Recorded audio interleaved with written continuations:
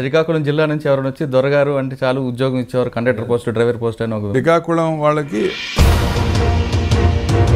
Hyderabad situation ఏ విధంగా DCP law and ఉన్నప్పుడు ఒక ముఖ్యమైన సంఘటన జరిగింది. అదేంటంటే ఇక్కడ బేగంపేటలో ఒక ఆర్మీ ఎస్టాబ్లిష్మెంట్లో ఒక గోర్ఖా వాడు వాళ్ళ వాళ్ళ ఎంప్లాయే ఫెస్టివల్ అడ్వాన్స్ రాలేదని తెలిసింది ఆఫీస్లో వాళ్ళకి చాలా కోపం వచ్చింది వాడికి. కోపం వచ్చి వాడి దగ్గర ఒక గన్ ఉన్నాం మీరు స్వయంగా నేను నేను నేనే వెళ్ళాను. నా వెనకాల ఒక ఇద్దరు ఒక సబ్ ఇన్స్పెక్టర్ ఒక ఇద్దరు కానిస్టేబుల్స్ వచ్చారు. అప్పటి వరకు నాకు తెలియదు ఇంతమంది ఉన్నారు ఈ బిల్డింగ్లో. సినిమా స్టైల్లో అయింది. సినిమా స్టైల్లో కింద తెచ్చినప్పుడు దురదృష్టం ఏంటంటే ఆ మీరు అనంతపురం పనిచేస్తున్నప్పుడు బాబా గారితో అటాచ్మెంట్ ఎక్కువైంది. వారి ఉపన్యాసాలు విన్నాను. So Baba birthday celebrations Shivaratri ఇలాంటివన్నీ కూడా చేసేవాళ్ళు. సో అవి నన్ను బాగా ఆకట్టుకున్నాయి. అక్కడ వాతావరణం అదంతా కూడా బాగా ఆకట్టుకున్నాయి. వరంగల్లో ఉన్నప్పుడే సార్ గద్దర్ మీద కాల్పులు జరిగింది గట్రా? యాక్చువల్గా ఆ కాల్ జరిగిన టైంకి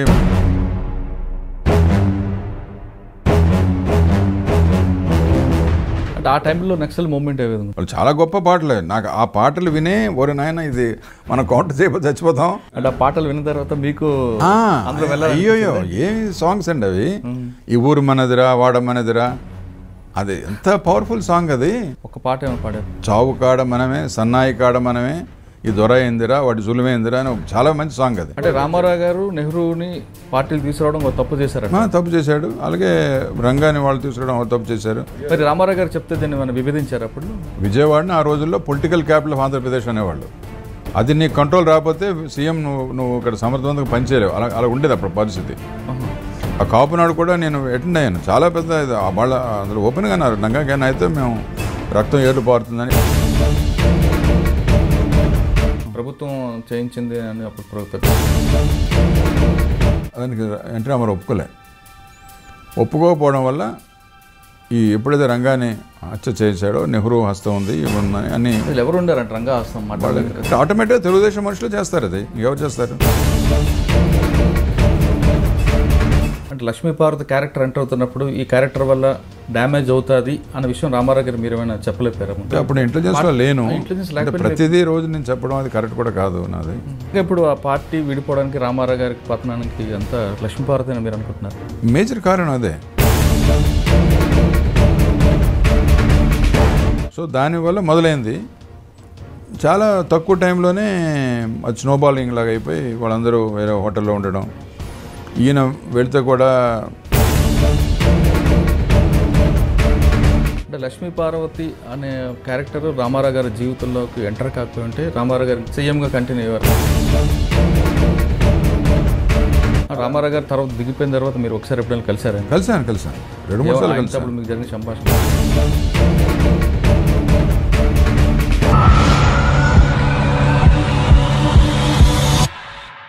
Welcome to crime diaries with Muralidhar.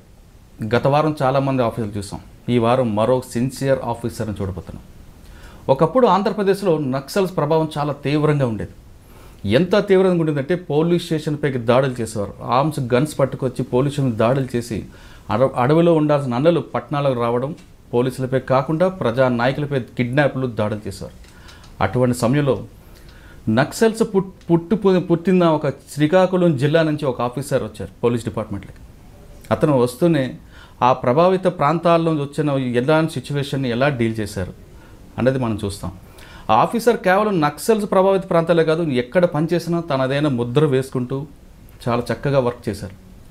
అంటే ఇక్కడ పోలీస్ డిపార్ట్మెంట్ అంటే కాకుండా తెలుగు ప్రజలు మరో ఇద్దరు వ్యక్తులని కలయుగ దైవలుగా పూజించారు. ఆ ఇద్దరు వ్యక్తులతో ఈ ఆఫీసర్కి చాలా సన్నిహిత సంబంధం ఉంది. ఆ ఇద్దరు వ్యక్తులు ఈ ఆఫీసర్ అంటే పడి చచ్చేవారు. ఇద్దరు కూడా ఉదయం లెగ్గానే వాళ్ళు ఆయనతో డైరెక్ట్గా మాట్లాడేవారు. ఈ ఆఫీసర్ వాళ్ళిద్దరి దగ్గరికి వెళ్ళేవారు. ఆ ఇద్దరు ఎవరంటే ఒకరు నందమూరి తారక రామారావు. ఇంకో వ్యక్తి పుట్టపర్తి సత్యసాయిబాబా. ఈ ఇద్దరితో కూడా ఆ ఆఫీసర్కి చాలా సంబంధాలు ఉండేవి. చాలా చక్కగా ర్యాపో ఉండేవారు. వాళ్ళు కూడా ఇతని సలహాలు తీసుకునేవారు. ఇతను వాళ్ళ సలహాలు ఇచ్చేవారు. అంటే అంత ర్యాపో ఉన్న ఆఫీసర్. ఇతను అక్కడ ఒకటే కాదు. మిగతా ఏ ప్రాంతంకి వెళ్ళినా ఆ ప్రాంతంలో తనదైన ముద్ర చేస్తూ పనిచేశారు. ఇప్పుడు ప్రస్తుతం ఉన్న పరిస్థితుల్లో నక్సల్స్ ప్రభావితం ఆంధ్రప్రదేశ్లో లేదు అనడానికి ఒక కరెక్ట్ ఒక అప్పుడు అతను వేసిన బీజం అంటే అప్పుడులో అతను పనిచేస్తున్న సిస్టమ్స్ ఎలాగున్నాయో ఇప్పుడు అదే కంటిన్యూ అవ్వడంతో ఇప్పుడు ప్రస్తుతం తెలుగు రాష్ట్రాల్లో నక్సల్ ప్రభావితం లేదు అని చెప్పడానికి ఎలాంటి అనుమానం లేదు. అయితే ఇంత మంచి ఆఫీసర్ మీద కూడా చిన్న చిన్న ఎలిగేషన్స్ ఉన్నాయి. అవి చెప్పాలంటే అతను కేవలం అతని ప్రాంత వాళ్ళకి మాత్రమే ఎక్కువగా ప్ర పోస్టింగ్లు ఇచ్చారని. దాంతోపాటు కొన్ని కొన్ని ఎలిగేషన్స్ ఉన్నాయి. అయితే ఇంతకీ ఆఫీసర్ ఎవరు అంటే హెచ్జే దొర. అతను శ్రీకాకుళం జిల్లా నుంచి వచ్చారు. ప్రస్తుతం మనకున్న గెస్ట్ హెచ్జే దొర. సార్ నమస్తే అండి. నమస్తే. సార్ మీరు ఈరోజు మాకు ఇంటర్వ్యూ గెస్ట్కి నాకు చాలా హ్యాపీ. ఎందుకంటే మీరు అదే జిల్లా నుంచి వచ్చారు నేను అదే జిల్లా నుంచి వచ్చాను మీరు శ్రీకాకుళం జిల్లా నుంచి వచ్చేటానికి అప్పుడు నక్సల్ ప్రభావితం అనేది శ్రీకాకుళం జిల్లాలోనే పుట్టింది ఆ సమస్యని. తర్వాత మీరు పోలీస్ ఆఫీసర్కి వచ్చారు. ఆ ప్రాంతం నుంచి పోలీస్ డిపార్ట్మెంట్ రావడానికి మీరు ఎందుకు డిపార్ట్మెంట్ ఎంచుకున్నారు? అసలు ఒక్కసారి ఫ్లాష్ బ్యాక్. అంటే మా నాన్నగారు చాలా చిన్న నా చిన్న వయసులోనే చనిపోయారు. మా అమ్మ అమ్మగారే మమ్మల్ని పెంచారు. నేను ఎంఏ అది చదివిన తర్వాత మా తాతగారు కూడా చాలా ఇన్ఫ్లుయెన్షియల్ పర్సన్ మెడ్రాస్లో ఉండేవారు అప్పుడు. అప్పుడు మెడ్రాస్ రాష్ట్రంలో ఉండేది మనది అది పాత్రా గారని అప్పుడు మెడ్రాస్ రాష్ట్రంలో మినిస్టర్గా ఉండేవారు జస్టిస్ పార్టీలో. ఆయన కొడుకు కూడా ఐపీ ఆఫీసరు మెడ్రాస్ స్టేట్లో ఉండేవారు. వారింట్లో నన్ను చదువుకోవడానికి తీసుకెళ్ళారు. కానీ ఆయన కూడా చాలా చిన్న వయసులో చనిపోయారు. అలాగే మా నాన్నగారు కూడా చిన్న వయసులో చనిపోయారు. సో మా అమ్మగారు మమ్మల్ని అందరినీ పెంచారు. నేను కోటమాళి హై స్కూల్లోనే ఎస్ఎల్సి పాస్ అయ్యి శ్రీకాకుళంలోనే పియూసీ చదివాను. తర్వాత ఆంధ్ర యూనివర్సిటీలో చేరాను ఎకనామిక్స్ డిపార్ట్మెంట్లో ఎంఏ అవగానే మా తాతగారు అప్పుడు నువ్వు ఇంటికి పెద్దవాడివి నువ్వు మిగతా వాళ్ళందరికీ కూడా నువ్వు సహాయం చూసుకోవాలి. అందుకు ఏదైనా కాల్టెక్స్ అలాంటి మల్టీనేషనల్ కంపెనీస్లో నీకు జాబ్ ఇచ్చేస్తాను సో దట్ మీకు స్టేబిలిటీ ఉంటుంది ఫ్యామిలీకి అని అన్నారు ఆయన. కానీ మా మదర్ మాత్రం లేదు సివిల్ సర్వీస్ రాయాలి అని అన్నారు అప్పుడు. అందుకు మా మదరు కోరిక మీద నేను అప్పటికి ఐపీఎస్ రావడానికే నాకు అర్హత ఉండేది. ఇరవై సంవత్సరాలు దాటినాక ఐపీఎస్ మాత్రమే రాయాలి. ఐఏఎస్ రాయాలంటే ఇరవై ఒకటి అవ్వాలి. సో ఆ ఒక్క సంవత్సరం తేడా ఉంది కనుక ముందు ఐపీఎస్ రాశాను నేను. రాసి అదే సంవత్సరం సెలెక్ట్ అయిపోయాను అరవై ఐదులో. సో అకాడమీలో కూడా జాయిన్ అయిపోయాను. సో ఆ విధంగా అలా పోలీస్ డిపార్ట్మెంట్లో స్థిరపడిపోయాను నేను. మన స్టేట్ అలాట్మెంట్ రావడం ఇందో ఇక్కడ రావడం అవన్నీ అయినాయి. అంటే ఫస్ట్ పోస్టింగ్ ఎక్కడ చేశారు? ఫస్ట్ పోస్టింగ్ వరంగల్లో చేశాను నేను అరవై ఎనిమిదిలో. ఎందుకంటే అప్పుడు శివకుమార్ లాల్ ఐజీగా ఉండేవారు హైదరాబాద్ ఆఫీసర్ ఆయన. సో మీ ఏఎస్పీ నేను ఒక్కనే మా బ్యాచ్లో వరంగల్ వెళ్ళమని అన్నారు. సో వరంగల్లో చేశాను. వరంగల్లో మొదటి సంవత్సరం అరవై ఎనిమిదిలో పెద్దగా ఏమీ ఇంపార్టెంట్గా చెప్పుకోవాల్సినవి ఏమీ లేవు.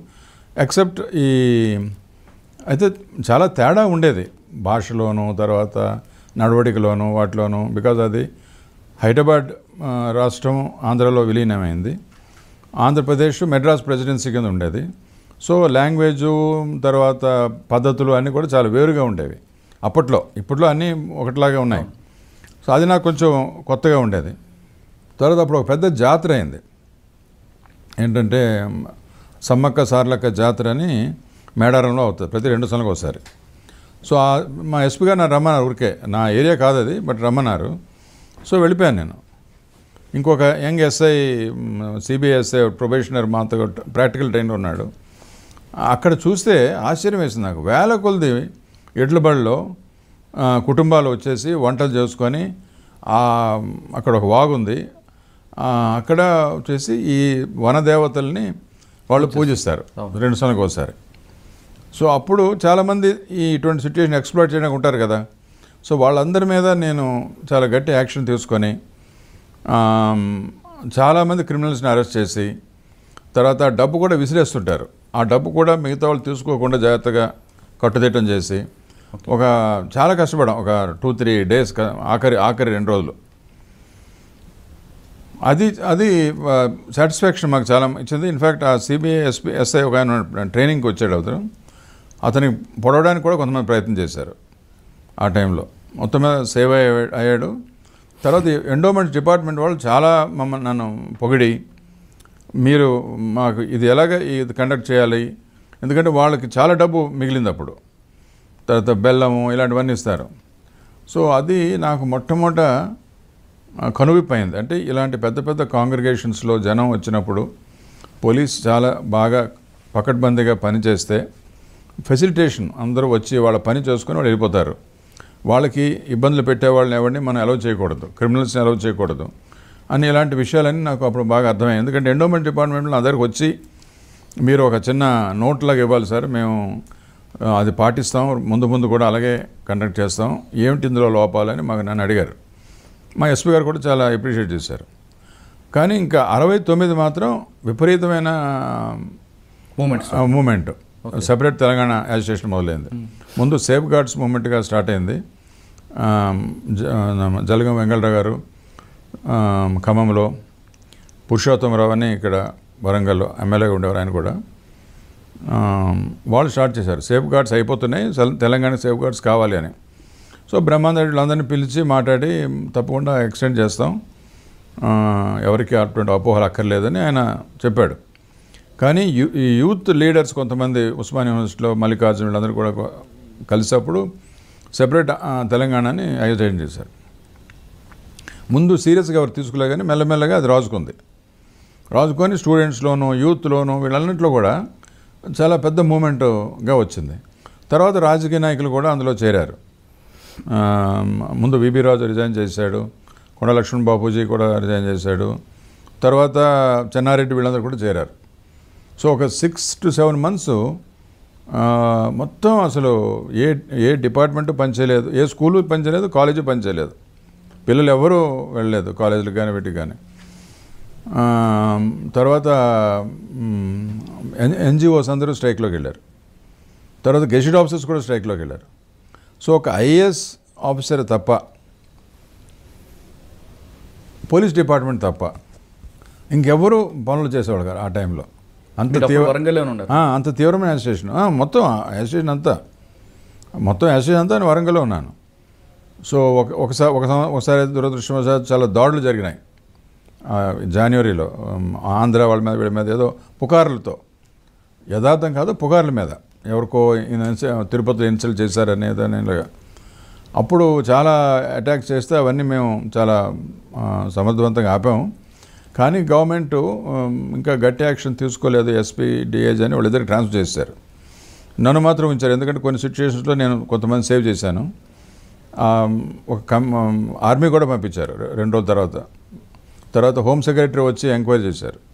ఎంక్వైరీ చేసి నాకు నా గురించి చాలా బాగా రాశాడు. నాతో కూడా చెప్పాడు నువ్వు చాలా బాగా పనిచేసావు. నువ్వు ఇదే కంటిన్యూ చేస్తుండు బాగా చేసావు కూడా ఎంక్వైరీ అయినా అని అన్నారు పాపం. సో అలాగా చాలా ఇదైంది. తర్వాత తర్వాత అది మెల్లమెల్లగా అది సమసిపోయింది అది. మళ్ళీ కాలేజీకి వెళ్ళడం అవన్నీ సో సిక్స్టీ నైన్ చివరిలో నేను నాకు ప్రమోషన్ వచ్చి మా ఎడిషనల్ ఎస్పీగా గుంటూరు వెళ్ళాను. అక్కడ గుంటూరులో అప్పుడు చెప్పుకోవాల్సిన. ఫర్ షార్ట్ టైం ఎక్కువసేపు లేను. హనుమంత్ నాయుడు గారు ఉండేవారు. బట్ పంచాయత్ ఎలక్షన్స్ అయినాయి అప్పుడు. So we are very busy with panchayat elections. పట్టలి పర్లాండ్ ఏరియా అవన్నీ కూడా ఫ్యాక్షన్ ఏరియాస్. సో అక్కడ కూర్చొని అప్పుడు రాములు తర్వాత నా- తర్వాత డీజే అయ్యారు. అప్పుడు ఆయన ఏఎస్పీ నసరాపేట ఉండేవాడు. సో మేమందరం కలిసి బాగా పకడ్బందీగా చేసాం అది. చేస్తే అప్పుడు కలెక్టర్ గారు వాళ్ళు కూడా చాలా అభినందించారు. మాకు చాలా ప్రమాదమైన ప్లేస్ అది పల్నాడు ఏరియా అని అక్కడే క్యాంప్ చేశాను మూడు నాలుగు రోజులు. తర్వాత నాకు అనంతపూర్ ఎస్పీగా వేశారు. అది కూడా షార్ట్ డ్యూరేషన్ ఒక వన్ ఇయర్ వరకే ఉన్నాను. అప్పుడు నాకు సత్యసాయిబాబా వారితో బాగా అంటే మీరు అనంతపురం చేసే టైంలో ఫ్యాక్షనిజం అప్పుడు ఎలాగ ఏ ఫ్యాక్షనిజం ఉండేది కానీ మరీ చెప్పుకోదగ్గంత లేదు. అంటే కొంచెం ధర్మవరంలోను తాడిపత్రి ఇలాంటి ఏరియాస్లో గుత్తి కొన్ని కొంత ఫ్యాక్షన్ ఏరియాస్ ఉండేవి అనంతపూర్లో. కానీ అంత తీవ్రమైన ఇది సమస్యగా ఉండేది కాదు. సో నాకు సత్యసాయిబాబా వారితో అంత ముందు తెలుసు వెళ్ళాను కలిశాను బట్ ఇప్పుడు కొంచెం ఎక్కువ వెళ్ళి వారు చేస్తున్న పనులు వారి తర్వాత ఎలాగ వారి సం- ఇది మెసేజ్ ఏమిటి వారు ఎలాగ మన ప్రవర్తన ఉండాలి మన జీవితం ధ్యేయం ఎలాగ ఉండాలి? ఇలాంటి మెసేజ్లు ఏవైతే ఇచ్చారో చాలా ప్రేమ చాలా వాత్సల్యం వీటితో తీసుకొని అనంతపురం పనిచేస్తున్నప్పుడు బాబా గారితో అటాచ్మెంట్ అటాచ్మెంట్ ఎక్కువగా అయింది నాకు. ఆయన చేసిన పనులు కూడా చూశాను నేను. తర్వాత వారి ఉపన్యాసాలు విన్నాను. So Baba birthday celebrations Shivaratri ఇలాంటివన్నీ కూడా చేసేవాళ్ళు. సో అవి నన్ను బాగా ఆకట్టుకున్నాయి. అక్కడ వాతావరణం అదంతా కూడా బాగా ఆకట్టుకున్నాయి. సో అప్పటి నుంచి అలాగే ఆయనకి ఫాలోవర్ లాగా నేను స్వామితోనే చాలాసార్లు ఉండడం అవన్నీ తర్వాత అనంతపూర్ తర్వాత కొంతకాలం కరీంనగర్ వేశారు కొద్దికాలం. కరీంనగర్ నుంచి నాకు మళ్ళా deputy commissioner law and order వేశారు. హైదరాబాద్ సిటీ. హైదరాబాద్ సిటీ. అంటే చాలా చిన్న వయసులో. ఓకే. నార్మల్గా ఒక ఒక రెండు జిల్లాలు చేసినాక డీసీపీ తెస్తారు. కానీ అప్పుడు ఐజీ కళ్యాణ్ రావు ఉండేవారు.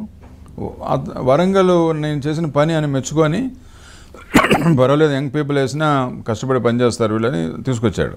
నా కలీగ్స్ అందరూ నాకంటే పది సంవత్సరాలు సీనియర్ మిగతా డీసీపీలు. నేనే ఆరు సంవత్సరాల సర్వీస్లో ఇక్కడికి వచ్చాను. ప్రభాకర్ గారు విజయరామారావు గారు శ్రీనివాసరావు గారు మా ఇంతకుముందు ఎస్పీ మన నారాయణ స్వామి వీళ్ళందరూ మా డీసీపీలు. అందరూ నాకంటే ఎనిమిది పది సంవత్సరాలు సీనియర్. నేను డీసీపీ లా అండ్ ఆర్డర్ టూగా అంటే అప్పుడు హైదరాబాద్ సిచ్యువేషన్ ఏ విధంగా ఉంది? అప్పుడు అంటే కమ్యూనల్ ప్రాబ్లమ్స్ కొంచెం ఎక్కువ ఉండేవి. ఓల్డ్ సిటీ ఓల్డ్ సిటీలో పవర్టీ కూడా చాలా ఉండేది. అంటే ఇవాళ ఇప్పుడున్న ముస్లిమ్స్ హైదరాబాద్ సిటీలో ఓల్డ్ సిటీలో ఉన్న వాళ్ళ స్థితిగతులు. పరిస్థితులు తర్వాత ఫైనాన్షియల్ ఇది అవన్నీ కూడా ఇప్పుడు మచ్ ఇప్పుడు మచ్ బెటర్ అప్పుడు చాలా ఘోరం చాలా ఘోరం. అంటే అప్పుడు మీరు లాండ్ ఆర్డర్ ఉన్నప్పుడు కమ్యూనల్ అయితే ఏ విధంగా కమ్యూనల్ ట్రబుల్స్ ఉండేవి ఉంటే మేము చాలా ఖచ్చితంగా యాక్ట్ చేసేవాళ్ళం. అప్పుడు ఎక్కువగా ఏంటి ఈ బళ్ళ మీద అరటిపళ్ళు అమ్ముకోవడం? విద్య బాగా తక్కువ ఉంది. ఎడ్యుకేషన్ చాలా తక్కువ ఉండేది ఆ కమ్యూనిటీలో ఓకే. సో అప్పుడు సో అందుకు వాళ్ళకి మాట్లాడితే ఏదో గొడవలు ఏదో గొడవ పెట్టడం ఇవన్నీ వాళ్ళకి ఇది ఇది రెగ్యులర్గా అయిపోయాయి. తర్వాత ఇక్కడ లాండ్ ఆర్డర్ నుంచి డీసీపీ లా అండ్ ఆర్డర్ ఉన్నప్పుడు ఒక ముఖ్యమైన సంఘటన జరిగింది. దానికి నాకు గ్యాలంటరీ అవార్డు ఇచ్చారు గవర్నమెంట్. అదేంటంటే ఇక్కడ బేగంపేటలో ఒక ఆర్మీ ఎస్టాబ్లిష్మెంట్లో ఒక గోర్ఖా వాడు వాళ్ళ వాళ్ళ ఎంప్లాయే. ఆర్మీ ఎస్టాబ్లిష్మెంట్లో ఒక ఎక్స్ ఆర్మీ వాడు గోర్ఖాగా ఉన్నాడు వాడు. నేపాలీస్ వాడు.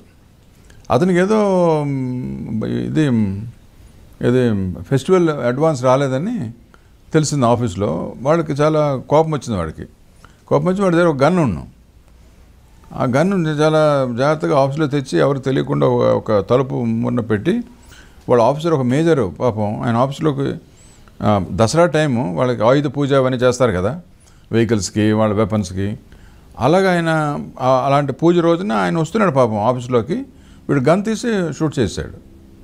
షూట్ చేసి ఆ ఒక స్టేర్ కేసు మేడ మీద ఎక్కి ఎవరికి రానివ్వకుండా వాడి దగ్గరికి ఎవరు అప్రోచ్ అవ్వకుండా అందరి మీద ఫైర్ చేస్తున్నాడు. అది మీ మాకు తెలిసి మేము ఎంత వెళ్తే అది ఆ పాయిగా వాళ్ళ ఇల్లు చాలా పెద్ద హౌస్ అది. ఇప్పుడు అమెరికన్ కాన్సులేట్ అవన్నీ ఉన్నాయి ఆ- ఏరియాస్లో. పాయిగా ఇది. సో ఎలాగ ఈ బిల్డింగ్ అప్రోచ్ అవ్వడం వాడు మేడ మీద ఉన్నాడు బాల్కనీలో కనబడుతున్నాడు వెపన్ ఉంది చేతిలో అని చాలా చేసాం ఆ ఒక్కటే స్టేర్ కేస్ ఉంది. ఆ స్టేర్ కేస్ మీద నుంచి ఫైర్ చేస్తున్నాడు. సో అప్పుడు నేను ఏం చేశానంటే ఏసీబీ మాకు చాలా గట్టివాడు ఉన్నాడు శాసగిరావు అని ఉండేవాడు. నువ్వు ఈ మెట్ల దగ్గర ఉండు నువ్వు. నేను అటు నుంచి ఏమైనా ఎక్కడానికి ప్రయత్నం చూస్తాను నేను అని ఆయనకు ఉంచాను. ఉంచి ఫైర్ సర్వీస్ వాళ్ళకి వాళ్ళ ఇంజిన్ ఆ ల్యాడర్ అది ఉండడానికి ఉండే ఇది తెప్పించమన్నాను. అది వాళ్ళు వచ్చారు. వస్తే ఆ ల్యాడర్ వేసి ఎక్స్టెండ్ చేసి ఈ యువతల సైడ్ బాల్కనీలోకి వెళ్ళాను. మీరే? మేడ మీద. మీరు స్వయంగా? నేను నేను నేనే వెళ్ళాను. నా వెనకాల ఒక ఇద్దరు ఒక సబ్ ఇన్స్పెక్టర్ ఒక ఇద్దరు కానిస్టేబుల్స్ వచ్చారు. మిగతా వాళ్ళు కిందనే ఉంచాను. ఉంచి మీరు ఏదైనా వాడు ఈ సడన్గా వచ్చి ఫైర్ చేసినా మీరు వెంటనే కవర్ ఇవ్వండి అని చెప్పేసి నేను మెట్లు లేడర్ ఎక్కి మీదకి వెళ్ళిపోయాను. వెళ్ళిపోయి ఓ తలుపు కొట్టాను. నాకు ఎందుకంటే నాకు ఎక్కడ ఉన్నాను వాడు ఎక్కడున్నాడో నేను ఎక్కడున్నానో మాకు తెలియదు కదా. చాలా పెద్ద బిల్డింగ్ అది. అయితే తలుపు తీశారు వాళ్ళు అక్కడ. అప్పటి వరకు నాకు తెలియదు ఇంతమంది ఉన్నారు ఈ బిల్డింగ్లో అని. వాళ్ళు తలుపు తీసి వాళ్ళు మొత్తం స్కెచ్ అది ఇచ్చి ఇదిగో మీరు ఇక్కడ ఉన్నారు మనం ఇలా ఈ ఈ బాల్కనీలో ఇలాగ వెళ్తే ఒక ఎల్ షేప్ దీంట్లో అవతల చివరిలో ఆ మెట్ల దగ్గర వాడు ఉన్నాడు ఎవరు రాకుండా ఉండాలని అక్కడ నుంచి ఫైర్ చేస్తున్నాడు. అన్ని రూమ్స్లో మనుషులు ఉన్నారు. మీరు మాత్రం ఎట్టి పరిస్థితిలో ఫైర్ చేయ చేయొద్దండి ఎవరికైనా తగలవచ్చు ఉత్సవం ఏదో పండగని మేము అందరం వచ్చాము ఈ ఆయుధ పూజకి వాటికి అని చెప్పాడు ఆయన. చెప్తే సర్లేండి అని మళ్ళీ తలుపేసి నేను బయటకు వచ్చి కొంచెం అలా కొంచెం కొంచెం కొంచెం కొంచెం వెళ్ళి వాడి వాడికి అపీల్ చేయడం మొదలెట్టాం. మేము పోలీస్ వాళ్ళం. ఆ, మేము ఆర్మీ వాళ్ళం కాదు. నీకేం ఏం హాని చేయము. నువ్వు నీ వెపన్ సరెండర్ చేసి నేను మా మాతో మేము తీసుకెళ్తాం. ఆర్మీ వాళ్ళకి నీకు ఇవ్వం అని ఇలా చెప్పి మెల్లగా మా ఎస్ఐ కూడా ఒక ఆయన హిందీలో మాట్లాడి ఆఖరికి మా వెపన్స్ కూడా కింద పడేసినట్టు నటించి ఇన్ని చేసాం ఒక ఆల్మోస్ట్ ఒక వన్ అవర్. అప్పుడు వాడు కన్విన్స్ అయ్యాడు ఆ, అదృష్టవశాత్తు. కన్విన్స్ అయ్యి వాడు వెపన్ కూడా పడేశాడు. పడేస్తే అప్పుడు మేము వెళ్ళి వాడిని ఓవర్ పవర్ చేసాం ఓవర్ పవర్ చేసి ఆ మెట్ల మీద నుంచి కింద తీసుకొచ్చాం. ఇదంతా ఒక టూ అవర్స్ జరిగింది ఇదంతా. అంటే సినిమా స్టైల్లో అయింది. సినిమా స్టైల్లో. కింద తెచ్చినప్పుడు దురదృష్టం ఏంటంటే ఆ ఎవరైతే దెబ్బతిన్న మేజర్ ఉన్నారు కదా ఆయన చనిపోయాడు హాస్పిటల్లో. ఓకే అది దురదృష్టం. ఈ ఈ లోపల కమిషనర్ గారు అబ్దుల్ సలాం ఖాన్ ఉండేవారు కమిషనరు. తర్వాత బ్రిగేడియర్ రామచంద్రన్ అని ఒక ఆయన ఉండేవారు. సబ్ ఏరియా అనేవాళ్ళు. వీళ్ళందరూ వచ్చారు అక్కడికి. ఆర్మీ టాప్ ఆఫీసర్స్ అందరూ. సో ఇవన్నీ చెప్తే వాళ్ళు దే ఆర్ వెరీ హ్యాపీ. అంటే బాగా మంచిగా మళ్ళీ ఫర్దర్ డ్యామేజ్ లేకుండా వీడిని పట్టుకున్నారని వాడిని పట్టుకొని వాడిని తీసుకెళ్ళిపోయి కేసు అది అయింది అనుకోండి. సో దానికి ఆర్మీ వాళ్ళు ఒక లెటర్ వేశారు గవర్నమెంట్కి. ఇతను చాలా తెగించి అంటే బాగా ధైర్యంతో ఈ పని చేశారు. కోర్స్ నెక్స్ట్ డే పేపర్స్లో అన్నిట్లో వచ్చింది. బట్ ఆ బ్రిగేడియర్ గారు రాశారు ఒక లెటర్ గవర్నమెంట్కి. ఇతనికి మీరు ఏదైనా తగిన గుర్తింపు ఇవ్వాలని. అప్పుడు గ్యాలంటరీ మెడల్కి రికమెండ్ చేశారు. చేస్తే అది తర్వాత నేను కృష్ణా జిల్లాలో ఉన్నప్పుడు ఒక వన్ వన్ ఇయర్ పట్టింది. గవర్నమెంట్ ఆఫ్ ఇండియా వెళ్ళి అదంతా గ్యాలంటరీ మెడల్ ఇచ్చారు ఆ ఇన్సిడెంట్కి. సో ఇక్కడ నుంచి నేను కృష్ణా జిల్లా ఎస్పీకి వెళ్ళాను. అప్పుడు ప్రెసిడెంట్ రూల్ అనేది. సెపరేట్ ఆంధ్ర స్టేషన్ ఉండేది అప్పుడు. విపరీతమైన స్థాయిలో. ఇప్పుడు ఇది వరంగల్ వెళ్ళినప్పుడు డెబ్బై మూడు. రెండు- రెండు ఉద్యమం డబ్ రెండు యాడ్ స్టేషన్ నేను చూశాను. సో డెబ్బై మూడులో నేను కృష్ణా వెళ్ళాను. స్టేషన్ చాలా ఉధృతంగా ఉండేది. వేణుగోపాల్ గారు కలెక్టర్ ఉండేవారు. జీపీ రావు మున్సిపల్ కమిషనర్ వీళ్ళు ఉండేవాళ్ళు. సో నేను వెళ్ళాక అంటే చాలా గట్టి యాక్షన్ తీసుకున్నాం అందరి మీద. గుంటూరు కృష్ణ ఎక్కువ అజిటేషన్ ఉండేది. అక్కడ కూడా సేమ్ ప్రాబ్లం. మళ్ళీ కాలేజీలు లేవు స్కూల్స్ లేవు ఎంప్లాయీస్ అందరూ ఇచ్చేశారు. అక్కడ కూడా ఎన్జిఓ ప్రె ప్రెసిడెంట్ని డిస్మిస్ చేశారు. తెలంగాణ కూడా అంతమంది ఎన్జిఓ ప్రెసిడెంట్ ఆమోస్ని డిస్మిస్ చేశారు. అక్కడ శ్రీరాములు ఎవరున్నా ఆయన డిస్మిస్ చేశారు. సో చాలా ఉధృతంగా ఉన్నాం. అందుకు ప్రెసిడెంట్ రూల్ పెట్టారు. ఎందుకు? అక్కడ మినిస్టర్లు అందరూ ఆంధ్ర మినిస్టర్ ఏదైనా చేశారు. సో పివి నరసింహ గారు సీఎం. ఆయన కంట్రోల్ చేయలేకపోయాడు. మూమెంట్ని. అందుకు మా ఇందిరాగాంధీ ప్రెసిడెంట్ రూల్ పెట్టేసి అంత అంత ఒక కొన్నాళ్ళకి డెబ్బై మూడు చివర కల సద్దుమడిగింది అప్పుడు మళ్ళా కాంగ్రెస్ లెజిస్లేటర్స్ అందరితో మాట్లాడి వెంగళరావుని సీఎంగా పెట్టారు.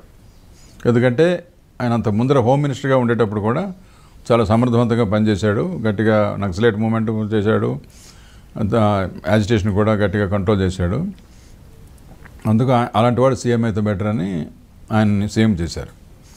సో సీఎం అతనికి నేనంటే చాలా మంచి అభిప్రాయం ఉండేది వెంగళవారికి.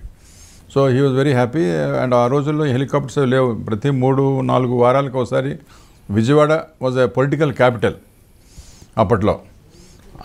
సీఎం ప్రతి మూడు నాలుగు వారాలకు విజయవాడ వచ్చి అక్కడ నుంచి ఏలూరు లేదా అటు సైడ్ వెళ్ళటం లేకపోతే గుంటూరు ఈ సైడ్ వెళ్ళడం ఇట్లా ఉండేది అనమాట సో తరచూ కదా ఉండేవారు కృష్ణా వాజ్ వెరీ ఇంపార్టెంట్ అప్పుడు కృష్ణా జిల్లాలో విజయవాడని కంట్రోల్ లేకపోతే నువ్వు రాష్ట్రాన్ని కంట్రోల్ చేయలేవు అనమాట అలా ఉండేది. అప్పుడు నాట్ ఓన్లీ రౌడీజం ఫినాన్షియల్గా అంటే రాజకీయంగా రాజకీయ క్యాపిటల్ అనేవాళ్ళు అది. ఓకే. విజయవాడని ఆ రోజుల్లో పొలిటికల్ క్యాపిటల్ ఆఫ్ ఆంధ్రప్రదేశ్ అనేవాళ్ళు. అది నీ కంట్రోల్ రాకపోతే సీఎం నువ్వు నువ్వు ఇక్కడ సమర్థవంతంగా పనిచేయలేవు. అలా అలా ఉండేది అప్పుడు పరిస్థితి. అందుకు వెంగళ గారు మాట మాట్లాడడం చేయడం అది వస్తుండేవాళ్ళు. తర్వాత ఈ సిక్స్ పాయింట్ ఫార్ములా అవన్నీ వచ్చేసి ఇదంతా అయిపోయి ఇతను ప్రెసిడెంట్ రూల్ తీసాక ఈయన సీఎం చేశారు కదా. సో కొన్నాళ్ళ తర్వాత ఇందిరాగాంధీ విజిట్ పెడతామన్నారు. అంటే హీ వాంట్ ఇతను ఇందిరాగాంధీ చూపించాలా? ఇప్పుడు అన్నీ శాంత శాంతిగా ఉన్నాయి. అందరూ ఈ సిక్స్ పాయింట్ ఫార్ములాని యాక్సెప్ట్ చేశారు. ఇప్పుడు మరేమీ ఆ మూమెంట్ లేదు. అని ఆయన ఇందిరాగాంధీ ఇన్వైట్ చేశాడు విజయవాడ. అండ్ ఆ టైంలో రెండు ప్రాజెక్ట్స్ కూడా తీసుకున్నారు. ఒకటి వ్యాగన్ రిపేర్ వర్క్షాప్ అని మన ఇబ్రహీంపట్నం ఆ- ప్రాంతంలో. ఇంకోటి ఎలక్ట్రిసిటీ బోర్డు వాళ్ళు ఒక విద్యుత్ ప్లాంట్. ఇది. అదే. ఇప్పుడు కూడా అది ఉంది. అప్పుడు తాతారా గారు ఉండేవారు చైర్మన్. సో ఆయన ఒక ప్లాంట్. ఈ రెండు ప్రాజెక్ట్స్ ఆంధ్రాకి ఇచ్చినట్టు ఇందిరాగాంధీ. సో ఆవిడ వచ్చి గన్నవరం నుంచి విజయవాడ టౌన్ ద్వారా కారులో ఈ ఇబ్రహంపట్నం దాటి ఆ- ఆ- ప్రదేశాలకు వచ్చి వీటి ఫౌండేషన్ స్టోన్స్ వేసి ఒక పెద్ద బహిరంగ సభ అడ్రస్ చేస్తారు. అది ప్లాన్ వాళ్ళది. సో దానికి వెంగళారు కూడా వచ్చారు వచ్చి ఎలాగ చేయాలి ఏంటని అని చెప్పారు. దాని బందోబస్తు చేసాం కానీ అందరికీ కొంచెం భయం ఉన్నాం ఏంటంటే ఇంత పెద్ద agitation against government of India Indira Gandhi ఇది ఏంటంటారు వాటిని? ఎఫిజీస్ ఎఫిగీస్. ఎన్ని తగలబెట్టారో లెక్కలేదు ఆ జిల్లాలో ఆ టైంలో. సో అలా ఆ అంత ఉధృతమైన యాజిటేషన్ తర్వాత ఫస్ట్ టైం విజయవాడ వస్తుంది ఏమవుతుందో. ఓకే. వెంకటరావు ఉద్దేశం ఏంటంటే వచ్చి ఆవిడ చూపించాలి అంత నార్మల్గా ఉందని. ఉంది నేను సమర్థవంతంగా నేను సెటిల్ చే అన్నీ బాగున్నాయని చూపించాలి కదా మరి సీఎం గారికి ఉంటుంది అది. సో చాలాసార్లు మాతో ఫోన్లో మాట్లాడుతున్న వాళ్ళు చేస్తుండేవాళ్ళు. నేను కూడా సార్ పర్లేదు ఇప్పుడు థింగ్స్ ఆర్ అండర్ కంట్రోల్ మనం చేయవచ్చు అన్నాను. సో ఆయన ముందు వచ్చి ఒక రోజు అంతా గడిపి ఎలాగ తీసుకెళ్ళాలా ఏమిటి అవన్నీ కూడా చేస్తే నేను అన్నాను సరే కొంచెం ఎండ వేడిగా ఉంటుంది. అప్పుడు ఆవిడ ఓపెన్ కార్లో వెళ్ళేవాళ్ళు ఇప్పుడు ఇందిరాగాంధీ ఎప్పుడు ఓపెన్ కార్లో ఉండేది. ఓపెన్ కార్లో వెనకాల సీట్ మీద కూర్చుంటే శుభ్ర కనబడే అందరికి కనబడేవాళ్ళు. నేను అన్నాను సార్ ఫస్ట్ టైం కదా బాగా ఎండలు కూడా ఉంటాయి మధ్యాహ్నం వస్తుంది ఆవిడ. సో క్లోజ్ కార్లో తీసుకెళ్దాం మనం. సరే నేను అడుగుతానండి ఆవిడని బట్ మీరు ఓపెన్ కార్ కూడా పెట్టండి ఆవిడ సడన్గా ఓపెన్ కార్ అంటే మళ్ళీ మనం పెట్టలేదంటే ఆవిడ అప్సెట్ అవుతారు అన్నాడు సరే అని ఓ- అది ఈ కారు పెట్టాం ఒక మామూలు రెగ్యులర్ కార్ కూడా పెట్టాం. సో మార్క్సిస్ వాళ్ళు కొంచెం గొడవ చేయాలనుకున్నారు. బట్ వాళ్ళతో మాట్లాడి వాళ్ళ చేత ఒక మెమరాండం అది ఇప్పించాం ఇందిరాగాంధీకి. వాళ్ళు పెద్ద ప్రొఫెషన్తో వచ్చారు వాళ్ళు. బయట ఎయిర్పోర్ట్ బయట. ఈ ఈ రైజింగ్ ప్రైస్ మీద వీటి మీద. వేణుగోపాల్ గారు సమర్థవంతమైన కలెక్టర్ అయినా ఆయన వాళ్ళతో మాట్లాడి మీలో ఎవరో ఇద్దరు రండి మెమరాండం ఇప్పిస్తాను బట్ గొడవ చేస్తే మాత్రం మేము ఊరుకోం. We have to remove arrest beforehand and we will not allow తీస్తాను లేదు సార్ మీకు మేము గొడవ చేయ ఆలోచన లేదు మాకు కేవలం ఆవిడ దృష్టికి తీసుకెళ్ళాలని అన్ సో అది అలౌ చేసాం అది అయిపోయింది. దెన్ షీ వెంట్ ఈ రోడ్డు మీద ఓపెన్ కార్లో వెళ్ళింది ఆవిడ. విజయవాడ అంతా. లక్కీగా నా అంటే ఒక రెండు మూడు మంచి టీమ్స్ పెట్టాను. మంచి ఆఫీసర్స్ని అందరూ కొంచెం సంబంధాలు ఉన్న వాళ్ళతో. ఒక హోటల్లో ఈ జయాంధ్ర యాజిటేషన్ లీడర్స్ సమావేశం అయ్యారు. ఒక ముప్పై మంది. వాళ్ళ ఉద్దేశం ఏంటంటే ఎక్కడో దగ్గర రూట్ మీద సడన్గా పరిగెత్తి వచ్చి బ్లాక్ ఫ్లాగ్స్ చూపించడం రోడ్డుకి అడ్డంగా పడుకోవడం డిస్టర్బ్ చేయాలంటే డిస్టర్బ్ చేయాలని. తో ఉన్నారు. లక్కీగా అదేంటంటే ఈ టీమ్స్ పెట్టడం వల్ల వాళ్ళు వెంటనే పట్టుకొని ఆ, హోటల్లోనే వాళ్ళందరూ అరెస్ట్ చేశారు. వాళ్ళు ఒకటే వాపోయారు. అయ్యో ఇంత యాజిటేషన్ సార్ ఒక దగ్గరైనా బ్లాక్ ఫ్లాగ్ చూపించాలనుకుంటున్నాం. మీరు అదిలో చేయలేదు మాకు అని అన్నారు. సరే అయిపోయింది. సో మొత్తం మీద ఇవిడ వెళ్ళింది మొత్తం. వెళ్ళి ఆ రెండు ఫౌండేషన్ ఫౌండేషన్స్ వేసింది. బ్రహ్మాండమైన పబ్లిక్ మీటింగ్ జరిగితే అది అడ్రస్ చేసింది. మళ్ళా ఈ కారులోనే ఓపెన్ కారులోనే మళ్ళీ వెనక్కి వచ్చింది ఎయిర్పోర్ట్కి అక్కడక్కడ మధ్యన కొంతమంది లేడీస్ పువ్వులు ఇవ్వడం హార గార్లెండ్ ఇవ్వడం ఇస్తే ఆగేది ఆవిడ. ఇవన్నీ తీసుకొని వెళ్ళేది. సో వెళ్ళిపోయినాక గన్నవరం ఎయిర్పోర్ట్లో మన వెంగళరావు మాకు ఇంట్రడ్యూస్ చేశారు. కలెక్టర్ ఎస్పీ అంటే చా మాకు చాలా ధన్యవాదాలు చెప్పింది బాగా చేశారు అరేంజ్మెంట్స్ అని చెప్పి. అప్పుడు వెంగళరాజు తిరిగి ఆవిడంతే నువ్వు ఏదో వేడిగా ఉంటుంది అన్నావు కదా హాయిగా ఉంది ప్లెజెంట్గా ఉంది ఎందుకు క్లోజ్ కారు? అని ఆవిడ అంటే వెంగళరావు అర్థం చేసుకున్నారు అంత బాగా అయిపోయింది షీజ్ హ్యాపీ అని. సో హైదరాబాద్ వస్తానే మాకు ఫోన్ చేశారు ఆయన. ఫోన్ చేసి మంచి అరేంజ్మెంట్ చేశారు చాలా వెరీ హ్యాపీ చాలా బాగా అయింది ఎక్కడ ఒక చిన్న ఇన్సిడెంట్ కూడా ఎక్కడ లేకుండా బాగా అయిందని మెచ్చుకున్నాడు ఆయన. అలాగా వెంకటగారు ఆ, సో తర్వాత నేను two and half years almost three years ఉన్నాను కృష్ణా జిల్లాలో. చాలా గ్యాంగ్స్ అక్కడ ఉండేవి. అంటే ఈ అప్పుడు వంగవీటి రంగ బండ రంగ లేదు అప్పుడు. రాధా బ్రదర్ రాధా. బట్ పాలిటిక్స్లో లేరు వాళ్ళు ఎందుకంటే వెంగళరావు గారు ఎప్పుడు అనేవారు పాలిటిక్స్లో ఈ రౌడీజం ఉండకూడదు. మనం మామూలు నాయకుల్ని ప్రజలతో ఉన్నవాళ్ళు మనం మనం పెట్టుకోవాలి. వీళ్ళతో ఏంటి ఎంవి కృష్ణరావు మండల మినిస్టర్గా ఉండేవారు. ఆయన రాధాని తీసుకురావాలనుకున్నాడు. అది వెంగ- వెంగళరావు తెలిసి కోపడ్డాడు ఆయన. కృష్ణ నీకు ఎవరు మనుషులు? ప్రోత్సహించలేదు. ప్రోత్సహించలేదు. నీకు ఎవరు దొరకలేదా? వీడిని ఆ, మన ఆఫీస్ కానీ కోపడ్డాడు ఆయన. సో మేము ఉంటుండగానే రా రాధా బికాజ్ రాధా అంతకుముందు communist party secretary Chandrasala Venkatarajan చంపేశాడు. నేను వెళ్ళక ముందు. సో దానికి ప్రతీకారంగా వాళ్ళు ప్లాన్ చేసి రాధా గ్రూప్లోనే ఒకళ్ళిద్దరిని వసూలు చేసుకొని ఒక షాప్కి వాళ్ళ ఇంటి దగ్గరే షాప్కి ఏదో రమ్మని చెప్పి అక్కడ వాడిని హతమార్చారు. రాధాని. రాధాని. అది పెద్ద సెన్సేషన్ అయింది కానీ లా అండ్ ఆర్డర్ ప్రాబ్లం అవ్వలేదు. అంటే మీరున్న టైంలో నేను ఉన్న టైంలోనే. రాధా చనిపోవడం నేను ఉన్నప్పుడే. ఆయన ఇంటికి దగ్గరలోనే. కానీ అది పెద్ద సెన్సేషన్ ఎందుకు అవ్వలేదంటే ఈజ్ నాట్ ఇన్ పాలిటిక్స్ కేవలం ఒక ఒక రౌడీగా. ఒక గ్రూప్ లీడర్గా ఉండేవాడు. అక్కడ ఏంటంటే కమ్యూనిస్టులకి కొంత భయం ఉండేది కమ్యూనిస్టులు అంటే. దానికి కౌంటర్గా వీడిని లేపారు. అక్కడ వాళ్ళే స్థానికులే కొంతమంది. కమ్యూనిస్ట్ని చెక్ చేయడానికి. అంతేగాని కాస్ట్ ఫీలింగ్ అప్పుడు ఏం లేదు. సో ఇప్పుడు చచ్చిపోయాడు అంటే మర్డర్ తర్వాత ఎలాంటి వైలెంట్ విజయవాడలో జరగలేదు. లేదు లేదు ఏమి మర్డర్ నథింగ్ లేదు లేదు అదే చెప్తున్నాను. అదే దానికే నేను వెంగళరావు గారి ముందు చూపుకి నేను మెచ్చుకుంటున్నాను. అంటే రౌడీ ఎలిమెంట్స్ రాజకీయాల్లోకి వస్తే జరిగే ప్రమాదం దీనివల్ల మనకు అర్థమవుతుంది. ఆయన రానివ్వలేదు ఆయన్ని. వెంగళరావు గారు అనవసరం అన్నాడు ఆయన. విజయవాడ ఇవన్నీ నాకు తెలుసండి. ఎవరిని ఇక్కడ పెట్టాలా ఎలాంటి వాళ్ళు పెట్టాలా? వీళ్ళంతా ఎందుకండి వీళ్ళు? అని ఆ, కృష్ణరావుని కోపడ్డారు ఆయన. సో రాధామామ చనిపోయాడు బికాజ్ గ్యాంగ్ లీడర్ ఆయన ఆయన ఎవరికైతే చంపారో కమ్యూనిస్టులే ప్లాన్ చేశారు. ఆయన మళ్ళీ చంపడం వాళ్ళు అరెస్ట్ చేశారు మీరు? అరెస్ట్ చేసాం అందరినీ అరెస్ట్ చేసాం అందరూ దొరికారు. It was it was good case తర్వాత సిఐడికి ఇచ్చారు. సిఐడి వాళ్ళు ఎందుకంటే ఇంపార్టెంట్ కేసు సిఐడి తీసుకునేవాళ్ళు తీసుకున్నారు. దెన్ అది మామూలుగా like routine murder case. Krishna జిల్లా నుంచి అక్కడికి వచ్చారు. చెప్తాను. కృష్ణ సో అది అంటే అది కాకుండా అదర్ గ్యాంగ్ చాలా ఉండేవి. ఓకే. ఈ చీటింగ్ గ్యాంగ్స్ అని ఇలాంటివన్నీ విపరీతంగా ఉండేవి అక్కడ.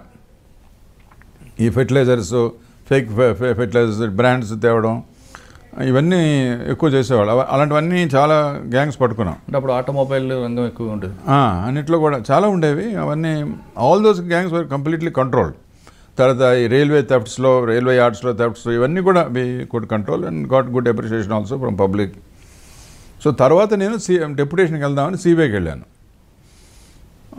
సో వెంగళూరు రైడర్ ఏంటి సిబిఐకి వెళ్తాను అంటే అవును సార్ పదిహేను సంవత్సరాలు అయిపోయింది కొన్నాళ్ళు డెప్యుటేషన్ గవర్నమెంట్ ఆఫ్ ఇండియా వెళ్దామని అనుకున్నట్టు సరే.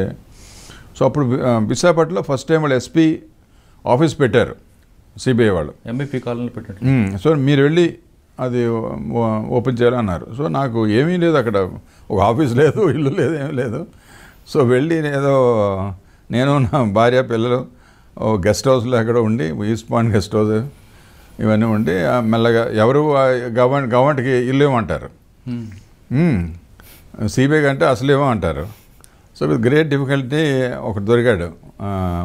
అదే ఎంబీపీ కాలనీ ఎంబీ కాదు పెద్ద వాల్టర్ కాలనీ. ఓకే. అక్కడ ఒక కొత్త ఇల్లు లక్కీగా మంచి ఇల్లు కట్టాడు ఆయన. సో అది అది తీసుకున్నాను.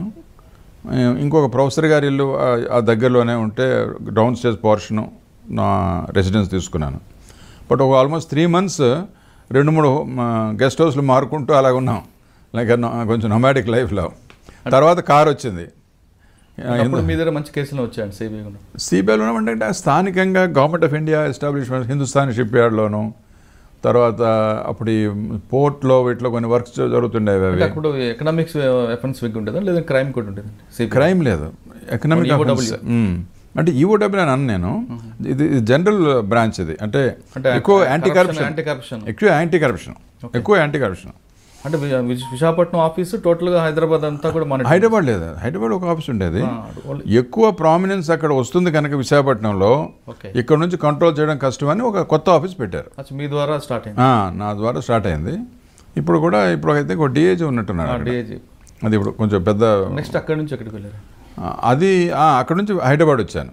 సిబిఐ ఆఫీస్ ఇక్కడ. ఓకే ఇక్కడ సో ఆల్మోస్ట్ ఒక సిక్స్ అండ్ హాఫ్ ఇయర్స్ అలాగా సిబిఐ సిబిఐలో ఉన్నాను. అప్పుడే వాళ్ళు police medal meritorious medal police medal అది సిబిఐలోనే ఇచ్చారు నాకు వాళ్ళు. సో ఆఫ్టర్ ఇక్కడ వచ్చి సిబిఐ పని అయిపోయిన తర్వాత మళ్ళీ వెనక్కి వచ్చాను వస్తే I was on verge of promotion DAG రావాలి నాకు. ఓకే సో అప్పుడు ఆనందరామ్ గారు డీజేగా ఉన్నారు ఆయన అన్నారు కొన్నాళ్ళు నువ్వు ఇంటెలిజెన్స్లో ఉండు. నీకు ప్రమోషన్ వస్తే నేను వరంగల్ వేస్తాను. అన్నారు ఆయన. సరే సరే ఇంటెలిజెన్స్లో ఉన్నాను నేను. అప్పుడు ఈ ఈ ఎయిటీ త్రీ ఈ ఎన్టీ రామారావు పొలిటికల్ పార్టీ పెట్టడం ఈ మీటింగ్స్ అవ్వడం ఆయన ఒక రౌండ్ అలా వెళ్ళడం ఇవన్నీ అవుతున్నాయి. సో నేను ఇంటెలిజెన్స్లో ఉన్నాను ఒకటి రెండు మీటింగ్స్ వెళ్ళి చూశాను. ఏంటి ఇవన్నీ ఇతను ఇలా చేస్తున్నాడు అండ్ నాకు కొంచెం పరిచయం ఉంది ఎందుకంటే కృష్ణా జిల్లాలో చేశాను కదా. అప్పుడు ఏదో ఒక ఫిల్మ్ షూటింగ్ వాటికి వచ్చినప్పుడు నేను బందోబస్తు అది కావాలని మా ఇంటికి వచ్చాడు తెల్లవారి. ఓకే. అయితే అది ఇచ్చాను. పెద్ద చాలా పెద్ద బందోబస్తు ఇవ్వాల్సి వచ్చింది. అది ఏలూరు రోడ్లో అక్కడ ఫిల్మ్ షూటింగ్. సో ఆ పరిచయంతో ఒకసారి ఈయన కలవాలా? అసలు ఏమిటి ఈయన ఉద్దేశం? ఈయన ఐడియాలజీ ఏమిటి? ఈయన కాన్సెప్ట్ ఏమిటి అని తెలుసుకుందామని అన్న అని టైం అడిగాను. ఇది మన ముషిరాబాద్ వాళ్ళ స్టూడియోస్ ఉన్నాయి కదా studio. Ramakrishna Ramakrishna studio. So వాళ్ళు టైం ఇచ్చారు. అక్కడ రెండు రోజుల తర్వాత ఎర్లీ మార్నింగ్ రమ్మన్నారు ఆరు గంటలకు అంతకు. సో వెళ్ళాను నేను. వెళ్తే ఆయన చాలా రెడీ అంతా. మంచి బొట్టు గిట్టు పెట్టుకొని చాలా నీట్గా ఉన్నారు. స్టూడియో అంతా బాగా యాక్టివిటీ ఉంది. ఈ పోస్టర్స్ తర్వాత ఈ టేప్ రిక్- టేప్స్. నా రీల్స్ అవి. అవన్నీ అప్పుడు అదే స్టూడియో అప్పుడు అవన్నీ అవన్నీ వాళ్ళు చేస్తున్నారు కదా. మొట్టమొదట రాజకీయాల్లో మలుపు తెచ్చింది ఆయనే కదా. సో వెళ్ళి అప్పుడు నేను అడిగాను ఏంటి మీరు పో- రాజకీయాలు వదిలేస్తున్నారు ఇక్కడికి వస్తున్నా అంటే లేదు బ్రదర్ నేను అరవై సంవత్సరాలు ఉన్నాను. ఏదైనా తిరిగి మనం ప్రజలకు కూడా చేయాలి. నన్ను ఇంతగా వాళ్ళు అభిమానించారు. అని చెప్పారు. మరి ఏంటి మీకు చాలామంది చేరుతా ఉంటున్నారు మిగతా పార్టీస్ నుంచి కూడా ఇదందని అంటే లేదు నేను నాకు ఎవరు వద్దు. యూత్ని నేను ప్రాధాన్యత ఇస్తాను. యూత్ నాకు ముఖ్యం. వీళ్ళందరూ స్పెండ్ ఫోర్స్ వీళ్ళని మళ్ళీ తీసుకొని నేను ఎందుకు పార్టీ పెట్టాలా? అని ఆయన చాలా అంటే రామారావు గారికి వెళ్ళినప్పుడు మీరు గవర్నమెంట్ వైపు నుంచి వెళ్ళారా? లేదా మీరు గవర్నమెంట్ గవర్నమెంట్ నో గవర్నమెంట్ తరఫున బికాజ్ ఐ వాజ్ ఇంటెలిజెన్స్ కదా. That's my job. సో అలా మాట్లాడాను నేను. మాట్లాడితే ఆయన చాలా విషయాలు మాట్లాడి ఆయనకి ఏంటంటే చాలా ఆవేదన ఆవేదన ఉండేది. బీదవాళ్ళు ఇలా ఉండిపోయారు చాలామంది ఉన్నారు ఇంకో దేశం అయితే రెవల్యూషన్ వచ్చేది మనం ఏమీ చేయట్లేదు గవర్నమెంట్ ఏమీ చేయట్లేదు వాళ్ళకి అని కాంగ్రెస్ గవర్నమెంట్ని ఎలాగైతే మనం ఆత్మాభిమానం ఎలా ఆ, చూడండి అతను సీఎంని ఎలా ట్రీట్ చేశారు ఎవరు అంజయ్ని. ఎయిర్పోర్ట్కి వెళ్తా చేస్తారు. సో ఇదంటే ఏంటి బ్రాంచ్ ఆఫీస్లో అనుకుంటున్నారా వీళ్ళు కాంగ్రెస్? వీళ్ళు ఎవరికున్న ప్రతిపత్తి వాళ్ళకి ఇవ్వద్దా? తెలుగు వాళ్ళకి వేరే ఒక స్టేటస్ లేదా ఇంకా? వీళ్ళకి ఇవ్వాల్సిన గౌరవం ఇవ్వాలి కదా మనం? అందుకు నేను ఈ పార్టీ పెట్టాను. నేను కామన్ మ్యానే నాకు దృష్టి. నేను యూత్ని నమ్ముకొని నేను పార్టీ నాకెవరు పాత లీడర్సు వాళ్ళు ఎవరు వస్తామంటే కూడా నాకు ఐ డోంట్ వాంట్ అన్నారు మరి ఎవరైనా అలయన్స్ అంటే కమ్యూనిస్ట్ లీడర్స్ వీళ్ళందరూ వచ్చారు కానీ నాకు ఇప్పుడు రైట్ నౌ నేనేమి అలయన్స్ పెట్టుకోదలుచుకోలేదు.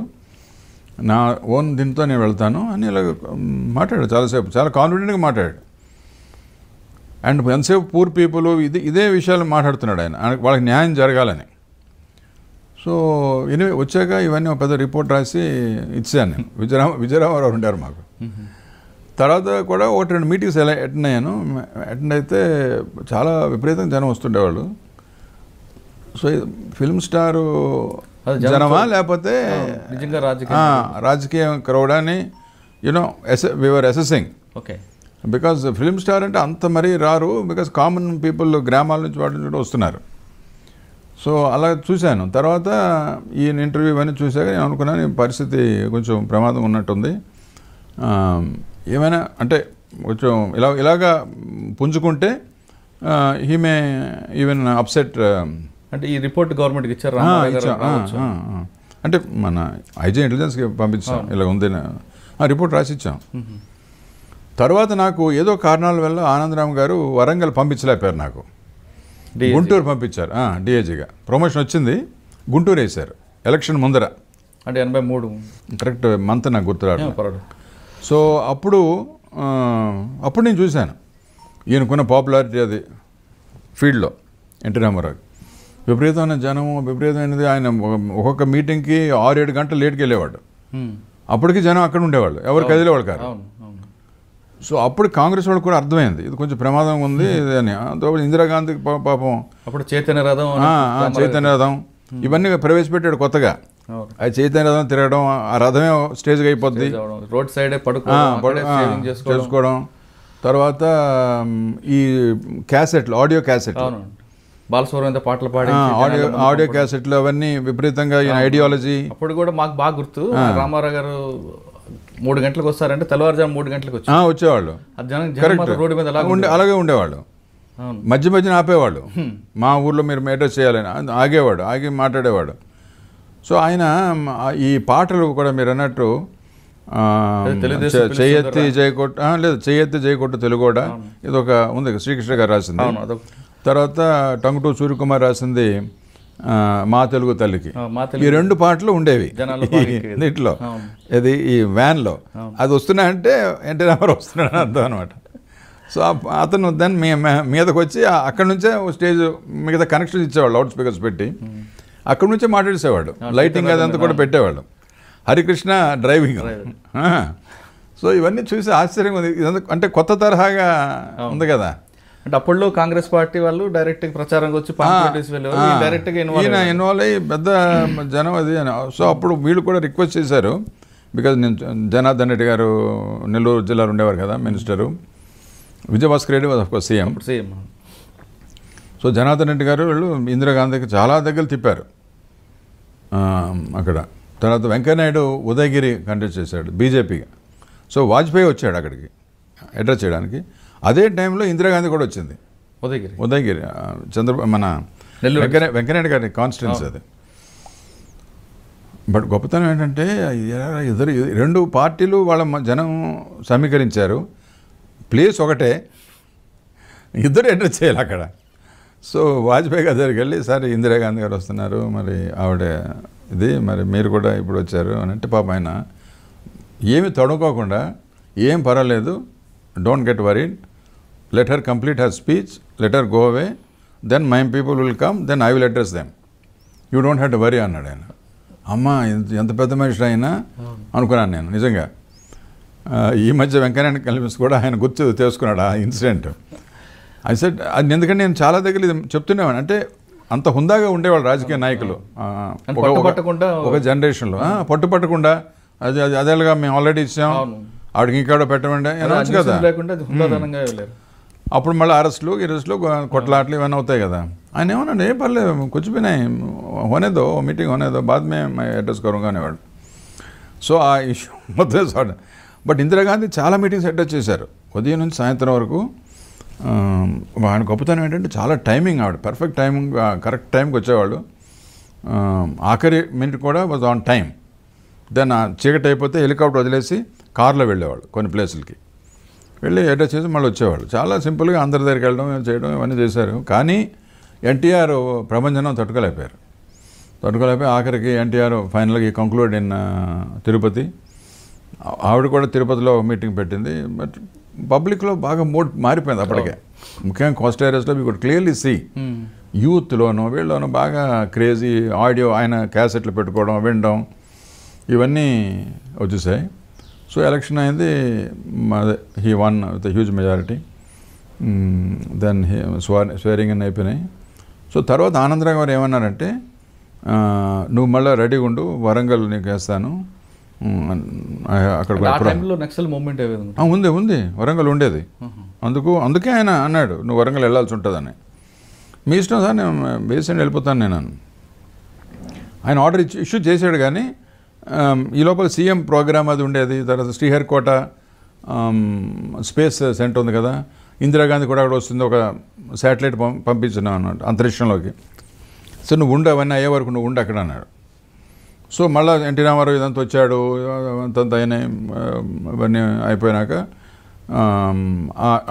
ఆ- స్పేస్ సెంటర్లో ఈయన ఈయనకి ఎలా రిసీవ్ చేసుకుంటారు? ఈయన ఇందిరాగాంధీ ఎలా తలబడతారు నేను అనుకునేవాడిని. కానీ మొట్టమొదటి ఫస్ట్ టైం బట్ ఈయన చాలా గౌరవంగా ఆవిడని రిసీవ్ చేసుకున్నాడు. ఆవిడ కూడా అలాగే చాలా ప్లెజెంట్గా ఆవిడ ఉంటుంది. సో ధావన్ ఆ రోజుల్లో was the head of that space space program so అతను చేశారు ఆ పని అయిపోయినాక వెళ్ళిపోయారు అప్పుడే ఈయన అక్కడ నుంచి తిరుపతి వెళ్ళి ఈ కాషాయ రంగు బట్టలు వేయడం మొదలెట్టాడు. అప్పుడు. ఎందుకు చేశారండి? ఏంటో అంటే నాకు ఇంకేమీ అక్కర్లేదు లైఫ్లో అన్నీ అనుభవించాను. సో శాఖ జీవితం ప్రజలకే అని అనేవాడు కదా. సో అదే లైన్లో అనుకుంటాను నేను. తెలీదు ఎగ్జాక్ట్లీ నేనైతే వెళ్ళలేదు. నేను నెల్లూరుతో ఆగిపోయాను కదా, మా ప్రో ఇది అయిపోయింది. బట్ విపరీతంగా జనాలు వచ్చారు. సో అప్పుడు నేను అనుకున్నాను ఇది ఇప్పుడు సీఎం సెక్యూరిటీ కూడా మన చాలా జాగ్రత్తగా ఉండాలా? అని అనుకునేవాడు. అనుకుని విజయరామరావు చెప్పాను సార్ ఇది మామూలు పాత రోజు సెక్యూరిటీ లా లేదు జనం విపరీతంగా వస్తున్నారు. ఆయన సెక్యూరిటీ స్టాఫ్కి ఇబ్బందిగా ఉంది పోలీస్కి ఇబ్బందిగా ఉంది మన స్కేల్ అది పెంచాలి. ఇప్పుడు ప్రైమ్ మినిస్టర్ వస్తే బ్లూ బుక్ అని ఒకటి ఉన్నదండి. ఆ బ్లూ బుక్ ప్రకారం మనం అరేంజ్మెంట్స్ అన్నీ చేయాలి. ఆవిడ ఎక్కడ ఉన్నా లేకపోతే మీటింగ్ అటాచ్ చేసినా లేకపోతే ఎక్కడికైనా వెళ్ళినా. సో అలాగే ఈయనకు కూడా మనం స్కేల్ పెంచి మనం పెద్ద అరేంజ్మెంట్ చేయకపోతే జనం తట్టుకునేటట్లు మనం. And it can be a stampede అయినా మనకు చెడ్డ పేరు వస్తుంది. అని నేను అప్పుడు విజయరామారికి అంతా చెప్పాను నేను. సో మొత్తం మీద ఇది అయిపోయినాక సో ఇవన్నీ అయిపోయినాక ఖమ్మం వెళ్ళి ఐ మీన్ వరంగల్ వెళ్ళిపోయాను నేను. వరంగల్ అప్పుడు ఈ ఈ ఉద్యమం చాలా తీవ్రంగా ఉండేది. ఇది నక్సలైట్ ఉద్యోగం అంటే వైలెన్స్ అంత ఎక్కువ లేదు. ఉండేది వైలెన్స్ కానీ ఫ్రంట్ ఆర్గనైజేషన్ చాలా స్ట్రాంగ్గా ఉండేవి. అంటే రైతు కూలీ సంఘం రాడికల్ స్టూడెంట్స్ యూనియన్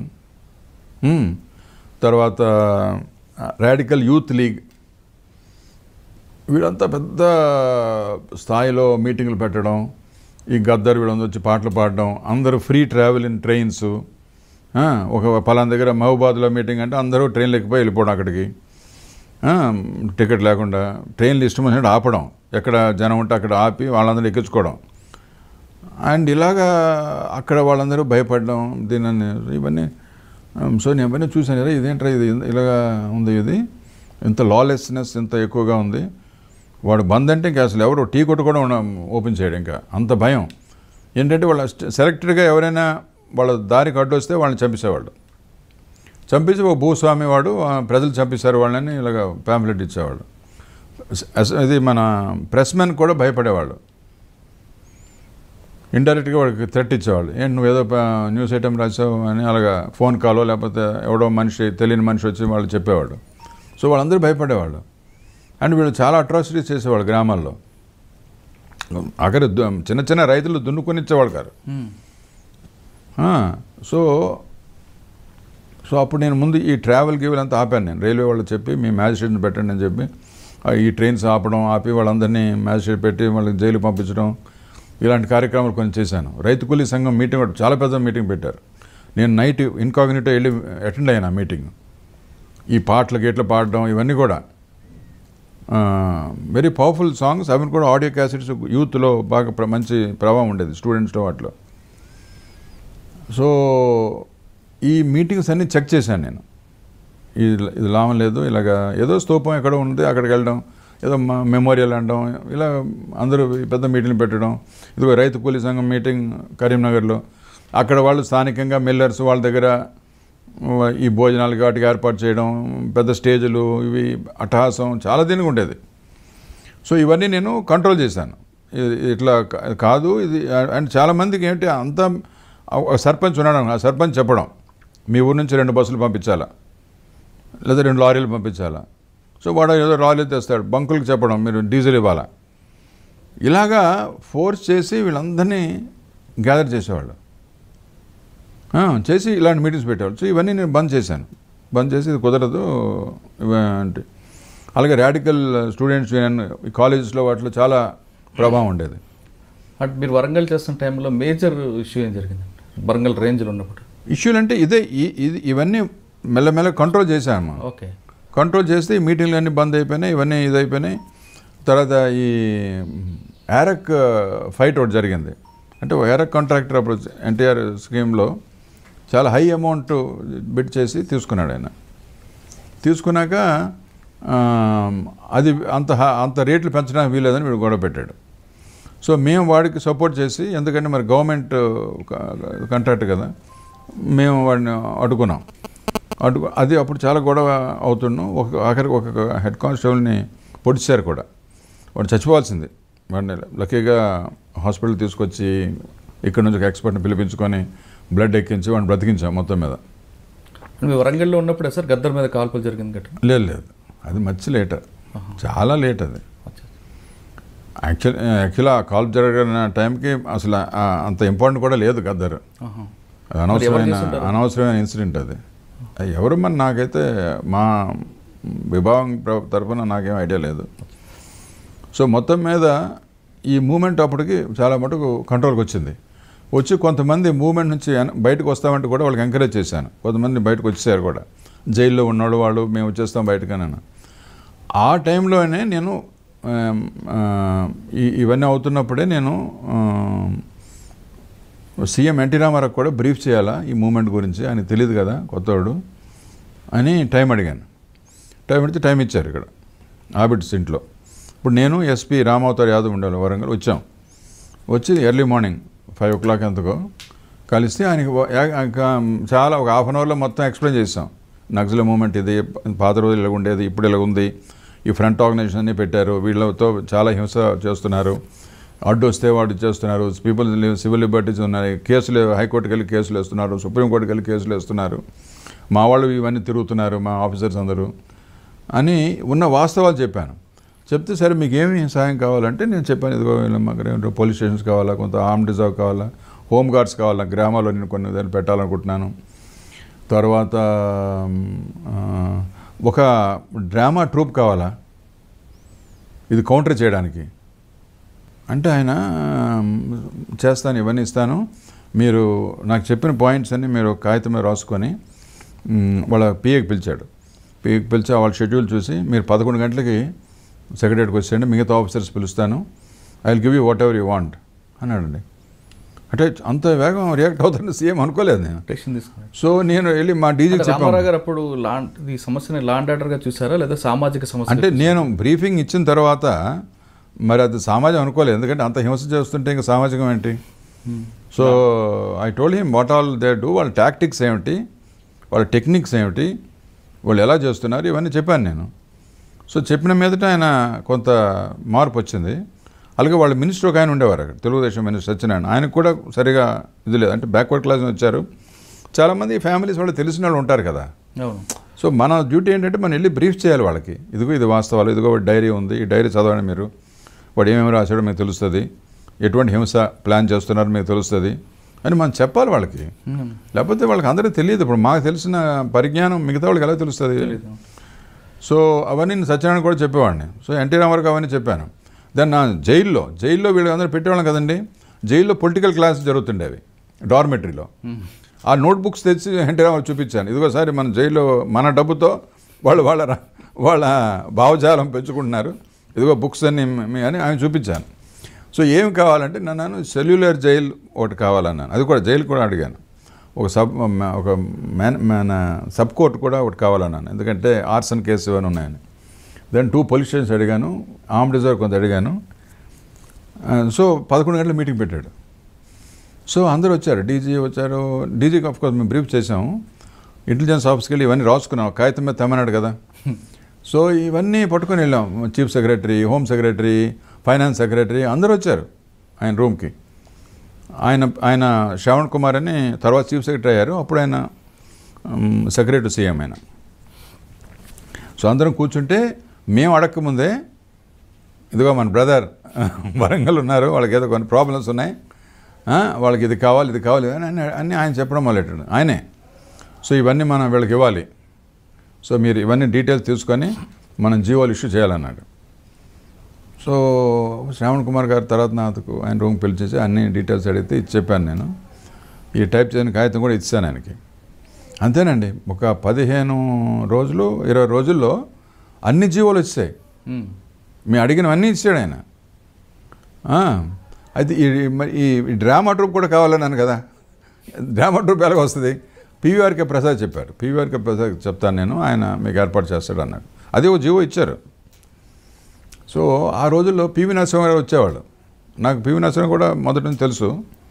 ఆయన అప్పుడు హోమ్ మినిస్టర్ ఉండేవారు గవర్నమెంట్ ఆఫ్ ఇండియాలో. సో ఆయన వరంగల్ వచ్చేవాళ్ళు. అక్కడ అయినా ఆయనకి ఏం పని ఉండేది కాదు. ఎందుకంటే తెలుగుదేశం గవర్నమెంట్ కదా. ఒక జడ్పీ చైర్మన్ మాత్రం కాంగ్రెస్ ఆయన ఉండేవాడు. ఆయన ఏదో ఫంక్షన్కి ఎప్పుడైనా పిలిస్తే వెళ్ళేవాడు పివి నరసింహారావు. లేకపోతే ఆయన బంధువులు ఆయన స్నేహితులు ఎంతోమంది ఆయనకు ఉన్నారు కదా. సో వాళ్ళందరూ వచ్చి గలవ సో నేను ఒకడిని వెళ్ళి కూడా వెళ్తే చాలాసేపు మాట్లాడేవాడు నాతో.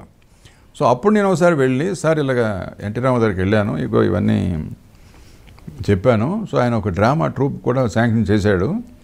సో ఇది మనం ఈ వాళ్ళ వాళ్ళ ప్రోపగండాన్ని కౌంటర్ చేయాలి కదా మనం అని అన్నాను నేను. అంటే ఆయన అన్నాడు ద్వారా నీకు మంచి రైటర్ని ఇస్తాను నేను. ఫార్టీ ఎయిట్ మూమెంట్లో కమ్యూనిస్ట్ మూమెంట్లో కూడా ఆయన డ్రామాలో రాశాడు. నల్గొండలో ఒక విలేజ్లో ఉంటాడు కోదాడ దగ్గర. నేను తెప్పిస్తాను నేను ఇక్కడ ఎలాగో మూడు నాలుగు రోజులు ఉంటాను నేను తెప్పిస్తాను అంటే లేదు సార్ నాకు అడ్రస్ ఇచ్చాను నేను మనిషి పంపించి ఆయనకి తీసుకొస్తాను ఇక్కడ. లేదు లేదు నేను ఉంటాను అని కోదాటి నారాయణరావుకి ఫోన్ చేసి ఆయన తెలంగాణ ఫ్రీడమ్ ఫైటర్స్ ప్రెసిడెంట్ ఆయన. నారాయణరావు నువ్వు ఇలాగ మన కేఎల్ తెలుసు కదా నీకు? ఆయన పిలిపించు వరంగల్లో నా దగ్గర రమ్మను నేను ఇక్కడ ఉంటున్నాను మూడు నాలుగు రోజులు. వెంటనే నేను కవర్ పంపి తీసుకుంటే అంటే అలా వచ్చాడు ఆయన కేఎల్ నరసింహరావు. పెద్ద గాంధీ అని పాపం. మంచి కన్విక్షన్ మనిషి. సో పివి నరసింహరావు నాకు ఆయనకు చెప్పాడు. చెప్పి ఇతను మీరు వాడుకోండి he'll be good writer dramas పట్టుకున్నాను సో నేను ఆయన తీసుకెళ్ళి ఈ మూమెంట్ అంతా చెప్పి ఇప్పుడు వీళ్ళ వీళ్ళలో మళ్ళీ అప్పటికే మూడు నాలుగు భాగాలుగా అయిపోయింది. జనశక్తి అని ఇంకోటి అని ఇంకోటి అని అలాగే మూడు నాలుగు రావు గ్రూప్ అని ఇలాగ ఉన్నాయి. చంద్రపోలారెడ్డి గ్రూపు ఇలా ఉండేవి. పీపుల్స్ వార్ గ్రూప్ వీడిది మెయిన్ కొండపల్లి సీతారామ వీళ్ళది. సో ఇవన్నీ వాళ్ళకి చెప్పి తర్వాత వాళ్ళ బుక్స్ ఇచ్చి వాళ్ళ పాటలు అవన్నీ. వాళ్ళు చాలా గొప్ప పాటలు. నాకు ఆ పాటలు వినే ఓరి నాయన ఇది మనం కౌంటర్ చేయకపోతే చచ్చిపోతాం. పాటలు విన్న తర్వాత మీకు అయ్యోయ్యో ఏమి సాంగ్స్ అండి అవి? ఈ ఊరు మనదిరా వాడ మనదిరా అది ఎంత పవర్ఫుల్ సాంగ్ అది. తర్వాత ఇంకోటి ఈ ఊరు మనది వాడమే కూడా అదే అదే. చావు కాడ మనమే సన్నాయి కాడ మనమే ఈ దొర ఏందిరా వాటి జులుమేందిరా అని చాలా మంచి సాంగ్ అది. అంటే ఆ పాటలు విన్నప్పుడు మీకు కూడా దళంలో అంటే అంటే లేదు అంటే ఆ వింటే ఎనీ యూత్. ఇప్పుడు ఈ- ఫిఫ్టీన్ సిక్స్టీన్ ఇయర్స్ చాలా డేంజరస్ ఏజ్ కదా. ఎలాగ దారి చూపిస్తే అలాగ వెళ్ళిపోతారు వాళ్ళు. అదే నిజం అనుకుంటారు. తర్వాత ఇంకో పాట నాకు చాలా నచ్చిన పాట. నీ కన్నీరు నా కన్నీరు కలిగి నోడకి పన్నీరాయే. ఒంటిగా ఓ శోకం పెట్టే చిన్ని తమ్ముడా. నీ జంటగా నేను ఉంటా లేరా చిన్ని తమ్ముడా అని ఒక పాట ఉంది. అది చాలా పెద్ద పాట. అంటే ఈ వేరియస్ అట్రాసిటీస్ అన్నీ జరిగినవి సమాజంలో వీళ్ళందరూ చేస్తున్నారు. సామాజిక సమస్యగా అనుకోవచ్చు కదా లేదు లేదు అంటే చెప్తాను నేను. చెప్తాను అది కూడా ఉంది. సో ఇలాగ ఈ పాట నడుస్తుండేది. వెరీ పవర్ఫుల్ సాంగ్ అది చూడండి ఆ- లోకల్ ఇడియం నీ కన్నీరు నా కన్నీరు కలిగినోడికి పన్నీరాయే. ఒంటిగా ఓ శోకం పెట్టే. అది లోకల్ ఇడియం ఆ తెలుగు. సో ఈ ఇడియం ఇది ఈ దీంతో మనం ఎదుర్కోవాలి లేకపోతే కష్టం అని ఇతను చాలా ఈ నరసింహారావు ఇతను రియల్ గాంధీ అని ఆయన. ఈయన అన్ని అర్థం చేసుకొని ఈ సార్ నేను ఇంకా ఇంటికి వెళ్ళిపోతాను. వన్ మంత్ తర్వాత వస్తాను డ్రామా పట్టుకొని. అన్నాడు. సో వన్ మంత్ తర్వాత డ్రామా పట్టుకు వచ్చాడు. చాలా గొప్ప డ్రామా రాశాడు అది. అది కొంచెం ఎడిట్ చేసి ఆ పేరు పేరు కూడా పెట్టాం భారతి అని. పాత మూమెంట్ కమ్యూనిస్ట్ మూమెంట్ నుంచి స్టార్ట్ చేస్తాడు ఆయన. చేసి ఒక ఫస్ట్ హాఫ్ అన్ అవర్ అయితే అది నక్సలైట్ వాళ్ళు రాసిన డ్రామా అనుకుంటారు మీరు. అంత ఉధృతంగా ఉంటుంది. బట్ తర్వాత దాని వాళ్ళలో కాంట్రడిక్షన్స్ అవన్నీ వస్తాయి. ఇప్పుడున్న పల్లె విధానం ఇప్పుడు మీరు అన్నారే సామాజిక సంస్థ ఇప్పుడు ఎలా కాదో ఎందుకంటే అప్పటికి సన్నకారు రైతులందరూ వచ్చారు. పాత ఫార్టీ ఎయిట్ మూమెంట్ అప్పుడు తెలంగాణలో మిడిల్ క్లాస్ లేదు. భూస్వామి ఆయన కింద ఉన్న పనివాళ్ళే. గ్రామస్తులందరూ ఆయన పొలాల్లో పనిచేయాలి. బట్ నలభై ఎనిమిది తర్వాత ఈవెన్ సర్ఫకాస్ ల్యాండ్ ఈవెన్ నిజామ్స్ ల్యాండ్స్ కూడా పోయినాయి గవర్నమెంట్ తీసుకున్నారు. ల్యాండ్ రిఫార్మ్స్ హైదరాబాద్ గవర్నమెంట్ చాలా మంచి ల్యాండ్ రిఫార్మ్స్ తీసుకొచ్చారు. సో దాంతో ఈ పెద్దవాళ్ళందరూ వాళ్ళ అప్పుడు ఆ భయంతో ఇళ్ళు వదిలేసి వాళ్ళు ఏది ఏమాత్రం డబ్బు గిబ్బు ఉంటుంది పట్టుకొని బెంగళూరు మెడ్రాస్ అవన్నీ వెళ్ళిపోయారు. చాలామంది భూస్వాములు వెళ్ళిపోయి పిల్లల్ని అక్కడ చదివించుకున్నారు. సో ఇంకా తర్వాత భూమిలో అన్నీ అమ్మే అమ్మేసుకోవడం ఇంకా ఈ ల్యాండ్ రిఫార్మ్స్ వల్ల కొంత ఇదవడం దాంతో ఏమైందంటే చా నేను ఎయిటీ త్రీ డీజీగా వెళ్ళేటప్పటికి ఎయిటీ ఫోరు చాలా మార్పులు వచ్చాయి నా ఏఎస్పీ డేస్కి ఇప్పటికి. వచ్చేసి ఈ సన్నకారు రైతులందరూ వచ్చారు. అంటే రెండు ఎకరాలు మూడు ఎకరాలు ఉన్నవాళ్ళు. వ్యవసాయం చేసుకున్నవాళ్ళు. వ్యవసాయం బావులు బాగా వచ్చాయి. ఇరిగేషన్ ప్రాజెక్ట్స్ వచ్చాయి. తెలంగాణ మూమెంట్ తర్వాత కూడా ఆ ఏరియా కొంచెం చూసుకున్నారు కదా ప్రతివాడు. సో ఈ విధంగా అనేక మార్పులు వచ్చాయి. సో ఇప్పుడు నువ్వు ఈవేళ నువ్వు వెళ్ళి మళ్ళీ వీళ్ళందరినీ నువ్వు ఆపేసి వాళ్ళు వ్యవసాయం చేసుకోకుండా వాడు ఊర్లో జీతగాడికి నువ్వు పెట్ట పెట్టనివ్వకుండా ఇలాగా గవర్నమెంట్ ఏదైనా ఒక వర్క్ చేస్తానంటే అది చేయనివ్వకుండా? అంటే మీ డ్రామా చేసిన కంపెనీ కూడా బాగా సక్సెస్ అయింది చాలా బాగా. అంటే మీరు ఉద్యమంకి ఆ. ఒకవైపు పెన్ను ఇంకో ఆ, చాలా చాలా. అంటే గన్ను పెన్ను రెండు వాడారు. చాలా మంది మెచ్చుకున్నారు. ఎందుకంటే ఇది చాలా పవర్ఫుల్ తర్వాత సురభి వాళ్ళు సెట్టింగ్లు అవన్నీ పెట్టాం పాటలు పెట్టాం. తర్వాత ఏమైందంటే చాట్ల శ్రీరాములు ఇలాంటి వాళ్ళు డైరెక్ట్ చేశారు. ఓకే. హైదరాబాద్లో షిఫ్ట్ చేసి ఇక్కడ పెట్టాం. మా ఇంటెలిజెన్స్ ఏదో వాళ్ళు వేరే ఒక బ్లాక్ ఉంటే అక్కడ పెట్టి చాట్ల శ్రీరామ్ చాలా పవర్ఫుల్ గ్రేట్ డైరెక్టర్ ఆయన తెలుగు డ్రామాలో. ఆయన డైరెక్ట్ చేసి ఎంత స్పీడ్గా మూవ్ అవుద్దంటే మీరు అసలు కూర్చున్నాక ఎక్కడ లేచి బయటకు వెళ్ళాలో మీకు అర్థం కాదు. అలా అంత స్పీడ్గా వెళ్తుంది ఆ డ్రామా. ఈ లైటింగ్ మధ్యలో పాట ఇవన్నీ కూడా and and whole language is Telangana గ్రామీణ language same slang KL Srinivasa Rao Narasimha Rao గొప్పతనం అది. మామూలుగా గ్రామాల్లో ఎలా మాట్లాడతారో అదే భాష పెట్టాడు. ఒక పాట ఏమైనా పాడారు నాకు గుర్తులేవు బట్ డైలాగ్స్ అవన్నీ చాలా పవర్ఫుల్ డైలాగ్స్ ఆ ఆ భాషలో. దాని తర్వాత వరంగల్ నుంచి. సో అది then then another drama also came it very successful ఈ మీటింగ్లన్నీ అయిపోయినాయి. సో ఇలా బాగుంది బాగా బాగానే సక్సెస్ అయింది అనుకున్న టైంలో ఈ పొలిటికల్ టర్మాయిల్ మొదలైంది. నాదెల్ల భాస్కరరావు అవును. దీంతో.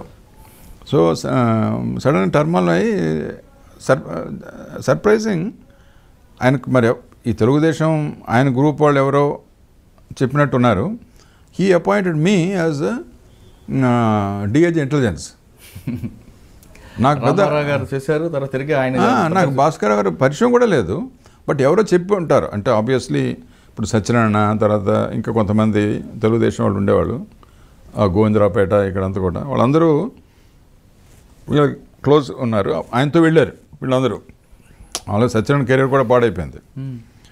సో వీళ్ళ ఆ, వీళ్ళెవరో చెప్పినట్టున్నారు. ఆయన తీసుకున్నాడు అంతే. ఇంటెలిజెన్స్లో వేశాడు. అంటే ఒక పైన పై అధికారి ఒక ఆయన ఉన్నాడు శ్రీనివాసరావు గారు ఉండేవారు. సో నాకు ఆశ్చర్యం వేసింది ఏంటి నన్ను చూసుకున్నాను బట్ ఎనివే వెళ్ళాలి కదా అని వెళ్ళిపోయాను. చాలామంది ఆ- ఆపుతామన్నారు. In fact PV Narasimha Rao was in Russia. He spoke to one of his relations దొరక ఆగమని చెప్పు అక్కడ ఉండమను. నేను సీఎంతో చెప్తాను అక్కడే ఉంచేదాం ఆయన నేను అన్నాడు. ఇక్కడ Warangal. Okay. Then I said అది బాగుండదండి నేను ఇప్పటివరకు నా నా లైఫ్లో ఎప్పుడు చేయలేదు. ఏదో డీజీ ఐ మీన్ వే ఆర్డర్ వేస్తే గవర్నమెంట్ని వెళ్ళిపోవాలి నేను. మళ్ళా మళ్ళీ ఆయన ఆర్డర్ ఇక్కడికి ఇస్తే వస్తాను నేను. అంతేగాని మళ్ళీ పివి నరసింహారావు సీఎం చెప్పడం అవన్నీ బాగుండదు అని వెళ్ళిపోయాను నేను. వెళ్ళిపోయి జాయిన్ అయిపోయాను వెంటనే నెక్స్ట్ డే అంటే అప్పుడు హైదరాబాద్లో రామారావు గారు వైస్రాయ్ హోటల్ ఇష్యూ జరగడం మీరు అప్పుడు హైదరాబాద్లో అది కాదు. నాదెల్ల భాస్కర్. నాదెల్ల భాస్కర్, అది ముందు ఇన్సిడెంట్. అప్పుడే ఆయన అమెరికా నుంచి వచ్చాడు ఆర్ట్ బైపాస్ చేసుకొని. వీళ్ళందరూ ఒక గు- గ్రూప్గా చేరారు. చేరి గవర్నర్కి మెమోరాండం ఇచ్చారు. అప్పుడు నేను లేను. అంటే ఇది విషయం చెప్తున్నా వచ్చి తెలుసుకున్నది. గవర్నర్ కూడా రామ్లాల్ అతను చాలా అనుభవం చాలా తక్కువ. హిమాచల్ ప్రదేశ్ నుంచి వచ్చాడు. సో వచ్చిన వాళ్ళు అసలు Congress legislators I mean Telugu Desam లెజిస్లేటర్సా కాదా? ఈ లెజిస్లేటర్స్ కాంగ్రెస్ వాళ్ళు కలిసి గవర్నమెంట్ ఫామ్ చేయగలరా? నెంబర్ ఉందా? ఇవన్నీ ఆయన వెరిఫై చేయలేదు. చేయకుండా కాంగ్రెస్ వాళ్ళు సపోర్ట్ చేశారు. సో ఢిల్లీను కాంగ్రెస్ గవర్నమెంట్ కదా? కాంగ్రెస్ గవర్నమెంట్ కదా ఆయనకి అపాయింట్ చేశారు. సో ఆ విధంగా ఆయన క్యారీ అయిపోయి ఇతను ఎన్టీ రామారావు వీళ్ళందరూ గ్రూప్గా వెళ్ళినా వీళ్ళని పట్టించుకోకుండా నాదెల్ భాస్కర్ స్వేరింగ్ చేయించాడు. చేసి వన్ మంత్లో నువ్వు ప్రూవ్ చేసుకోవాలి నీ మెజార్టీ అన్నాడు. సో వన్ మంత్ టైం నాకు చాలు అని ఆయన అనుకున్నాడు ఆయన. అంటే చాలామంది చేరారు ఆయనతో. సో నేను ఇవన్నీ చూసి రామారావు వాళ్ళని అరెస్ట్ కూడా చేశారు బట్ తర్వాత విడిచిపెట్టేశారు. సో అప్పుడు పెద్ద రియాక్షన్ జనంలో వచ్చింది. All over India all over India కూడా. అండ్ వాజ్పేయి తర్వాత all top leaders HN Bahuguna Chandrashekhar all top political parties leaders అందరూ యాంటీ కాంగ్రెస్ లీడర్స్ అందరూ కూడా ఇక్కడికి వచ్చారు. వచ్చి అన్యాయం ఇంత పెద్ద మ్యాండేట్ వచ్చిన మనిషిని ఇలా తీసేస్తావు ఆయన లేరు and majority are with NT Rama Rao. So letters parade them before president అని ఇక్కడ నుంచి ట్రైన్స్లోనూ ఫ్లైట్లో తీసుకెళ్ళారు. అప్పుడే నేషనల్ ఫ్రంట్ కూడా ముందు అక్కడ ప్రెసిడెంట్ ప్రైమ్ మినిస్టర్ ప్రెసిడెంట్ ఇంటికి చూపించి తర్వాత వాళ్ళు ఏం చేశారంటే తెలివిగా. మళ్ళీ హైదరాబాద్ వెళ్తే ప్రమాదం గవర్నమెంట్ ఇప్పుడు మన చేతిలో లేదు కదా. So they went directly to Bengaluru. అక్కడ Hegde was the CM. So Hegde Janata party CM కదా. So he said I give protection అని మైసూర్లో ఒక హోటల్లో వీళ్ళందరినీ పెట్టాడు. సో అప్పుడు అర్థమైంది మెజార్టీ ఆయనతోనే ఉన్నారు. ఈయనకి మెజారిటీ లేదు అసెంబ్లీలో నిరూపించ నిరూపించడానికి. బట్ అసెంబ్లీలో పెట్టాలి కదా. సో ఈయన క్యాబినెట్ ఎక్స్పాండ్ చేశాడు. ఆయనతో ఉన్న వాళ్ళకి మినిస్టర్లు ఇచ్చాడు. But his following short by about ten or eleven MLAs ఆ టైంలో సో డేట్ పెడితే NT Rama Rao with his people again came from Mysore so దారిలో ఏదైనా చేద్దామని కూడా అనుకున్నారు వీళ్ళు ప్లాన్ చేశారు. కానీ ఈ వాజ్పేయి అందరూ ఆల్ స్టాల్ వర్డ్స్ అందరూ ఉన్నారు ఆయనతో ఆ బస్సుల్లో. వీళ్ళందరూ వచ్చారు ఇక్కడికి. అయితే స్పీకరు వాళ్ళవాడే కనుక ఏదో ఏదో సంతాపం ఏదో అడ్జెంట్ చేయడం ఇంకేదో కార్యం అడ్జెంట్ చేయడం గొడవ అవుతుంటే అడ్జెంట్ చేయడం అలా ఒక మూడు నాలుగు రోజులు చేశారు. సో వాళ్ళందరూ రామకృష్ణ స్టూడియో నుంచి రావడం మళ్ళీ అసెంబ్లీ నుంచి రామకృష్ణ స్టూడియోకి వెళ్ళిపోవడం. ఆల్ ఎమ్మెల్యేస్ రామకృష్ణ స్టూడియో ఉండేవాళ్ళు. ఆఖరికి ఇంకా లాభం లేదనుకొని ఇందిరాగాంధీ అండర్స్టూడ్ ఎంత డ్యామేజ్ జరిగిందో దీనివల్ల. సో రామ్లాల్ని మార్చేసి శంకర్ దయాల్ శర్మ ఒక ఎక్స్పీరియన్స్డ్ కాంగ్రెస్ మ్యాన్ ఆయన పంపించారు. చాలా ఆయన పెద్ద మనిషి. ఆయన వచ్చి వెంటనే ఇక నువ్వు నువ్వు ప్రూవ్ చేసుకోలేవు అని ఎన్టీ రామారావుని పిలిచి ఈయన ఇది బర్తరాఫ్ చేసి ఎన్టీ రామారావుని స్వైరింగ్ చేశాడు. చేసి నువ్వు ప్రూవ్ చేసుకోండి నేను అక్కడ రెండో రోజో మూడో రోజో మెజార్టీ ఎమ్మెల్యేస్ ఈయనతో ఉన్నా ప్రూవ్ చేసుకున్నాడు ఆయన సో అప్పటి నుంచి ఈయన కంటిన్యూ అయ్యాడు. సో ఈ పీరియడ్లో నాకు ఇక్కడ తీసుకొచ్చారు ఇంటెలిజెన్స్లో సో నేను పెద్దగా నాకు చేసేదేమీ లేదు నాకేం తెలియదు కూడా. సో నేను కొంత కొద్ది రోజులు ఉండి నేను వెళ్ళిపోయాను మళ్ళీ వరంగల్. ఏదో ఇది ఏదో తేలినాక వద్దాంలే ఇప్పుడు మనం చేసే పరిస్థితి కూడా ఏం లేదు నాకు వెళ్ళిపోయాను. వెళ్ళిపోయినాక ఈ డెవలప్మెంట్స్ వచ్చాయి. శంకర్దాస్ శర్మ రావడం రామారావు సీఎం అవ్వడం. రామారావు మళ్ళీ సీఎం అవడం అయినాక కొంచెం మళ్ళీ వచ్చాను. మరి ఎందుకంటే నేను ఇక్కడ మరి రిపోర్ట్ చేశాను కదా. వచ్చి నేను ఇంటెలిజెన్స్లో కంటిన్యూ అవుతున్నాను. రామారావు వచ్చాక. మ్మ్. నా ఉద్దేశం ఏమిటి? నేను ఏదో గెస్ట్ హౌస్లో ఉండేవాడిని ఇక్కడ. రామారావు అతను ఇచ్చిన భాస్కరరావు చేసిన పోస్టింగ్స్ అన్నీ రద్దు చేస్తున్నాడు కదా. సో నన్ను కూడా ఆటోమేటిక్గా మళ్ళీ వరంగల్ వేస్తాడు. వరంగల్ నేను చేస్తున్న పని మీద మంచి అభిప్రాయం ఉంది ఎన్టీ రామారావుకి. వచ్చినప్పుడు కూడా నాతో బాగా మాట్లాడేవాడు. మా పోలీస్ ఆఫీసర్స్ కాన్ఫరెన్స్లో కూడా బాగా మాట్లాడేవాడు నా గురించి రామారావు. సో నన్ను వెనక్కి పంపించేశాడు ఆటోమేటిక్గా అని మా ఫ్యామిలీ అంతా అక్కడే ఉన్నారు. కానీ one month one and half months అయిపోయింది పంపలేదు. సో అప్పుడు ఏంట్రా అని వాళ్ళ సెక్రటరీ అడిగించాను. "ఇది నే- నే- నాకు నా ఆర్డర్స్ వెళ్ళిపోతానని. ఆ సెక్రటరీ అడిగితే లేదు లేదు ఆయన మనతో ఉంటాడు ఎందుకు ఆయన వరంగల్ వెళ్తాడు? ఇక్కడే ఉంటాడు ఇక్కడే ఉండమన ఇక్కడే ఉండాలి ఆయన అని- అని అన్నాడు. నేనే ఆర్డర్స్ మార్చను అన్నాడు. So I have to continue in intelligence NT Rama Rao. So అప్పుడు రోజు వెళ్ళేవాడిని అప్పుడు ఐ థింక్ విజయరామారావు మళ్ళీ వచ్చాడు. సో విజయరామారావు నేను వెళ్ళి కలుస్తుండేవాళ్ళం. ఏదో బ్రీఫింగ్ అదంతా కూడా. మళ్ళీ ఎన్ని గంటల బ్రీఫింగ్ ఇచ్చేవారండి? మామూలుగా five o'clock five thirty five థర్టీకి రామారావు రెడీగా ఉంటుంది అయ్యో ఆయన నాలుగున్నరకి ఐదుకే రెడీ లేవాలి అప్పుడు? నేను తర్వాత తర్వాత నేను సిక్స్ పెట్టుకున్నాను నేను. నేను నేను ఆ టైంలో వచ్చాను కదా వచ్చి కలిసి కొన్నాళ్ళు పనిచేసాం. తర్వాత నాకు కొన్నాళ్ళు అడిషనల్ డీఎస్ మన జాయింట్ కమిషనర్ సిటీ పోలీస్కి వేశారు. కొన్నాళ్ళు ఇంటెలిజెన్స్ ఉన్నాక ఒక one and half years two years ఉన్నాక ఇంటెలిజెన్స్ ఉన్నప్పుడే ఒక చిన్న సయోధ్య కుదిర్చింది. అదేంటంటే ఈ ఇప్పుడు ఈ మళ్ళీ సీఎం అయినాక ఈ ఎమ్మెల్యేస్ వీళ్ళందరూ కూడా బాగా డిమాండ్లు చే- పెరిగిపోయినాయి. ఎందుకంటే చిన్న గ్రూప్ కదా. పది మంది వెళ్ళిపోయినా గవర్నమెంట్ పడిపోద్ది. సో ఈయన రాజకీయం ఇది లేదు కదా. కోణం లేదు. ఎవరికి ఎన్టీ రామారావు. సో ఆ టైంలో ఇందిరాగాంధీ చనిపోయింది. షార్ట్ డేట్ అదే. ఒకసారి క్యాబినెట్ మీట్ అవుతుంది. నేనే ఫోన్ చేసి చెప్పాను. సార్ ఇలాగ మెసేజ్ వచ్చింది. యూఎన్ఐ నుంచి మెసేజ్ వచ్చింది. ఎవరో షూట్ చేశారట ఆవిడకి హాస్పిటల్ తీసుకెళ్ళారు. అంటే మీరు రెండు వెంటనే అంటే వెంటనే వెళ్ళాను నేను. వెళ్ళి మెసేజ్ చెప్పానంటే అప్పుడు ఇప్పటికి రాఘవేంద్ర ఆయన సెక్రటరీ ఢిల్లీ. ఢిల్లీ ఫోన్ చేస్తే అప్పుడు ఏంటి సెల్ ఫోన్స్ ఏమీ లేవు కదా. Land phone land phone so Delhi phone చేస్తే అవును అయింది హాస్పిటల్లో ఉన్నారు ఏదో చేస్తున్నాను. సో క్యాబినెట్లో ఇంకా వాళ్ళు అన్నీ ఆపేసి మీరు చూడండి మీరు ఎంత ఎర్లీగా ఢిల్లీ వెళ్తే అంత మంచిది. మనం కొండలని చెప్పాలి కదా అని వాళ్ళంతా నిర్ణయించుకొని ఎన్టీ మొత్తం ఇంటికి వచ్చాం. ఇంటికి వచ్చాక మాకు తెలిసింది ఏంటంటే ఒక ఆర్మీ ఆర్మీ కాదు నేవీ చీఫ్. ఆయన ఏదో పని మీద వచ్చాడు హైదరాబాదు రాజ్భవన్లో ఉన్నాడు ఆయన. ఆయనకు ఒక విమానం ఉంది. ఆ రోజులు రెండే విమానాలు ఉదయం ఒకసారి మళ్ళీ ఈవినింగ్ ఒకసారి ఢిల్లీ వెళ్ళాలంటే. ఇంక విమానాలు లేవు కదా. సో ఆయన విమానంలో వచ్చాడు. ఆయన వెళుతున్నాడు మళ్ళీ. So so we sent word CM and one security వాళ్ళకి రెండు సీట్లు కావాలని. సో వాళ్ళు ఇస్తా ఉన్నారు. సో ఆయన ఏదో రెండు గంటలకు ఎందుకు బయలుదేరి నీలం సంజయ్ రెడ్డి కూడా ఏదో కారణం వల్ల ఇక్కడ ఉన్నాడు ఆయన కూడా వస్తానంటే ఆయన తీసుకెళ్ళాను సో ఆ చీఫ్ వీళ్ళు నేను సడన్గా అక్కడ లాస్ట్ మినిట్లో ఏం డిసైడ్ చేశారు సెక్యూరిటీ ఆఫీసర్ ఈవినింగ్ ఫ్లైట్లో రాని మీరు వచ్చేయండి నాతో అన్నారు. సో ఉన్న గుడ్డలతో అలాగా ఫ్లైట్ ఎక్కిస్తాను అక్కడ. వాటి దగ్గర రివాల్వర్ తీసుకున్నాను.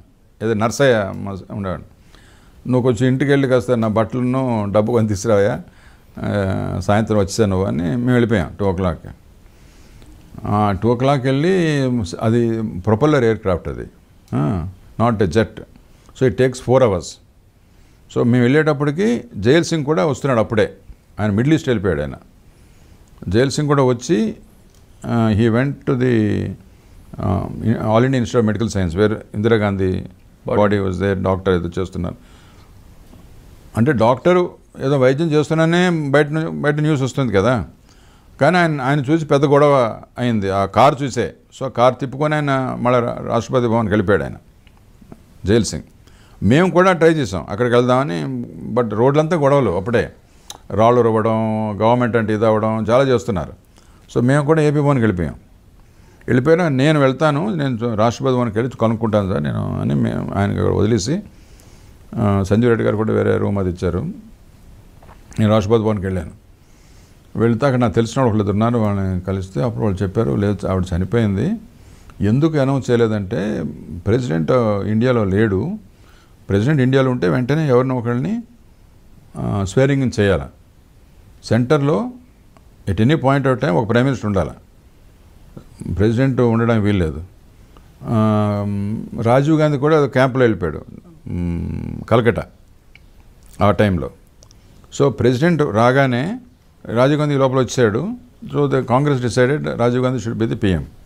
So Zail Singh ఆయన ఆయన్ని స్వేరింగ్ చేశాడు. స్వేరింగ్ ఇన్ నేను రాజ్ రాష్ట్రపతి వాళ్ళు ఉండేటప్పటికి స్వేరింగ్ ఇన్ అవుతుంది. జైల్ సింగ్తో పాటు పివి నరసింహరావు శివశంకర్ వీళ్ళని స్వేరింగ్- చేశారు. చిన్న చిన్న క్యాబినెట్ క్యాబినెట్ సో అక్కడ అక్కడికి వెళ్ళాను నేను. ఆ క్యాబినెట్ ఎక్కడ అవుతుందో అక్కడికి. సో అప్పుడే అది అయిపోయింది. పెద్ద ఇదేం లేదు. వాళ్ళు ఏం ఏం డెసిషన్ ఉంటుంది? కూర్చున్నారు. కూర్చొని అదే ఈ అంత్యక్రియలు చేయాలి అంటే వీటి మీద డిసైడ్ చేశారు. చేసి బయటకు వచ్చారు. వచ్చినాక పివి నాకు చూశారు. చూసి ఏంటి ద్వారా ఇక్కడ ఉన్నామంటే సరే ఇలాగా ఎన్టీ రామారావు కూడా వచ్చారు. సంజీవ్ రెడ్డి గారు కూడా వచ్చారు మాతో. ఈ విషయం తెలిసి నేను వచ్చాను. అప్పటికి రాజీవ్ గాంధీ మొహం బాగా పాలిపోయింది. ధావన్ ఉన్నాడు అక్కడ. సో పివి నరసింహన్ చెప్పాడు ధావన్ చెప్- మీకు చెప్తాడు. ఏదో ఫోర్ డేస్ ఫైవ్ డేస్ మేము స్టేట్లో ఉంటుంది బాడీ. తర్వాత క్రిమేషన్ చేస్తాం. ఇప్పుడు ఆల్ ఇండియా ఇన్స్టిట్యూట్ నుంచి వాళ్ళ ఇంటికి తీసుకొస్తారు నైట్. రేపు తీన్మూర్తి భవన్లో పెడతారు. ఇవన్నీ చెప్పాడు ఆయన. సరే సరే అని నేను తర్వాత పివి మన ధావంతో మాట్లాడితే అవన్నీ చెప్పాడు. సో నేను వచ్చేసి ఎన్టీ చెప్పాను ఇలా అయింది సార్ చనిపోయారు. వాడు అందుకే బయట పెట్టలేదు బికాజ్ ప్రెసిడెంట్ ఊర్లో లేడు ఇండియాలో లేడు. ఆయన ఏదో మిడిల్ ఈస్ట్ వెళ్ళాడు దేశానికి. అందుకు ఆయన వచ్చిన వరకు అనౌన్స్ చేయలేదు. ఇదే విషయం పి- ఇప్పుడు రాజీవ్ గాంధీ స్వేరింగ్ అయిపోయింది యాజ్ అ ప్రైమ్ మినిస్టర్ అని చెప్పాను నేను. అది నైట్ ఇంటికి తీసుకొస్తారంటే మనం వెళ్దామంటే అక్కడికి అన్నాడు. సరే వెళ్దాం అని ఇందిరాగాంధీ ఇంటికి వెళ్ళాం. అప్పుడు బాడీ వచ్చింది. బట్ లోపల వెళ్ళడం కూడా కష్టం కదా. పెద్ద అందులోకి ఆ గొడవల్లో. బట్ లక్కీగా నాకు మా బ్యాచ్మేట్ ఒక ఆయన పోలీస్ ఆఫీసర్ ఉండేవాడు హూజ్ రిలేటెడ్ టు ఇందిరాగాంధీ. వాడిని పిలిచి గౌతమ్ కౌల్ అని ఒరే పిఎం వచ్చారు లోపలికి వెళ్ళాలి ఉందంటే రండి నాతో రండి అని తీసుకెళ్ళాడు ఆయన. పాప ఈయన చాలా బాధపడ్డాడు. ఎందుకంటే ఆ ఇండ్లు అది చూసి ఆ వాతావరణం ఏదో పూల కూర్చొని పెట్టి ఏదో కొంతమంది కేకలేశారు. బట్ అయిపోయింది. ఇంకా ఆయన నేను ఢిల్లీ అదే హైదరాబాద్ వెళ్ళిపోతాను మళ్ళీ క్రిమేషన్ రోజున వస్తాను. మీరు ఇక్కడ ఉండండి అన్నారు. సో నేను అక్కడ ఉన్నాను. ఉంటుండగా ఊరికే ఐబీ ఆఫీస్కి వెళ్- వెళ్తుండేవాడిని. అంటే పని లేదు కదా. ఇప్పుడు నరసింహన్ గారు ఉండేవారు అక్కడ ఐబీలో తర్వాత నారాయణన్ గారని అతను ఈ was number two in the IB తర్వాత డైరెక్టర్ ఐబీ కూడా అయ్యారు ఆయన. తర్వాత నేషనల్ సెక్యూరిటీ అడ్వైజర్ కూడా అయ్యారు. సో వాళ్ళతో మాట్లాడుతుండేవాడిని ఊరికే వెళ్ళి. అయితే వాళ్ళు ఏంటంటే ఇప్పుడు కొత్తగా పిఎం అయ్యాడు. ఇతను అందరితో కలుపుకొని సామరస్యంగా ఉండి ఎలక్షన్స్ జనరల్ ఎలక్షన్కి వెళ్ళాలని ఉంది. సో ఎన్టీ రామారావుకి అప్పుడు మిస్ ఇన్సిడెంట్ వచ్చాయి కదా ఇందిరాగాంధీకి ఆయనకి బికాస్ బా భాస్కరరావు ఇన్సిడెంట్ వల్ల. సో అది దాని తర్వాత మళ్ళా సానుకూలంగా ఉండాలని ఉంది. అందుకు అంటే నేను అన్నాను ఎన్టీ రామారావు కూడా సానుకూలంగా ఉంటాడు ఏం పెద్ద ప్రాబ్లం లేదు. ఆయనకి పెద్దగా రాజకీయంగా ఆయనకి ఎవరి మీద ఇది లేదు. ఏదో ఏపీ అతనికి స్టేట్కి బాగుచేద్దామనే ఉద్దేశంతో ఆయన రాజకీయాల్లోకి వచ్చాడు. అంటే ఏమైనా ఎనీ జెస్చర్ ఏదైనా వీళ్ళకి అవగాహన వస్తే మంచిది అని అంటే నేను అన్నాను ఆయనకి ఇప్పుడు ఒక ప్రాబ్లం ఉంది ఆయన అసెంబ్లీ డిజాల్వ్ చేయాలని ఉంది ఆయనకి. ఎందుకంటే జనంలో బాగా ఆయనకి సింపతి ఉంది. కొంతమంది ఎమ్మెల్యేస్ ఏదో లేని పని కోరికలు అడుగుతున్నారు. సో డిజాల్వ్ చేసి మళ్ళీ ఫ్రెష్ మ్యాండేట్ తీసుకుంటే బెటర్ అన్నట్టు ఉంది ఆయనకి. కానీ డిజాల్వ్ చేస్తానని గవర్నర్కి చే వెళ్తాడు రాస్తాడంటే ఇప్పుడు కొంతమంది వెళ్ళిపోయారు అనుకోండి ఎమ్మెల్యేస్. అప్పుడు మళ్ళీ ఆయన గవర్నమెంట్ మైనార్టీ గవర్నమెంట్ అయిపోద్ది. సో సెంటర్ ఎసిస్టెన్స్ ఉండాలి అని చెప్పాను నేను. చెప్తే సరే మేము కన్వే చేస్తాం మరి అది సుముఖంగా ఉంటే అలా చేసుకోవచ్చు మనం బట్ మేము మాత్రం ఎలక్షన్కి వెళ్తున్నామని అన్నాడు అతను. సో నేను అయింది తర్వాత ఎన్టీ రామారావు వచ్చారు. క్రిమేషన్ అదంతా అయింది అది చాలా జనం అది బాగా వచ్చారు. అప్పుడే ఆ యాంటీసిక్ రైట్స్ కూడా అప్పుడు చాలా అయినాయి. అంటే మాకు తెలియలేదు మా ఏరియాస్లో ఏమీ లేదు. బట్ కొన్ని దగ్గర వెళ్తున్నప్పుడు కార్లో గేర్లో మనకి వినబడేవి యాంటీసిక్ రైట్స్ అవన్నీ కూడా. ఎందుకంటే ఒక సర్దార్జీ చంపేశాడు ఇందిరాగాంధీని జనం వాళ్ళ మీద పడి చాలా చేశారు అది. ఆ మొమెంటరీ ఉద్రేకంతో. సో ఈ- ఈ క్రిమేషన్ అయిపోయిన వచ్చాం మేము. నేను అప్పుడు ఎంటమో చెప్పాను. సరే ఇలాగ వాళ్ళు ఏదో అడిగితే నేను అన్నాను. మరి ఏమైనా మనకి కబుర్ రావచ్చు. వాళ్ళు రాజీవ్ గాంధీ చెప్పేవని మనం చూడు మనం వెయిట్ చేయాలా? కబుర్ వచ్చి ప్రె గవర్నర్కి వాళ్ళు చెప్పారనుకోండి ఈయన యాక్సెప్ట్ చేయండి డిజాల్వ్ చేయండి అని అంటే మనకు ప్రాబ్లం ఉండదు. అంటే సరే మనం చూద్దామండి అని అన్నారు. అంటే ఇలా నేను చెప్పాను వాళ్ళు కన్వే చేస్తారు. సో రాజకీయంగా మళ్ళీ మీతో మాట్లాడతారు వాళ్ళు అని అన్నాను నేను. ఆయన ప్రిపేర్ చేశాను. సో కొన్నాళ్ళ తర్వాత అనుకున్నట్టే మా, ఆయనకు మెసేజ్ వచ్చింది ఎన్టీ రామారావు. రాజీవ్ గాంధీ సుముఖంగా ఉన్నాడు డిజాల్వ్ చేయడానికి. కానీ మీరు ఈ anti government anti Congress forces అన్ని కూ- కూడబెట్టడం అవన్నీ చేయకూడదు. మీరు మీ రాష్ట్రంలోనే మీ క్యాంపెయిన్ చేసుకోవాలి? అని అన్నారు. సో ఈయన సరే అన్నాడు దానికి సో అప్పుడు వాళ్ళు గ్రీన్ సిగ్నల్ ఇచ్చారు ఆయనకి అంటే రామారావు గారికి రాజీవ్ గాంధీ మధ్యన మీరు ఒక రాజీ ఫారం తీసుకొచ్చారు. మొదట్లో నేను చెప్పాను తర్వాత వాళ్ళ పొలిటికల్ సైడ్ నుంచి వాళ్ళు మాట్లాడుకున్నారు. మొద మన ఐడి ఇచ్చిన వరకే మనది. ఓకే. మీరు అసెంబ్లీ డిజాల్వ్ చేశారనుకోండి అప్పుడు మీకు సయోధ్య ఉంటుంది మీ ఇద్దరి మధ్యలో. వాళ్ళకు ఉన్న విషయం నేను చెప్పిన బట్ వాళ్ళే మెసేజ్ ఇచ్చారు. సో ఎన్టీ రామారావు దానికి సుముఖంగా రెస్పాండ్ అయ్యాడు. నేను నా మా ఏరియాలోనే నేను చేసుకుంటానని. సో అప్పుడు శంకర్దాల్ శర్మకి మెసేజ్ వచ్చింది. సో అప్పుడు ఈయన తెల్లవారు ఒకరోజు మార్నింగ్ క్యాబినెట్ మీటింగ్ పెట్టి it was resolve to dissolve the assembly అని చెప్పి ఒక లెటర్ రాసి గవర్నర్ పంపించారు. NT Rama Rao. So next moment ఇది తెలిసి రా భాస్కర్ వాళ్ళు కూడా గవర్నర్ కలవాలనుకున్నారు కానీ వాళ్ళు కలిక ముందే శంకర్ దయాళ శర్మ డిజాల్వ్ చేశాడు అసెంబ్లీ ఓకే. ఈ వెళ్ళిన మరుసటి నాడే అంటే మరుసటి క్షణం. అంటే ఒక అరగంటలో అనుకోండి లెటర్ వెళ్ళిన ఒక అరగంటలో అతను ఆర్డర్ ఇచ్చేసి డిజాల్వ్ చేశాడు అసెంబ్లీ అందరికీ ఇంకా తెలి తెలిసేటప్పటికి అయిపోయింది అసెంబ్లీ డిజాల్వ్డ్ సో అప్పుడు మళ్ళీ ఫ్రెష్ ఎలక్షన్స్ బట్ మళ్ళా వాళ్ళు ఏం మెలిక పెట్టారంటే రెండు ఎలక్షన్స్ ఒక్కసారి పెట్టలేం మేము అన్నారు బికాజ్ మాది వేరు బికాజ్ ఇది ఇది మళ్ళీ కలిపితే మళ్ళీ మిక్స్డ్ సిగ్నల్స్ వెళ్తాయి మీ స్టేట్లో అని దానికి అంటే ఒప్పుకున్నాడు. సరే రెండు రెండు సార్లు నేను తిరగాల్సి వస్తుంది అంతే మరి ఏం చేస్తామని నన్ను ఒకసారి అయితేనే బాగుండు సో అది అది కూడా ఒప్పుకున్నాడు ఆయన. కొన్నాళ్ళకి మళ్ళీ ఇంకో డిమాండ్ వాళ్ళు ఏం పెట్టారంటే ఈ పివి నరసింహారావు శివశంకర్ మీద మీరు వీక్ క్యాండిడేట్స్ పెట్టాలన్నారు. వాళ్ళిద్దరు మాకు చాలా ముఖ్యులు. అంటే వాళ్ళు గెలవడానికి గెలవడానికి మీరు ఎవరో వీక్ క్యాండిడేట్ పెట్టండి అన్నారు. సరే అన్నాడు. ఈ టైంలో ఏంటంటే మర్చిపోయాను. ఒక ఒక తుఫాను వచ్చింది తమిళనాడు మన మన నెల్లూరు చిత్తూరు అక్కడ కూడా. సో ఎన్టీ రామారావు ఆ నెల్లూరు చూసుకొని రాజ్భవన్కి వెళ్ళాడు. రాజీవ్ గాంధీ కూడా తమిళనాడు చూసుకొని రాజ్భవన్కి వచ్చాడు. అక్కడ వాళ్ళు మాట్లాడుకున్నారు. అక్కడ అనుకుంటాను ఆయన చెప్పినట్టున్నాడు. ఈయన సరే అన్నాడు. పివి నరసింహరావు అండ్ శివశంకర్. శివశంకర్. సో పివి నరసింహారావుకి ఏమో అది బీజేపీకి ఇచ్చాడు ఈయన. బీజేపీకి ఇస్తే ఆయన జంగారెడ్డి నిల్చోబెట్ట నిల్చోబెట్టారు బీజేపీ. వీక్ కంటెంట్ అని ఉద్దేశంతో. ఆయన అంతకుముందు ఒకసారి ఎమ్మెల్యే అయ్యాడు. శివశంకర్ మీద ఇంకొక ఆయన ఒక తాలూకా లెవెల్ స్థాయి సమితి ఇంతకుముందు సమితి ప్రెసిడెంట్ ఏదో ఉన్నాడు ఆయన పెట్టారు వీళ్ళు. వాళ్ళిద్దరు గెలిచారండి ఇద్దరు గెలిచారు. అంత వీక్ క్యాండిడేట్స్ పెట్టినా గెలిచారు. Almost thirty seven thirty eight అనుకుంటాను. పార్లమెంట్ సీట్స్ ఈయనకి వచ్చాయి. In spite of Rajiv Gandhi sympathy Indira Gandhi చదివిపోతే అందరూ బాధపడ్డారు కదా ఆంధ్రాలో కూడా. కానీ ఈయనకి అన్యాయం చేశారనేది ముందు వాళ్ళకి ఫీలింగ్ రామారావు గారు కానీ ఆ, అన్యాయం జరిగిందని. సో అందుకు ఇంత in spite of that sympathy for Rajiv Gandhi మొత్తం దేశం అటు వెళ్ళినా మన స్టేట్లో మాత్రం ఒక థర్టీ సెవెన్ థర్టీ ఎయిట్ ఇద్దరు ముగ్గురు కాంగ్రెస్ వాళ్ళు సరే గెలిచారు. ఐ థింక్ వెంకటరావు గారు ఇలాగా దెన్ ఒకళ్ళిద్దరు మిగతా వీళ్ళది తెలుగుదేశం ఐ మీన్ సిపిఐ ఈ బీజేపీ వీళ్ళందరూ మిత్రపక్షాలన్నీ ఉన్నారు కదా. వాళ్ళు గెలిచారు కొంతమంది. సిపిఐ సిపిఎం గెలిచారు జంగారెడ్డి గెలిచాడు. మాణిక్ రెడ్డి ఎవరు ఆయన పేరు? ఆయన శివశంకర్ మీద గెలిచాడు ఆయన Manik Reddy so but anyway మొత్తం మీద ఈయనకి కూడా సో నెక్స్ట్ మళ్ళీ ఈయన ఎలక్షన్?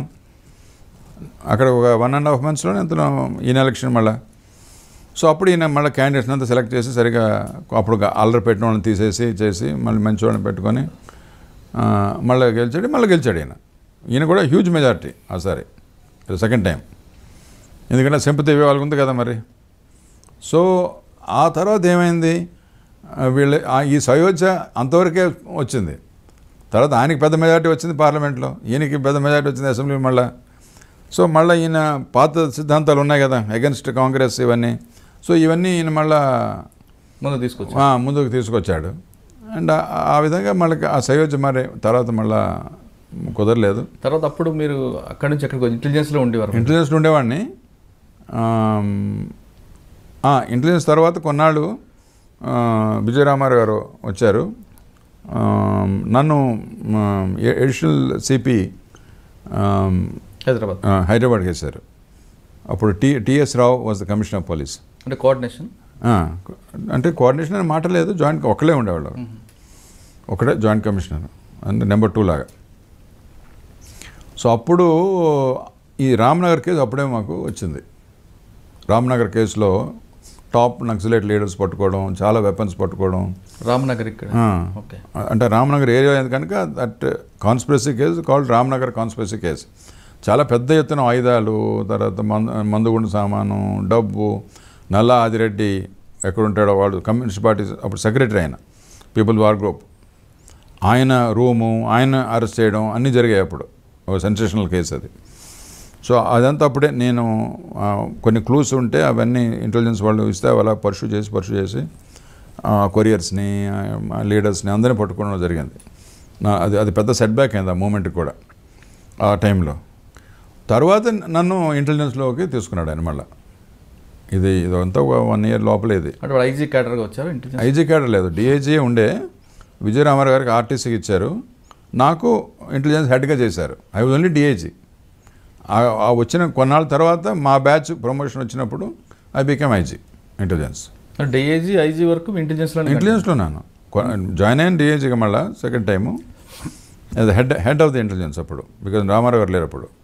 మన విజయ రామారావు గారు వెళ్ళారు నన్ను అది అలా అక్కడే ఉంచ- I have heading the intelligence but with DIG rank తర్వాత మా ఎర్లియర్ బ్యాచ్ క్లియర్ అయిపోయింది తర్వాత నా బ్యాచ్ వచ్చింది అప్పుడు నా నేను క్లియర్ అయిపోయాను.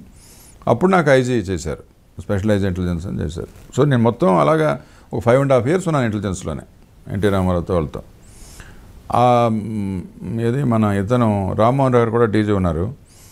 ఈ రంగా ఇన్సిడెంట్లో ఈ చాలా చెడ్డ పేరు వచ్చింది ప్రభుత్వానికి. రంగా నెహ్రూ. గ్రూప్.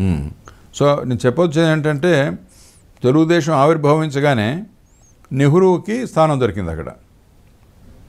ఇక్కడ తెలుగుదేశంలో. సో ఈ became member and party ticket కూడా ఇచ్చారు.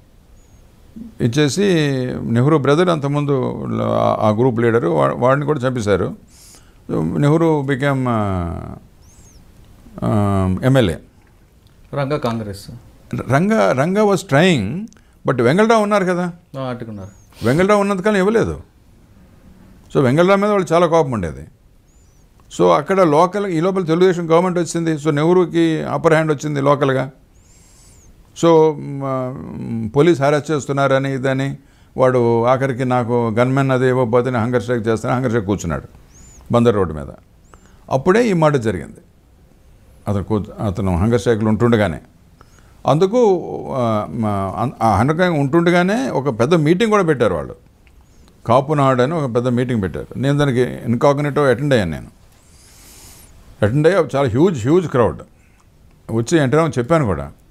రామ్మోహన్ రావు కూడా అన్నారు మన ఇద్దరిని కూడా మనం ప్రివెంటివ్ డిటెన్షన్ కింద అరెస్ట్ చేస్తే గవర్నమెంట్ గట్టి చర్యలు తీసుకుంటున్నారు ఇద్దరి మీద అనేది ఒకటి ముందు ఎస్టాబ్లిష్ అవుతుంది అని అంటే దానికి ఎన్టీ రామారావు ఒప్పుకోలే. ఒప్పుకోకపోవడం వల్ల ఈ ఎప్పుడైతే రంగాన్ని హత్య చేశాడో నెహ్రూ హస్తం ఉంది ఇవి ఉందని అని ఎవరు ఉండారంట రంగా వస్తాం వాళ్ళ చాలామంది ఆయన అపోనెంట్స్ కదా ఇప్పుడు. రంగా రాధా వీళ్ళందరూ కూడా నెహ్రూ అంతకుముందు ఇంకొక ఆయన వాళ్ళ అన్న వీళ్ళందరూ వీళ్ళకి వర్గ వర్గ శత్రుత్వం తయారైంది. ప్రభుత్వం చేయించిందని అప్పుడు పెద్ద పుకారు వచ్చింది కదా. ప్రభుత్వం? ప్రభుత్వం చేయించింది అని అప్పుడు పెద్ద పుకారు కూడా. ప్రభుత్వం లేదు ప్రభుత్వం లేదు. ఎన్టీ రామారావుకి అలాంటిదే లేదు. బట్ ఆటోమేటిక్గా తెలుగుదేశం మనుషులు చేస్తారు అది. ఎవరు చేస్తారు? అంటే ఆయన అపోనెంట్స్ తెలుగుదేశంలో ఉన్నారు. అంటే పార్టీ వాళ్ళ వాళ్ళ వాళ్ళ గ్రూప్ తగదా మొదటి నుంచి ఉంది. అప్పుడు ఏ పార్టీ లేదు. తెలుగుదేశం వచ్చాక వీడు తెలుగుదేశం చేరాడు. రాజశేఖర రెడ్డి కాంగ్రెస్ ప్రెసిడెంట్ అయినప్పుడు రంగా చేరాడు. సో రంగా కూడా గెలిచాడు. గారు నెహ్రూని పార్టీలు తీసుకురావడం ఒక తప్పు చేశారంట. ఆ, తప్పు చేశాడు. అలాగే రంగాని వాళ్ళు తీసుకురావడం వాళ్ళు తప్పు చేశారు. వెంకటరావు ఫార్మలకు బెస్ట్ బెటర్ అదే అంటున్నాను అంటే ఇలాంటి ఎలిమెంట్స్ని పార్టీలోకి తీసుకురావద్దు అనేది ఆయనకి చాలా క్లియర్ మరి రామారావు గారు చెప్తే దీన్ని మనం విభేదించారు అప్పుడు మేము చెప్పలేదు. అప్పటికే ఆయన ఎమ్మెల్యే అయిపోయాడు వాడు. తర్వాత నెక్స్ట్ తర్వాత రామ్మోహన్ రావు గారు డీజీ ఉన్నప్పుడు వీళ్ళిద్దరిని లోపల వేయాలన్నప్పుడు అప్పుడు నాయకు ఉండేవాడు. సో వీళ్ళ దగ్గర కొన్ని ఇది చేసి ప్రివెంట్ టెన్షన్ ఇద్దరిని లోపల వేసేవచ్చు కొన్ని రీజన్స్ ఇచ్చి. అది చేయాలనుకున్నాను. ఎందుకంటే వీళ్ళిద్దరిలో వైరం జరుగుతుంది. ఎప్పుడో ఈ గొడవ వస్తుందని కూడా తెలుసు. ఆ కాపునాడు కూడా నేను అటెండ్ అయ్యాను. చాలా పెద్ద వాళ్ళ అందులో ఓపెన్గా అన్నారు. నంగాకైనా అయితే మేము రక్తం ఏర్లు పారుతుందని ఇవన్నీ అన్నారు వాళ్ళు.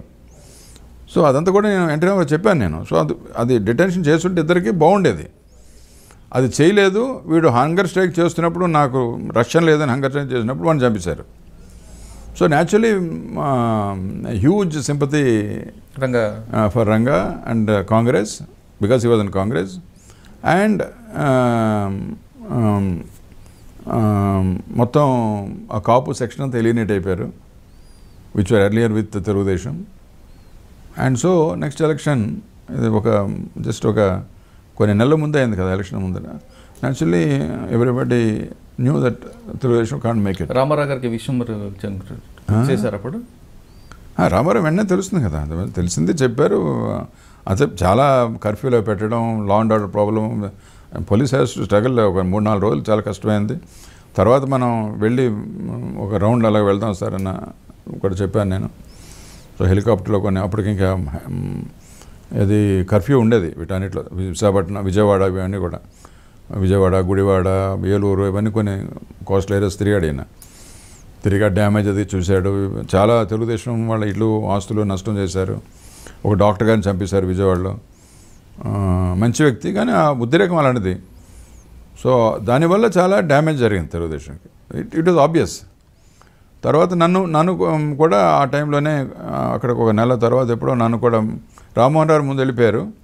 ఒక రెండు మూడు నెలల తర్వాత నన్ను కూడా మార్చేసి ఆర్టీస్ ఎండిగా వేశారు. విజయరామారావు విజయరామారావుని అయితే కమిషనర్ తీసుకొచ్చినట్టున్నారు. సో ఆ టైంలో ఇవన్నీ జరగటం ఆయన ఆ నెక్స్ట్ ఎలక్షన్స్లో మా ఎన్టీ రామారావు ఓడిపోయి మళ్ళీ కాంగ్రెస్ గవర్నమెంట్ రావటం మళ్ళీ I think Chenna Reddy was the CM. So నేను ఆర్టిస్ట్లో అలా ఉన్నాను. ఆర్టిస్ట్లో బాగానే వేజ్ అగ్రిమెంట్స్ అని ఇలాంటివన్నీ లీడర్స్తో వాళ్ళతో బాగానే ఉండేది. డెవలప్మెంట్ వర్కర్స్ కూడా బాగా చేశాను I gave lot of emphasis for this metro rail ఇప్పుడు మెట్రో రైల్ ఇప్పుడు వస్తుంది కదా.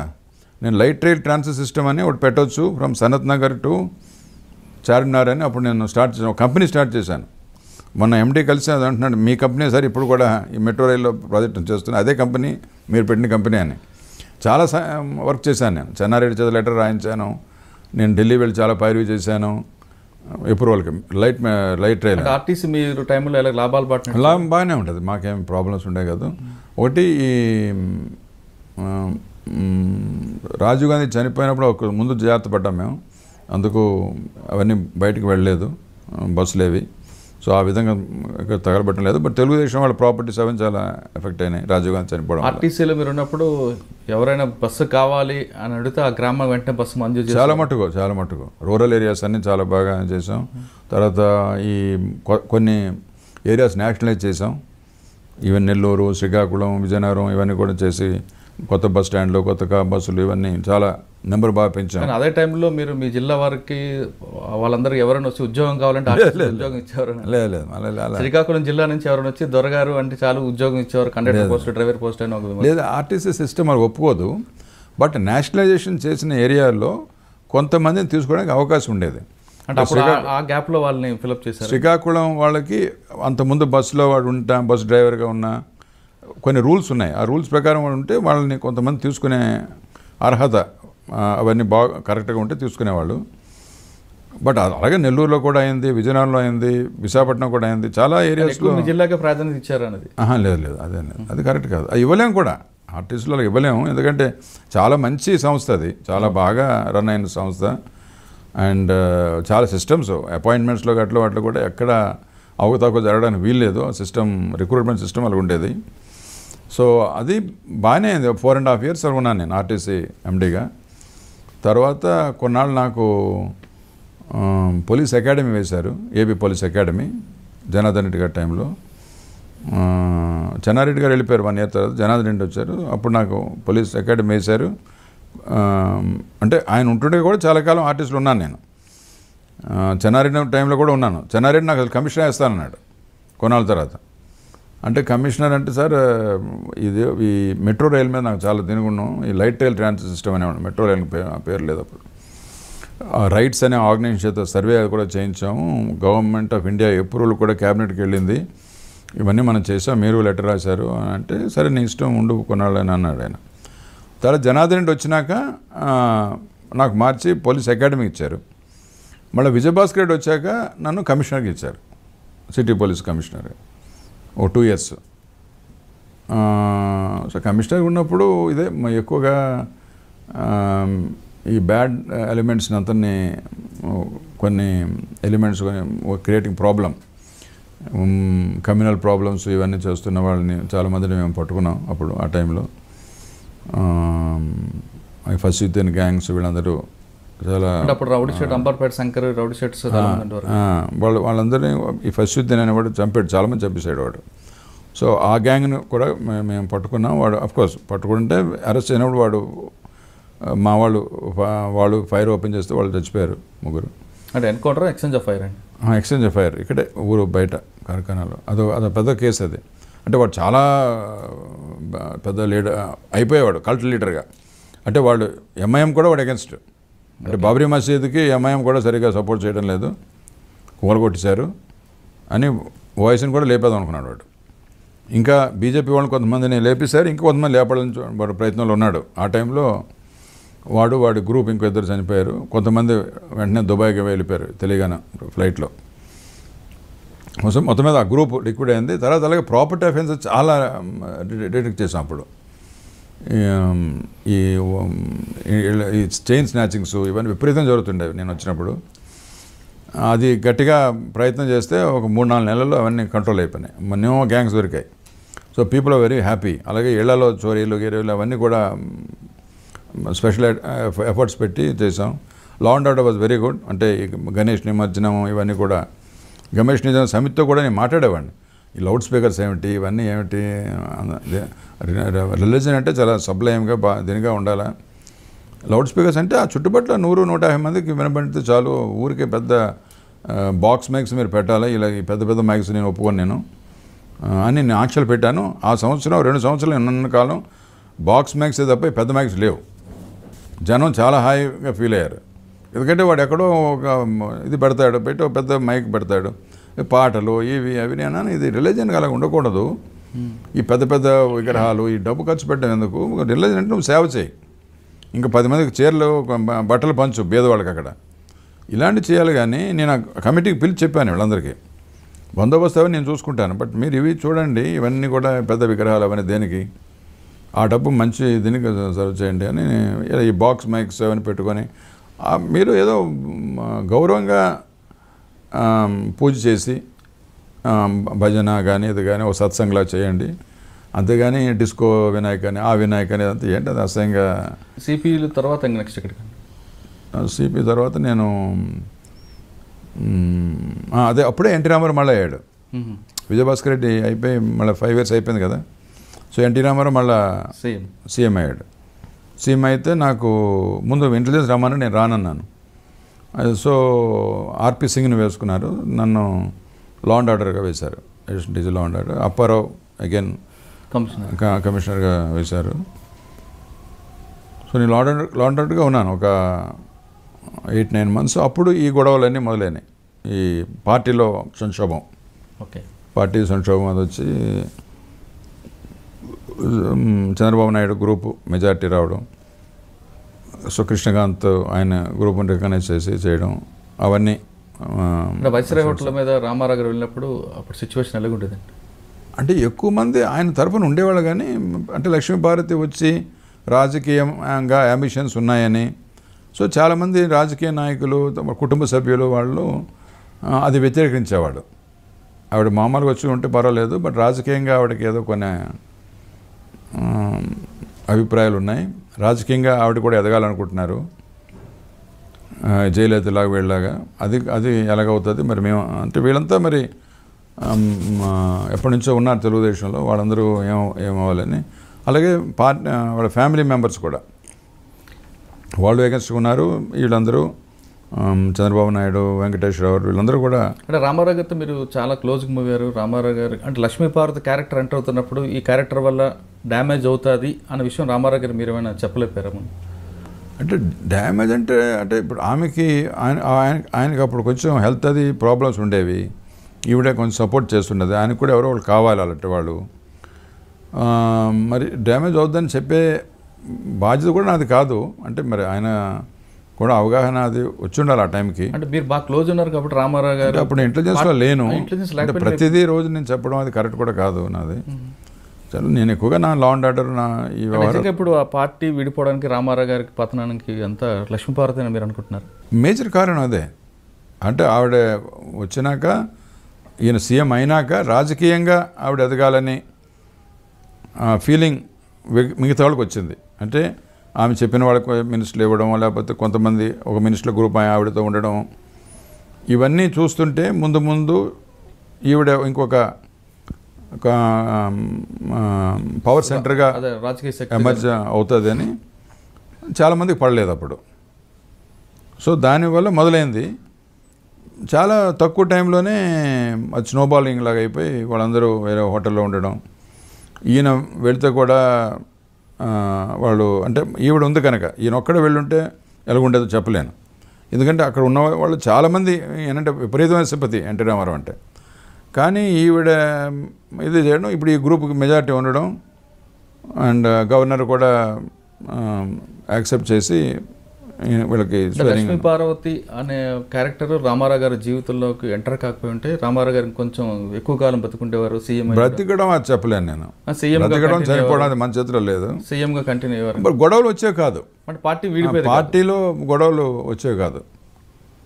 ఆమ్, ఆయన మామూలుగా అలా మొదట్లాగా ఉండుంటాయి ఎందుకంటే మరి దానికి పెద్ద ఆస్కారం లేదు కదా. చంద్రబాబు నాయుడు కానీ వెంకటేశ్వర కానీ ఆయనకు అపోజ్ ఎలాగ అపోజ్ చేస్తారు ఆయన్ని? వాళ్ళ వాళ్ళ ఉనికికి థ్రెట్ థ్రెట్ వస్తేనే వాళ్ళు రియాక్ట్ అవుతారు. వాళ్ళ ఉనికి థ్రెట్ వచ్చింది. స్పష్టంగా చెప్పారు కదా నాకు వెండిపోటు పొడిచారు అని. కానీ ఆ విషయం మీరు రామారావు గారు కానీ చంద్రబాబు నాయుడు అంటే వీళ్ళిద్దరు మా అయోధ్య కుదిర్చే అవకాశం కష్టం అది.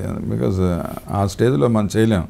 బికాజ్ ఎవరి ఎవరి ఉనికికి వాళ్ళు కాపాడుకుంటారు కదా.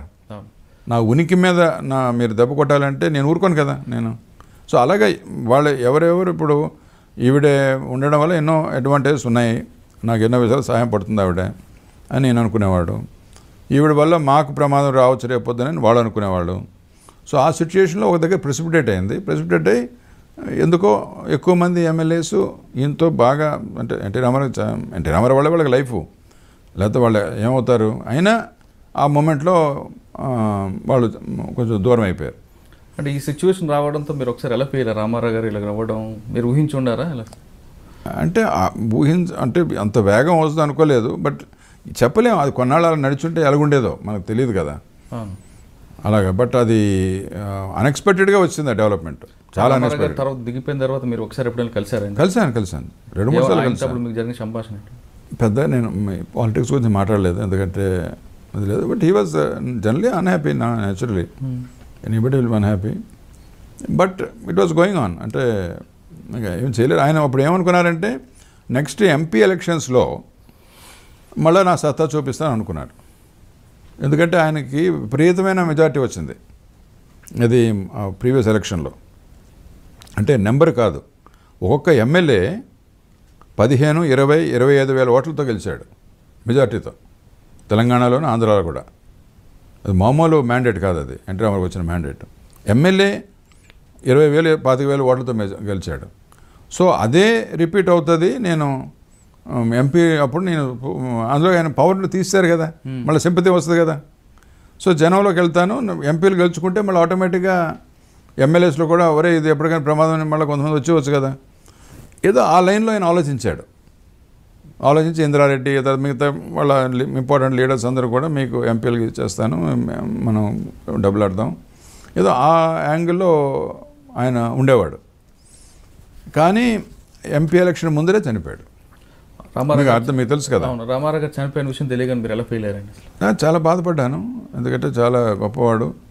అంటే నిజంగా ప్రజలకు ఏదో మంచి చేయాలని వచ్చాడు. ఒక కరప్షన్ కానీ ఏది కానీ ఒక్కటి కూడా ఆయన వేలెత్తి ఎవరు చూపించలేరు. అహర్నిశలు ఎవరు కొత్త ఐడియా ఇచ్చినా మాది ప్రజలకు మంచి అయితే చేద్దామనేవాడు. అండ్ ఈ టూ రూపీ కేజీ కానీ తర్వాత మిగతా కూడా ఈ ఈ ఏంటది ఈ స్కూల్స్ రెసిడెన్షియల్ స్కూల్స్ కానీ ట్రైబల్ వాళ్ళకి బ్యాక్వర్డ్ క్లాస్కి అవన్నీ చాలా పెట్టాడు. సో బ్యాక్వర్డ్ క్లాస్ కూడా చాలా ఎక్కువ చేయాలని అనుకున్నాడు. పంచాయతీరాజ్ సిస్టంలో బ్యాక్వర్డ్ క్లాస్ సిస్టమ్ రిజర్వేషన్ తెచ్చుకొచ్చాడు దాని మీద అణ ఎంతో కాలంగా అణగదొగ్గిన వర్గాలకి జల్ జడ్పీ చైర్మన్ ఇలాంటివన్నీ వాళ్ళకి వచ్చాయి తెలంగాణలో కానీ ఆంధ్రలో కానీ లేడీస్కి వచ్చాయి. రిజర్వేషన్ ఇచ్చాడు పంచాయతీరాజ్లో సో ఇవన్నీ చాలా మార్పులు చేశాడు. ప్రతి గ్రామం ఏదో ఒక డెవలప్మెంట్ వర్క్తో టచ్ అయింది అప్పుడు. సో మంచి ఇది నాయకుడు చనిపోయాడు అని బాధ ఎక్కడ పోస్ట్ అండి సో లా అండ్ ఆర్డర్ నుంచి నేను కొన్నాళ్ళు క్రైమ్కి వెళ్ళాను. క్రైమ్ క్రైమ్ బ్రాంచ్ ఈ పం ఈ ఎంపీ ఎలక్షన్స్ అప్పుడు నేను క్రైమ్ బ్రాంచ్లో ఉన్నాను నేను. ఆ క్రైమ్ బ్రాంచ్లో ఉండి చాలా వర్క్ చేశాం మేము. అంటే చాలా షార్ట్ పీరియడే కానీ చాలా అంటే డెకాయిటీస్ రాబరీస్ ఇవన్నీ విపరీతం జరుగుతుండేవి. అంటే additional CP additional DG క్రైమ్సా? Additional DGs crime CID.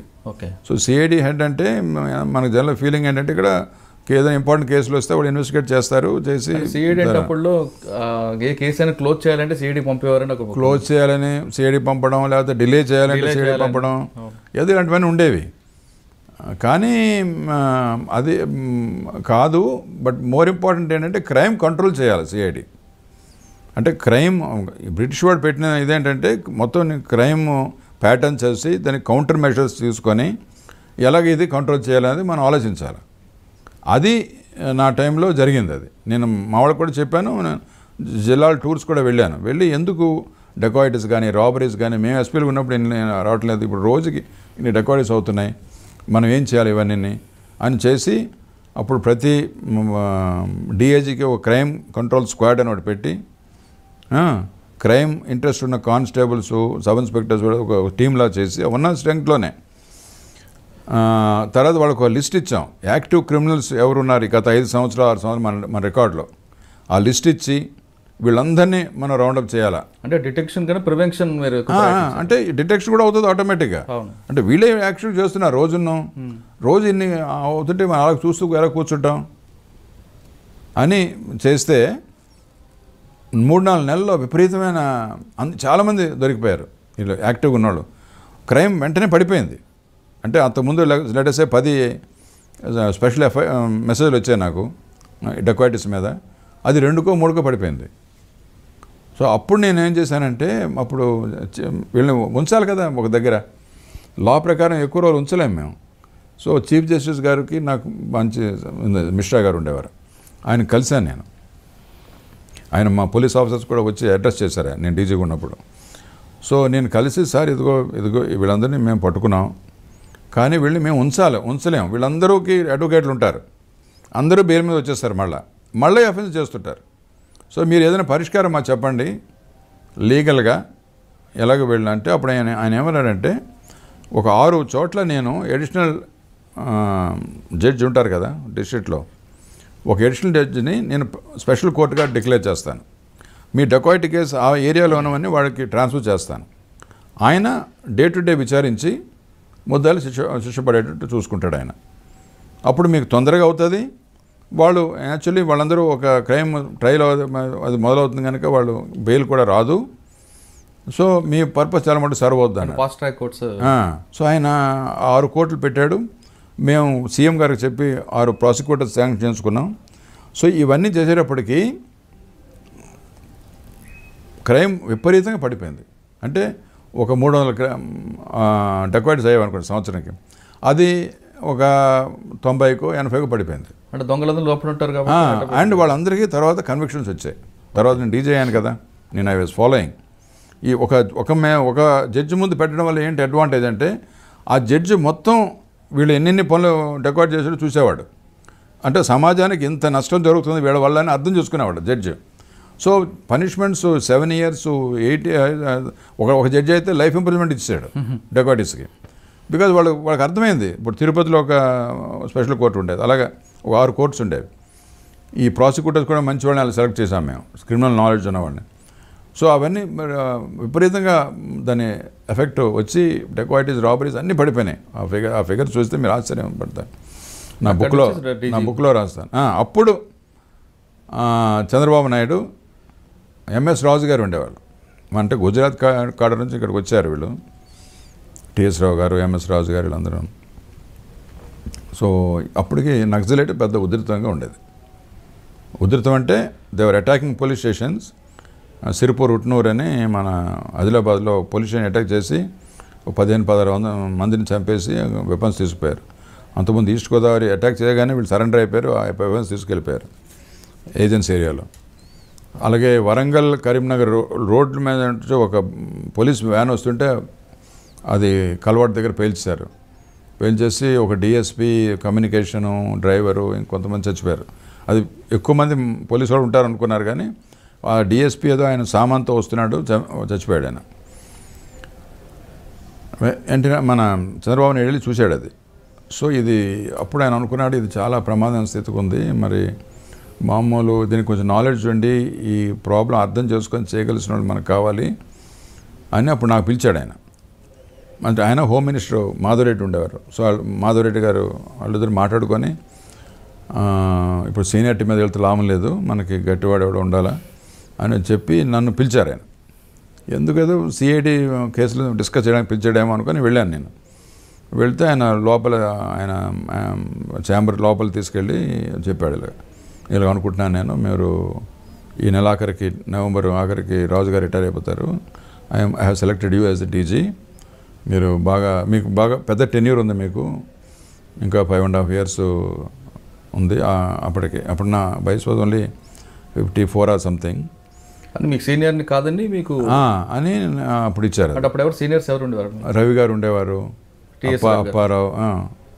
తర్వాత రాజన్ నాయర్ అంటే వాళ్ళందరూ పక్కన పెట్టి మీకు ఇచ్చారు. ఎందుకంటే ఇది కొంచెం ఎక్స్ట్రాడినరీ సిచ్యువేషన్ ఎందుకంటే ఈ కేసులు చూశాడు ఆయన. Utnoor police station attack Warangal road మీదే. మామూలు ఇంటీరియర్ రోడ్డు కాదు. వరంగల్ హైదరాబాద్ రోడ్డు మీద. సో అప్పుడు ఆయన ఆయనకి ఇది వచ్చి డౌట్ వచ్చి మనకెవరో ఒక సముద్రుడు ఉండాలని చెప్పాడు నాతో. మీకు లాంగ్ టెన్యూర్ ఉంది కనుక మీరు ఇది కొంత అటెండ్ అవుతారు మీరు. సబార్డినేట్స్ కూడా మీకు సీరియస్గా తీసుకుంటారు. అండ్ మీకు మిగతా గుడ్ విల్ ఐఏఎస్ వాళ్ళతో మన పొలిటీషియన్స్ అందరితో మీకు గుడ్ విల్ ఉంది. సో మీరు చేస్తారని నాకు నమ్మకం ఉంది అందుకు మీకు ఇస్తున్నాను. ఈ నెలాఖరు అవగానే మీకు ఆటో ఇచ్చేస్తాను అన్నాడు. సో అప్పుడు మాకు ఫిఫ్టీ ఎయిట్ రిటైర్మెంట్ తర్వాత సిక్స్టీ అయింది. ఇప్పటి వరకు దొరగారు డీజీ అయ్యారు. డీజీ అయిన తర్వాత అప్పుడున్న ఆంధ్రప్రదేశ్లో సిచ్యువేషన్ అంత బ్యాడ్ సిచ్యువేషన్ ఉండేది. ఒక్కసారి ఆ సిచ్యువేషన్ చూద్దాం. ఉమ్మడి ఆంధ్రప్రదేశ్. పంతొమ్మిది వందల తొంభై ఆరవ సంవత్సరం. నక్సల్స్ ఉద్యమం తీవ్ర స్థాయిలో ఉంది. తెలంగాణ ఆంధ్ర ప్రాంతాల్లో వాళ్ళదే పట్టు. అడవుల్లో ఉండే అన్నలు రాజ్యంపై పట్టు కోసం పట్టణాల బాట పట్టారు. అది కూడా యూనిఫామ్ వేసుకొని తుపాకీలు చేత పట్టుకొని ఏకంగా పోలీస్ స్టేషన్పై దాడులు చేశారు. అది కూడా పట్ట పగలే. కానిస్టేబుల్ కనిపిస్తే కాల్చి చంపారు. పంతొమ్మిది వందల తొంభై ఆరు నుండి రెండు వేల రెండు వరకు పోలీస్ స్టేషన్లపై దాడులు చేసి యాభై ఏడు మంది పోలీసులను చంపి రెండు వందల నలభై ఆయుధాలను ఎత్తుకెళ్ళారు. దాడుల్లో నలభై ఎనిమిది మంది పోలీసులు తీవ్రంగా గాయపడ్డారు. ఆ సమయంలో వారి ప్రభావం ఏ స్థాయిలో ఉందో అంటే ఏకంగా ఐపీఎస్ అధికారి ఉమేష్ చంద్రను హైదరాబాద్ నడిబొడ్డున పట్టపగలే కాల్చి చంపారు. అలాంటి పరిస్థితుల్లో ఆంధ్రప్రదేశ్ డీజీపీగా హెచ్జే దొర పదవి బాధ్యతలు చేపట్టారు. ఇక అప్పటి నుండి ప్రాణ నష్టంతో ప్రారంభమై ఆంధ్రప్రదేశ్లో పార్టీ ఉనికే కోల్పోయింది మావోయిస్టు పార్టీ.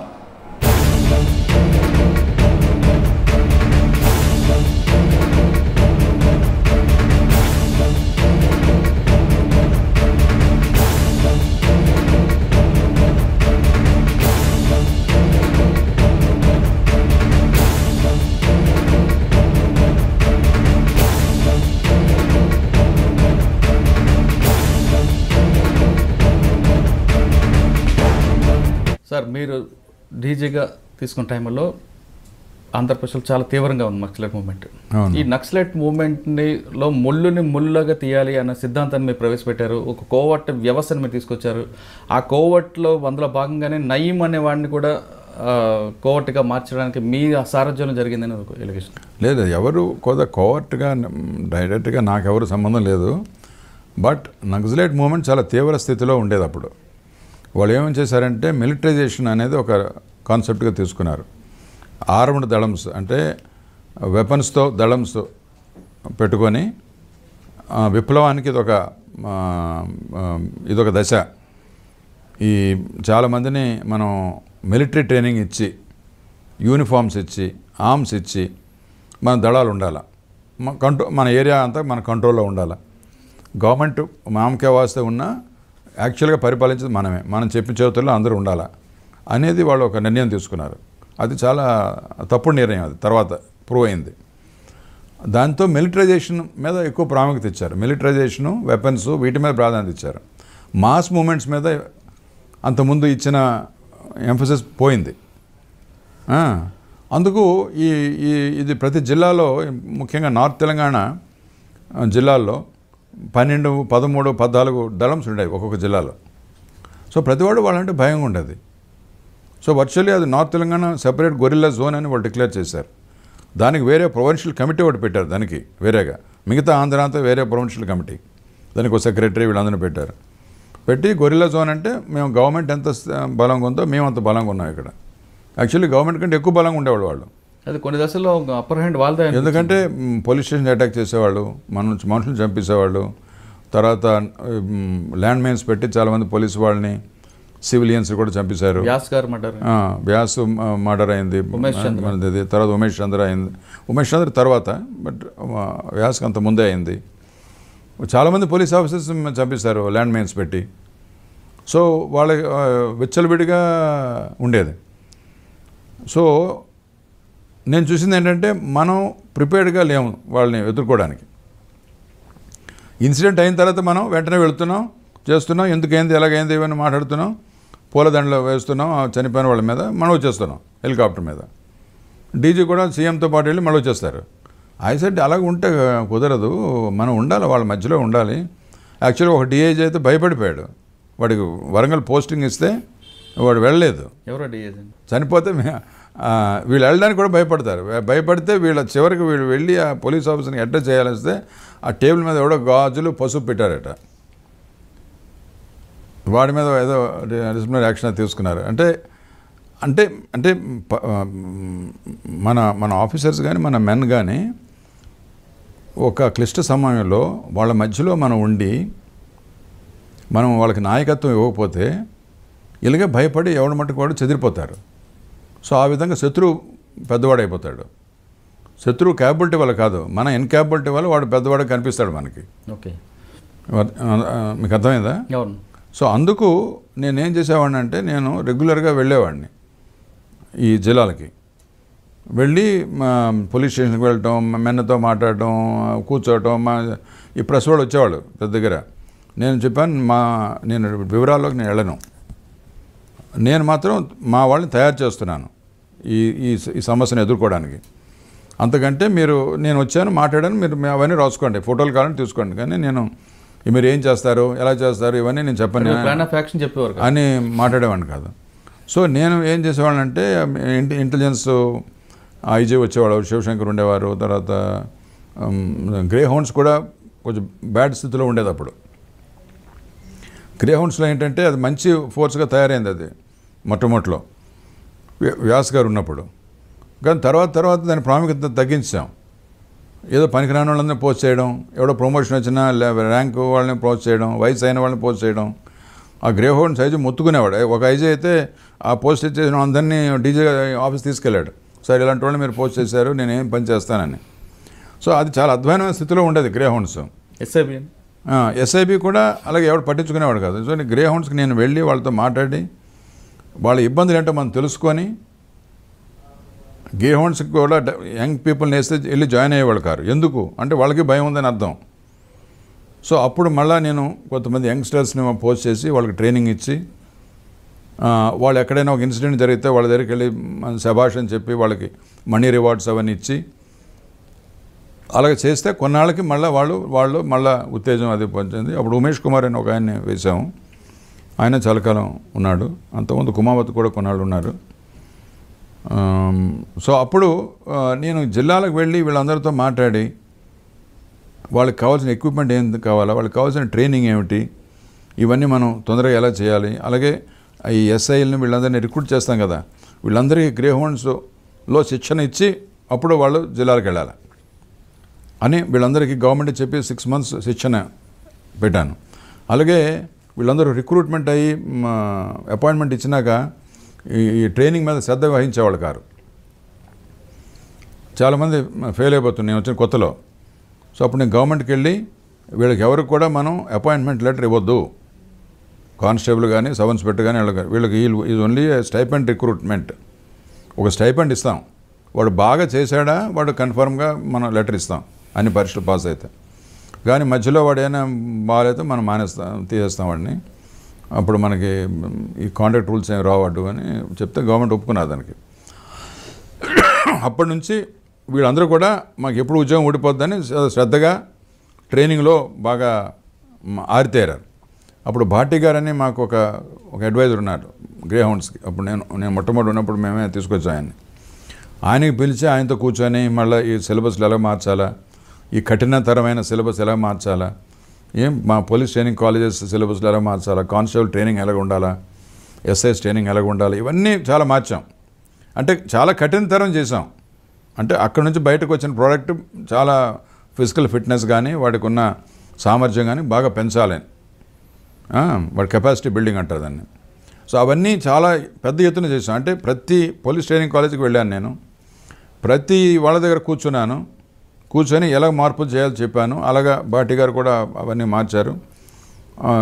చాలామంది చాలా హార్డ్ ట్రైనింగ్ కొంతమంది పడిపోతుండే వాళ్ళు ఫ్రాక్చర్స్ అవుతుండేవి. గ్రే హౌండ్స్కి అసలు ఒక మంచి జంప్ టీమ్గా తయారు ఆ, చేసుకుంటారు గ్రే హౌండ్స్ని అలాగే మిగతా వాళ్ళని కూడా.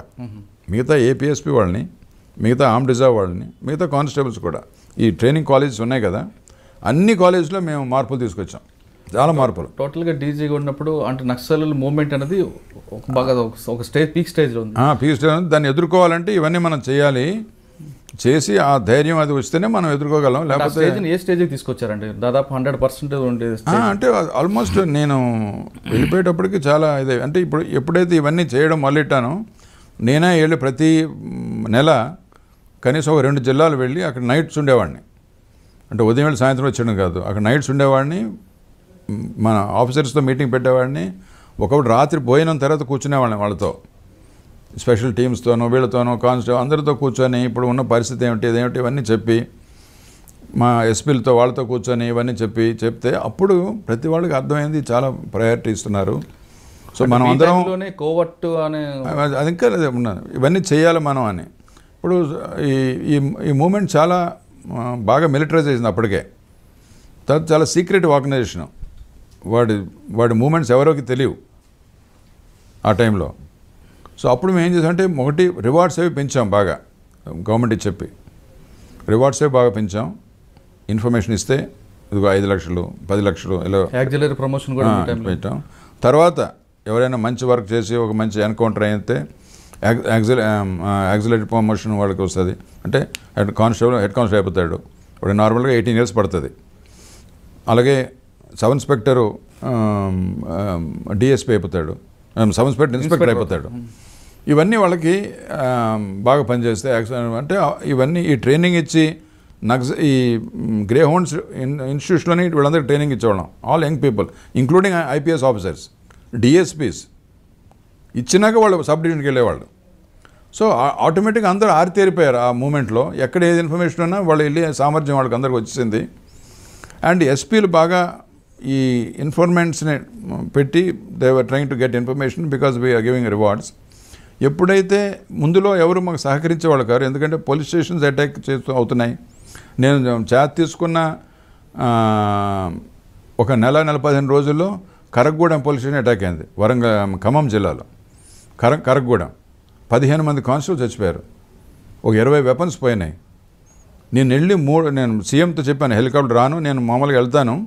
ఈ జిల్లా రెగ్యులర్ టూర్ చేసేవాడిని. కరగూడెం ఇన్సిడెంట్ అయింది. నేను తీసుకున్న నెల పదిహేను రోజుల కలగా యాక్చువల్లీ శ్రీకాకుళం ఆ పండగకి వెళ్ళాలనుకున్నాను నేను. ఫస్ట్ టైం మా క్లాస్మేట్స్ వాళ్ళందరూ రమ్మన్నారు. బట్ ఎప్పుడైతే అయిందో నేను చెప్పాను మా ఇంట్లో మనం వెళ్ళేది లేదు నేను ఈ పనిలో వెళ్ళిపోతానని. నేను సీఎం కూడా చెప్పాను సార్ నేను వెళ్తాను. మీరు హెలికాప్టర్లో వెళితే నాకంటే ముందు వెళ్ళొచ్చు మీరు. కానీ నేను వెళ్ళి ఒక మూడు నాలుగు రోజులు ఉంటాను నేను అక్కడ. నేను నాకు విషయం అర్థం అవ్వాలి నాకు. కానీ నేను నా కార్లో వెళ్ళిపోయాను.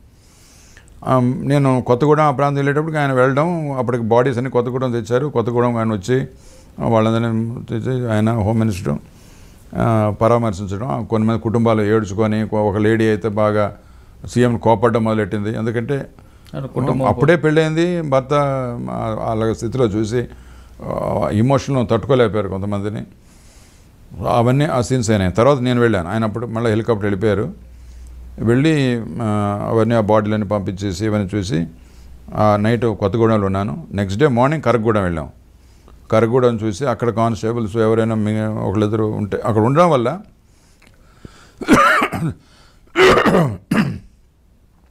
మణుగూరు అనే ఒక ప్లేస్ ఉంది. అక్కడ నైట్ హాల్ చేశాను. సో చాలామంది కానిస్టేబుల్స్ వీళ్ళందరూ వచ్చి నాకు కలిశారు. మళ్ళీ కొత్తగూడెం వచ్చి అక్కడ ఒకటే ఉన్నాను మళ్ళీ. అప్పుడు ఈ కమ్యూనిస్ట్ లీడర్స్ మిగతా వాళ్ళు వాళ్ళు చాలామంది నాకు కలిశారు. నేను కూడా కానిస్టేబుల్ ఎవరి నుంచి అందరూ అన్ని స్థాయిల వాళ్ళతో నేను చర్చించాను. ఎందుకు ఇలాగైంది ఏమిటి ఇలాగైంది మన కరగూడెం పోలీస్ స్టేషను బ్లాస్ట్ చేశారు. ఎందుకు అంటే టాపిక్కి అది వాడు అందరినీ కంట్రోల్ చేసి అందరినీ బయటకు వచ్చేయమని చెప్పి అందరినీ చంపేసి ఏపీఎస్పీ మనుషులు ఉంటే వాళ్ళని చంపేసి చేశారు. అంటే అని నాకు ఇప్పుడు అర్థమైంది. సో టాప్లోకి వెళ్తే వాళ్ళు చేస్తున్నారు అని చెప్పి అప్పుడు నేను ఏం చేశానంటే మనం రూఫ్ టాప్ సెంటర్ అనేది ఒక పెట్టాం. అచ్చా మీ టైంలో రూప్ టాప్ కరగూడెం ఇన్సిడెంట్ అయినాకే. సో ఇక మీదట ఏపీఎస్ మనం ఎవరైనా వస్తే వాళ్ళు మన వీళ్ళతో పాటు కింద ఎక్కడో పడుకుంటే ఏంటి లాభం? వీళ్ళు చచ్చిపోతారు వాళ్ళు చచ్చిపోతారు. వాళ్ళు లేకపోతేనే నాకు నష్టం తక్కువ అవుద్ది. అని ఈ ఏపీఎస్పీ వాళ్ళు కానీ ఎవరు కానీ ఇలాంటి స్పెషల్ టీమ్స్ ఎవరు వచ్చినా మీద ఒక రూఫ్ అది పెట్టి ఒక టెంపరీ రూఫ్ వేసేసి వాళ్ళ మీద పడుకోవాలి.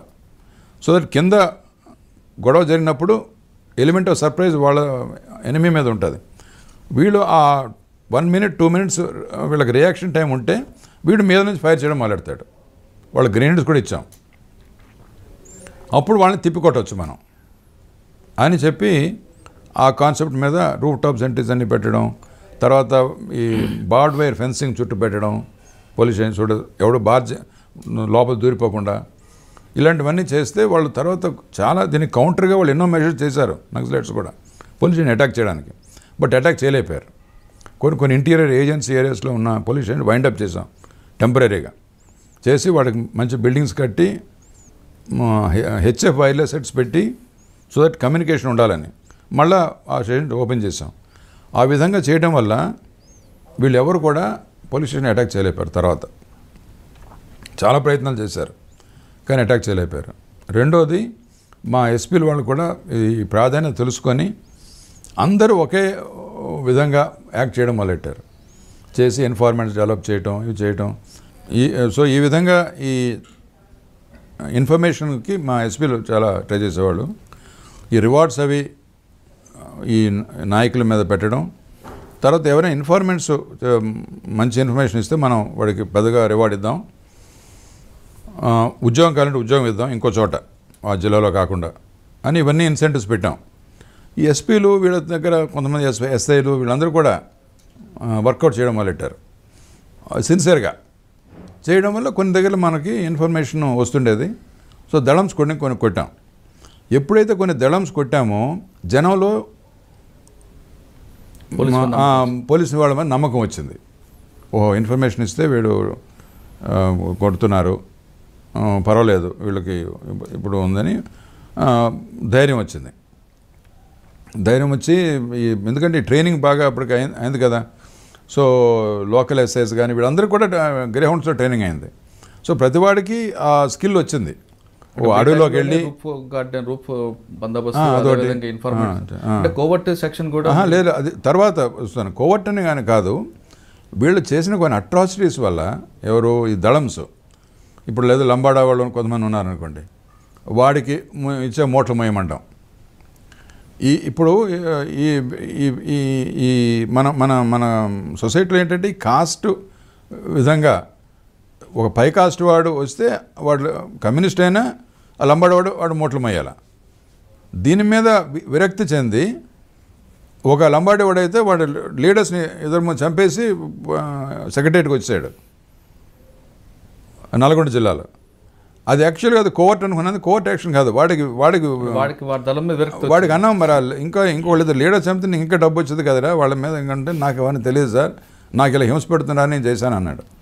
అలాగే నిజామాబాద్లో ఒక ఫ్యామిలీ తర్వాత వాళ్ళ ఇన్ఫార్మేషన్ మేము మలుచుకున్నాం కానీ వాళ్ళందరికీ ఎందుకంటే ఒక ఇంపార్టెంట్ నక్సలైట్ లీడర్ని వాళ్ళు చంపేశారు. లంబాడా వాడిని. తర్వాత వాళ్ళు ఆ తాండాలో వెళ్ళి బో బోవ పెట్టమంటాం ఆ తాండాలో ఇది పెట్ట ఇది కావాలంటాం. ఇలాంటివన్నీ దళంలో ఎవరైతే అవమానం గురవుతున్నారో వాళ్ళని మీరు ఐడెంటిఫై చేసి ఐడెంటిఫై చేసి వాళ్ళు ఈ లంబాడర్స్ ఎక్కువగా కొంత డిసెంట్మెంట్ కనబడదు మాకు. ఎందుకంటే వాళ్ళ బిహేవియర్ వల్ల వాటి వల్ల వాళ్ళు కొంచెం దే ఆర్ నాట్ హ్యాపీ ఆ వీళ్ళ వల్ల. సో వాళ్ళు కొంతమందిని మనం ఎక్స్ప్లాయిట్ చేసి అంటే వాళ్ళని వాడుకొని ఇన్ఫా వాళ్ళకి వాళ్ళు దళం మూమెంట్స్ అవి ఇన్ఫర్మేషన్ మన ఎస్పీలు వాళ్ళు సంపాదించారు. అంటే అందులో భాగంగా నయం అనేవాడిని కూడా నయం లేదు మచ్ లేటర్ నయం కేసు మచ్ లేటర్ అప్పటికి ఇంచుమించు మూమెంట్ అంతా అయిపోయింది అప్పటికి. సో ఆ ఈ ఇన్ఫర్మేషన్స్ మీద వరంగల్ జిల్లాలో కానీ కరీంనగర్ జిల్లాలో కానీ నిజామాబాద్ జిల్లాలో కానీ అవుట్ స్టాండింగ్ వర్క్ చేశారు మా వాళ్ళు. చాలా దళమ్స్ పడిపోయినాయి. పడిపోయి వాళ్ళందరూ ఆ, దెబ్బతిన్నారు దళమ్స్. ఎప్పుడు వాళ్ళ అది ఎక్స్పెక్ట్ చేయలేదు అది. So by by by by one and half years అంటే నేను ఎయిటీ సిక్స్ ఎండ్లో తీసుకున్నాను. ఎయిటీ సెవెన్ ఎయిటీ ఎయిట్ కల్లా చాలా మార్పు కనిపించింది మా అప్రోచ్లో. యాక్చువల్గా ఒక పెద్ద స్టేషన్ ఇన్ మహబూబ్నగర్ అటాక్ చేశారు. చాలా పకడ్బందీగా అటాక్ చేశారు. అయినా ఒక సివిలియన్ చచ్చిపోయాడు ఎస్ఐ తప్పుకున్నాడు బట్ వెళ్ళి రీఎన్ఫోర్స్మెంట్ తీసుకొచ్చారు. రూఫ్ టాప్ వాళ్ళు నిల్చున్నారు. వాళ్ళందరికీ ఫైర్ చేసి ఏమి ఎవరికి ఏమీ ఇబ్బంది రాకుండా. కింద వాడు బాంబు పెట్టినా వీడు చెక్కు చెదరలేదు. వాళ్ళకి వెళ్ళి రివార్డ్స్ అవి కూడా ఇచ్చాను నేను. మహబూబ్నగర్ ఆ ఊరు పేరు నేను మర్చిపోతున్నాను. తర్వాత పక్కా పోలీస్ స్టేషన్ కట్టాం అక్కడ. సో ఈ విధంగా వాళ్ళ అటాక్స్ తిప్పికొట్టడం మనం వాళ్ళ దళమ్స్ కొట్టడం. దానివల్ల చాలా మార్పు వచ్చింది ఇప్పుడు నయీం నయీం కేసు మీరు అడుగుతున్నారు. నయీంకి మాకు అసలు ఏం సంబంధం లేదు. వాడు వాడు వాడు ఒక అక్యూజ్డ్ వాడు. వాడు అరెస్ట్ అయిపోయాడు జైల్లో ఉన్నాడు. వాడి సిస్టర్ని ఈ ఒక ముస్లిం జెంటిల్మెన్ మిస్బిహేవ్ మిస్బిహేవ్ చేశాడు. చేస్తే? ఇదన్నా దీన్ని ఇతని సిస్టర్ని నయం సిస్టర్ని. కాదు నయం నయం సిస్టర్ ముస్లిం వాడు ఏదన్నా వాడిని అదే ఆటో రిక్షా వెళ్తున్నప్పుడు ఏదో మిస్బిహేవ్ చేశాడు అది చెప్పింది. వీడు దళం కదా చెప్తే దళం యాక్షన్ తీసుకోలేదు. సో వీడి వీళ్ళ బ్రదర్స్తో వాళ్ళతో ఒక చిన్న ముఠా కలిపి ఏదని చంపేశారు. చంపిస్తే పెద్ద ఇష్యూ చేశారు మేమే చంపిస్తామని. ఆ బాడీ యాక్చువల్గా మార్చిలో ఉంటే మేమే ఫోటో ఇచ్చి పేపర్లో వేసాం అన్క్లెయిమ్డ్ బాడీ కింద. అప్పుడు వాడి భార్య వచ్చి పోలీస్ చంపేశారు పోలీస్ ఇది నక్సలైట్ మనిషిని చంపేశారని పెద్ద లొల్లి పెట్టారు. పెద్ద చాలా పెద్ద గొడవ. సివిల్ లిబర్టీస్ వాళ్ళు వీళ్ళందరూ కూడా. తర్వాత అది బయటపడింది. బికాజ్ ఒక మంచి డిఎస్పి మాకు భువనగిరిలో ఉండేవాడు ఇన్స్పెక్టర్ వాళ్ళు కూడా ఉండేవాడు సో వాళ్ళు ఇన్వెస్టిగేషన్లో ఈ ఏదన్నా చంపింది నయం గ్యాంగ్ ఎందుకంటే వాడి సిస్టర్ని వీళ్ళు ఇతను ఇన్సల్ట్ చేశాడు. అందుకు ఇదంతా అయిందని అప్పుడు అక్కడ బయ అక్కడ అది బయటకు వచ్చింది బయటకు వస్తే బాలగోపాల్ అదే వీళ్ళ సివిల్ లిబర్టీస్లో మంచివాళ్ళు కనాభిరాను బాలగోపాల్ వీళ్ళు వీళ్ళంతా మంచివాళ్ళు. బాలగోపాల్ అపాలజీ చేశాడు అనవసరంగా పోలీస్ మీద నిష్ఠూరం వేశాం. అందుకు క్షమాపణ చెప్తున్నాను నేను. వాళ్ళకి దీని- దీనికి ఈ- ఈ మాటకు సంబంధమే లేదు. అని క్షమాపణ చెప్పాడు. అలాగే బెల్లిలతో కూడా ఈ నయం గ్యాంగే చేశారు. అంటే బెల్లెలతో మర్డర్ అప్పుడు మాధవరెడ్డి గారి పేరు. అనవసరంగా యాజ్ యూజువల్ కానీ మీకు మాత్రం సీఎం గారికి చంద్రబాబు నాయుడుకి పొలిటికల్గా ఎక్స్ప్లోర్ చేయాలని చూశారు మాధవ్ రెడ్డి మాధవరెడ్డి గారికి సంబంధం లేదనే విషయం ముందే తెలుసు అంటున్నారు. మా తెలుసు ఎందుకంటే అది మాధవ్ రెడ్డి అలాంటి పాలిటిక్స్ కాదు ఆయన. చాలా చాలా పెద్ద మనిషి తరాగా ఉంటాడు చాలా మంచి రాజకీయ నాయకుడు ఆయన.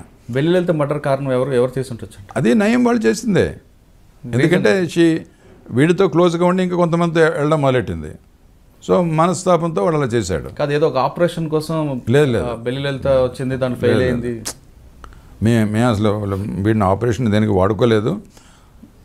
జైలుకో వెళ్ళాక కొంత ఇన్ఫర్మేషన్ తర్వాత వాడు ఇచ్చేవాడు. ఎందుకంటే వాడికి అప్పటికి వీళ్ళని చంపేశారు కదా. సో వీడు వీడికి కొంచెం డిజల్యూషన్మెంట్ వచ్చింది మూమెంట్ మీద. నా సిస్టర్ని ఇన్సల్ట్ చేస్తే వాళ్ళు చెప్తే వాళ్ళు యాక్షన్ తీసుకోలేదు. ఇలాగేదో ఇలా బిహేవ్ మిస్బిహేవ్ చేస్తున్న యాక్షన్ తీసుకోలేదు అని మూమెంట్ నుంచి బయటకు వచ్చేయాలని వాడికి ఒక ఇది వచ్చింది అందుకు మాకు కొంత ఇన్ఫర్మేషను జైల్లో ఇచ్చేవాడు వాడు. జైల్లో కూడా కొంతమంది ఎక్స్ట్రీమిస్ట్ ఉన్నారు కదా వాళ్ళు కూడా అక్క- అక్కడ నుంచి కార్యక్రమాలు చేస్తుంటారు. అలాంటి ఇన్ఫర్మేషన్స్ కొన్ని వాడు మాకు పాస్ ఆన్ చేసేవాడు. అంటే ఆ పాస్ చేసిన ఇన్ఫర్మేషన్ మీరు ఎలాంటి ఆపరేషన్ చేస్తారంటే అంటే మాకు ఆ పరిస్థితి బట్టి ఇప్పుడు ఏదో పోలీ పోలీస్ ఆఫీసర్స్ మీద ఏదో అటాక్ అనుకోండి ఆ ఆఫీసర్ని అలర్ట్ చేయడం ఇన్ఫ్యాక్ట్ తివారీ మీద కూడా ఒకసారి ఎస్ఐబి హెడ్ కనుక ఆయన మీద చేశారు. ఎస్ఐబి అంటే వాళ్ళకి మహా మంట ఎవరికి ఎక్స్ట్రీమిస్ట్కి. వీళ్ళందరూ ఏదో మొసాద్ వాళ్ళు వాళ్ళు ఇజ్రాయెల్ వాళ్ళు వచ్చి ట్రైనింగ్ ఇచ్చారు. చాలా సిన్సియర్గా వాళ్ళు పనిచేస్తారు. ఎక్కడ అవకాశం ఉన్నా వాళ్ళని మనం హతమార్చాలి అని వాళ్ళు వాళ్ళ లిటరేచర్లో వాళ్ళు రాసుకునేవాళ్ళు. అంటే అదే ఎస్ఐబిలో మీకు ముగ్గురు ఉన్నారు త్రిమూర్తులు ఆ ముగ్గురు ఏం చెప్తే దొరగారు చేసేవారని అలా కాదు ఎవరు? వాళ్ళు ఇన్ఫర్మేషన్ వాళ్ళు ఇచ్చేవారు ఓకే ఇన్ఫర్మేషన్ కంటే వాళ్ళు ఏం చేయలేరు వాళ్ళు. ఆ ముగ్గురు ఎవరు? కానీ అవగాహన వాళ్ళకి బాగా ఉండబట్టి ఒక ముగ్గురు కాదు చాలామంది ఉన్నారు ఎస్ఐబిలో వాళ్ళకి కొంతమంది ఎక్కువ రోజులు అక్కడ ఉండిపోయి ఈ మూమెంట్ మీద అవగాహన బాగా ఉండాలి మనకి. ఇప్పుడు ఒక టాప్ లంకరేటర్ తెచ్చాను అనుకోండి నేను. వాడిని ఇంట్రోగేట్ చేయాలంటే నాకు వాడి గురించి చాలా తెలియాలి. పలానా మీటింగ్లో మీరు డెసిషన్ తీసుకున్నారు. పలానా మీటింగ్లో ప్లీనంలో మీరు ఇక్కడ అయింది. అయితే వీడు ఇలాగ అంటే నువ్వేమో ఇలాగ అన్నావు.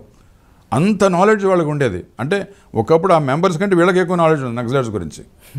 ఎందుకంటే అన్ని సంవత్సరాలు వాళ్ళు ఆ మూమెంట్లో ఉన్నారు. యాక్చువల్గా ఎస్ఐబి వల్ల మా మేము మాకు చాలా ఇన్ఫర్మేషన్ వస్తుండేది. ఎందుకంటే సీక్రెట్ ఆర్గనైజేషన్ పేరు మారిపోద్ది. ఎలియాస్లు రెండు మూడు ఎలియాస్లు ఉంటాయి. సో ఎవడికి ఏ బాధ్యత ఇచ్చారు? ఎవడికి ఏ ఏరియా ఇన్ఛార్జ్ ఇచ్చారు? ఎవడికి వెపన్స్ తయారు చేయాలని ఇచ్చారు? ఇలాంటి విషయాలన్నీ కూడా ఎస్ఐబి వాళ్ళు సేకరించి వాళ్ళ రికార్డులో ఉంచేవాళ్ళు. దానివల్లనే మాకు ఎక్కువ విషయాలు అర్థమై ఆ మూమెంట్ని కంట్రోల్ చేయడానికి మాకు అవకాశం ఉండేది. ఇప్పుడు నయీం అనే క్యారెక్టర్ మీరే అంటున్నారు వాడు అప్పుడు జైల్లో అసంతృప్తి ఉండడంతో కోవర్ట్గా వచ్చాడని. అంటే ఆ క్యారెక్టర్ ఇంత గ్యాంగ్స్టర్గా మారుతాడు తర్వాత తర్వాత మీరు ఎప్పుడైనా ఎక్స్పెక్ట్ చేశారు? లేదు నేను ఎక్స్పెక్ట్ చేయలేదు. బట్ తర్వాత వాడికి ఏదో అయితే ఇప్పుడు ఈ మా మా మా మెయిన్ థింగ్ ఏంటంటే ఈ ఆర్మ్డ్ స్క్వాడ్స్ని ఎప్పుడైతే మేము కొట్టామో ఎప్పుడైతే మాకు సక్సెస్ వచ్చాయో వాళ్ళలో అది చాలా తీవ్రమైన భయం పట్టుకుంది వాళ్ళకి. తర్వాత ఏమైంది? చాలామంది ఆమ్ దళంలో ఉన్నవాళ్ళు అండర్ గ్రౌండ్లో ఉన్నవాళ్ళు బయటకు వచ్చేస్తామన్నారు. సో వాళ్ళు లోకల్ పొలిటికల్ లీడర్స్ దగ్గరికి వెళ్ళటం అయ్యా మేము బయటకు వచ్చేయాలనుకుంటున్నాం కానీ పోలీస్ అరెస్ట్ చేస్తారేమో. అని భయపడుతుండేవాళ్ళు. ఎందుకంటే వాడు అండర్ గ్రౌండ్ వెళ్ళిపోయినాక కొంత కొన్ని హత్యలో వీటిలో పార్టిసిపేట్ చేశాడు కదా. సో వాడికి ప్రమాదం కదా అని ఈ రాజకీయ నాయకులు చేయడం వీళ్ళని చేస్తుండేవాళ్ళు. అది మాకు తెలిసింది. తెలుసు అప్పుడు మేము మాధురెడ్డి గారికి చంద్రబాబు నాయుడు చెప్పి ఏం చెప్పామంటే మనం ఒక సరెండర్ పాలసీ పెడదాం.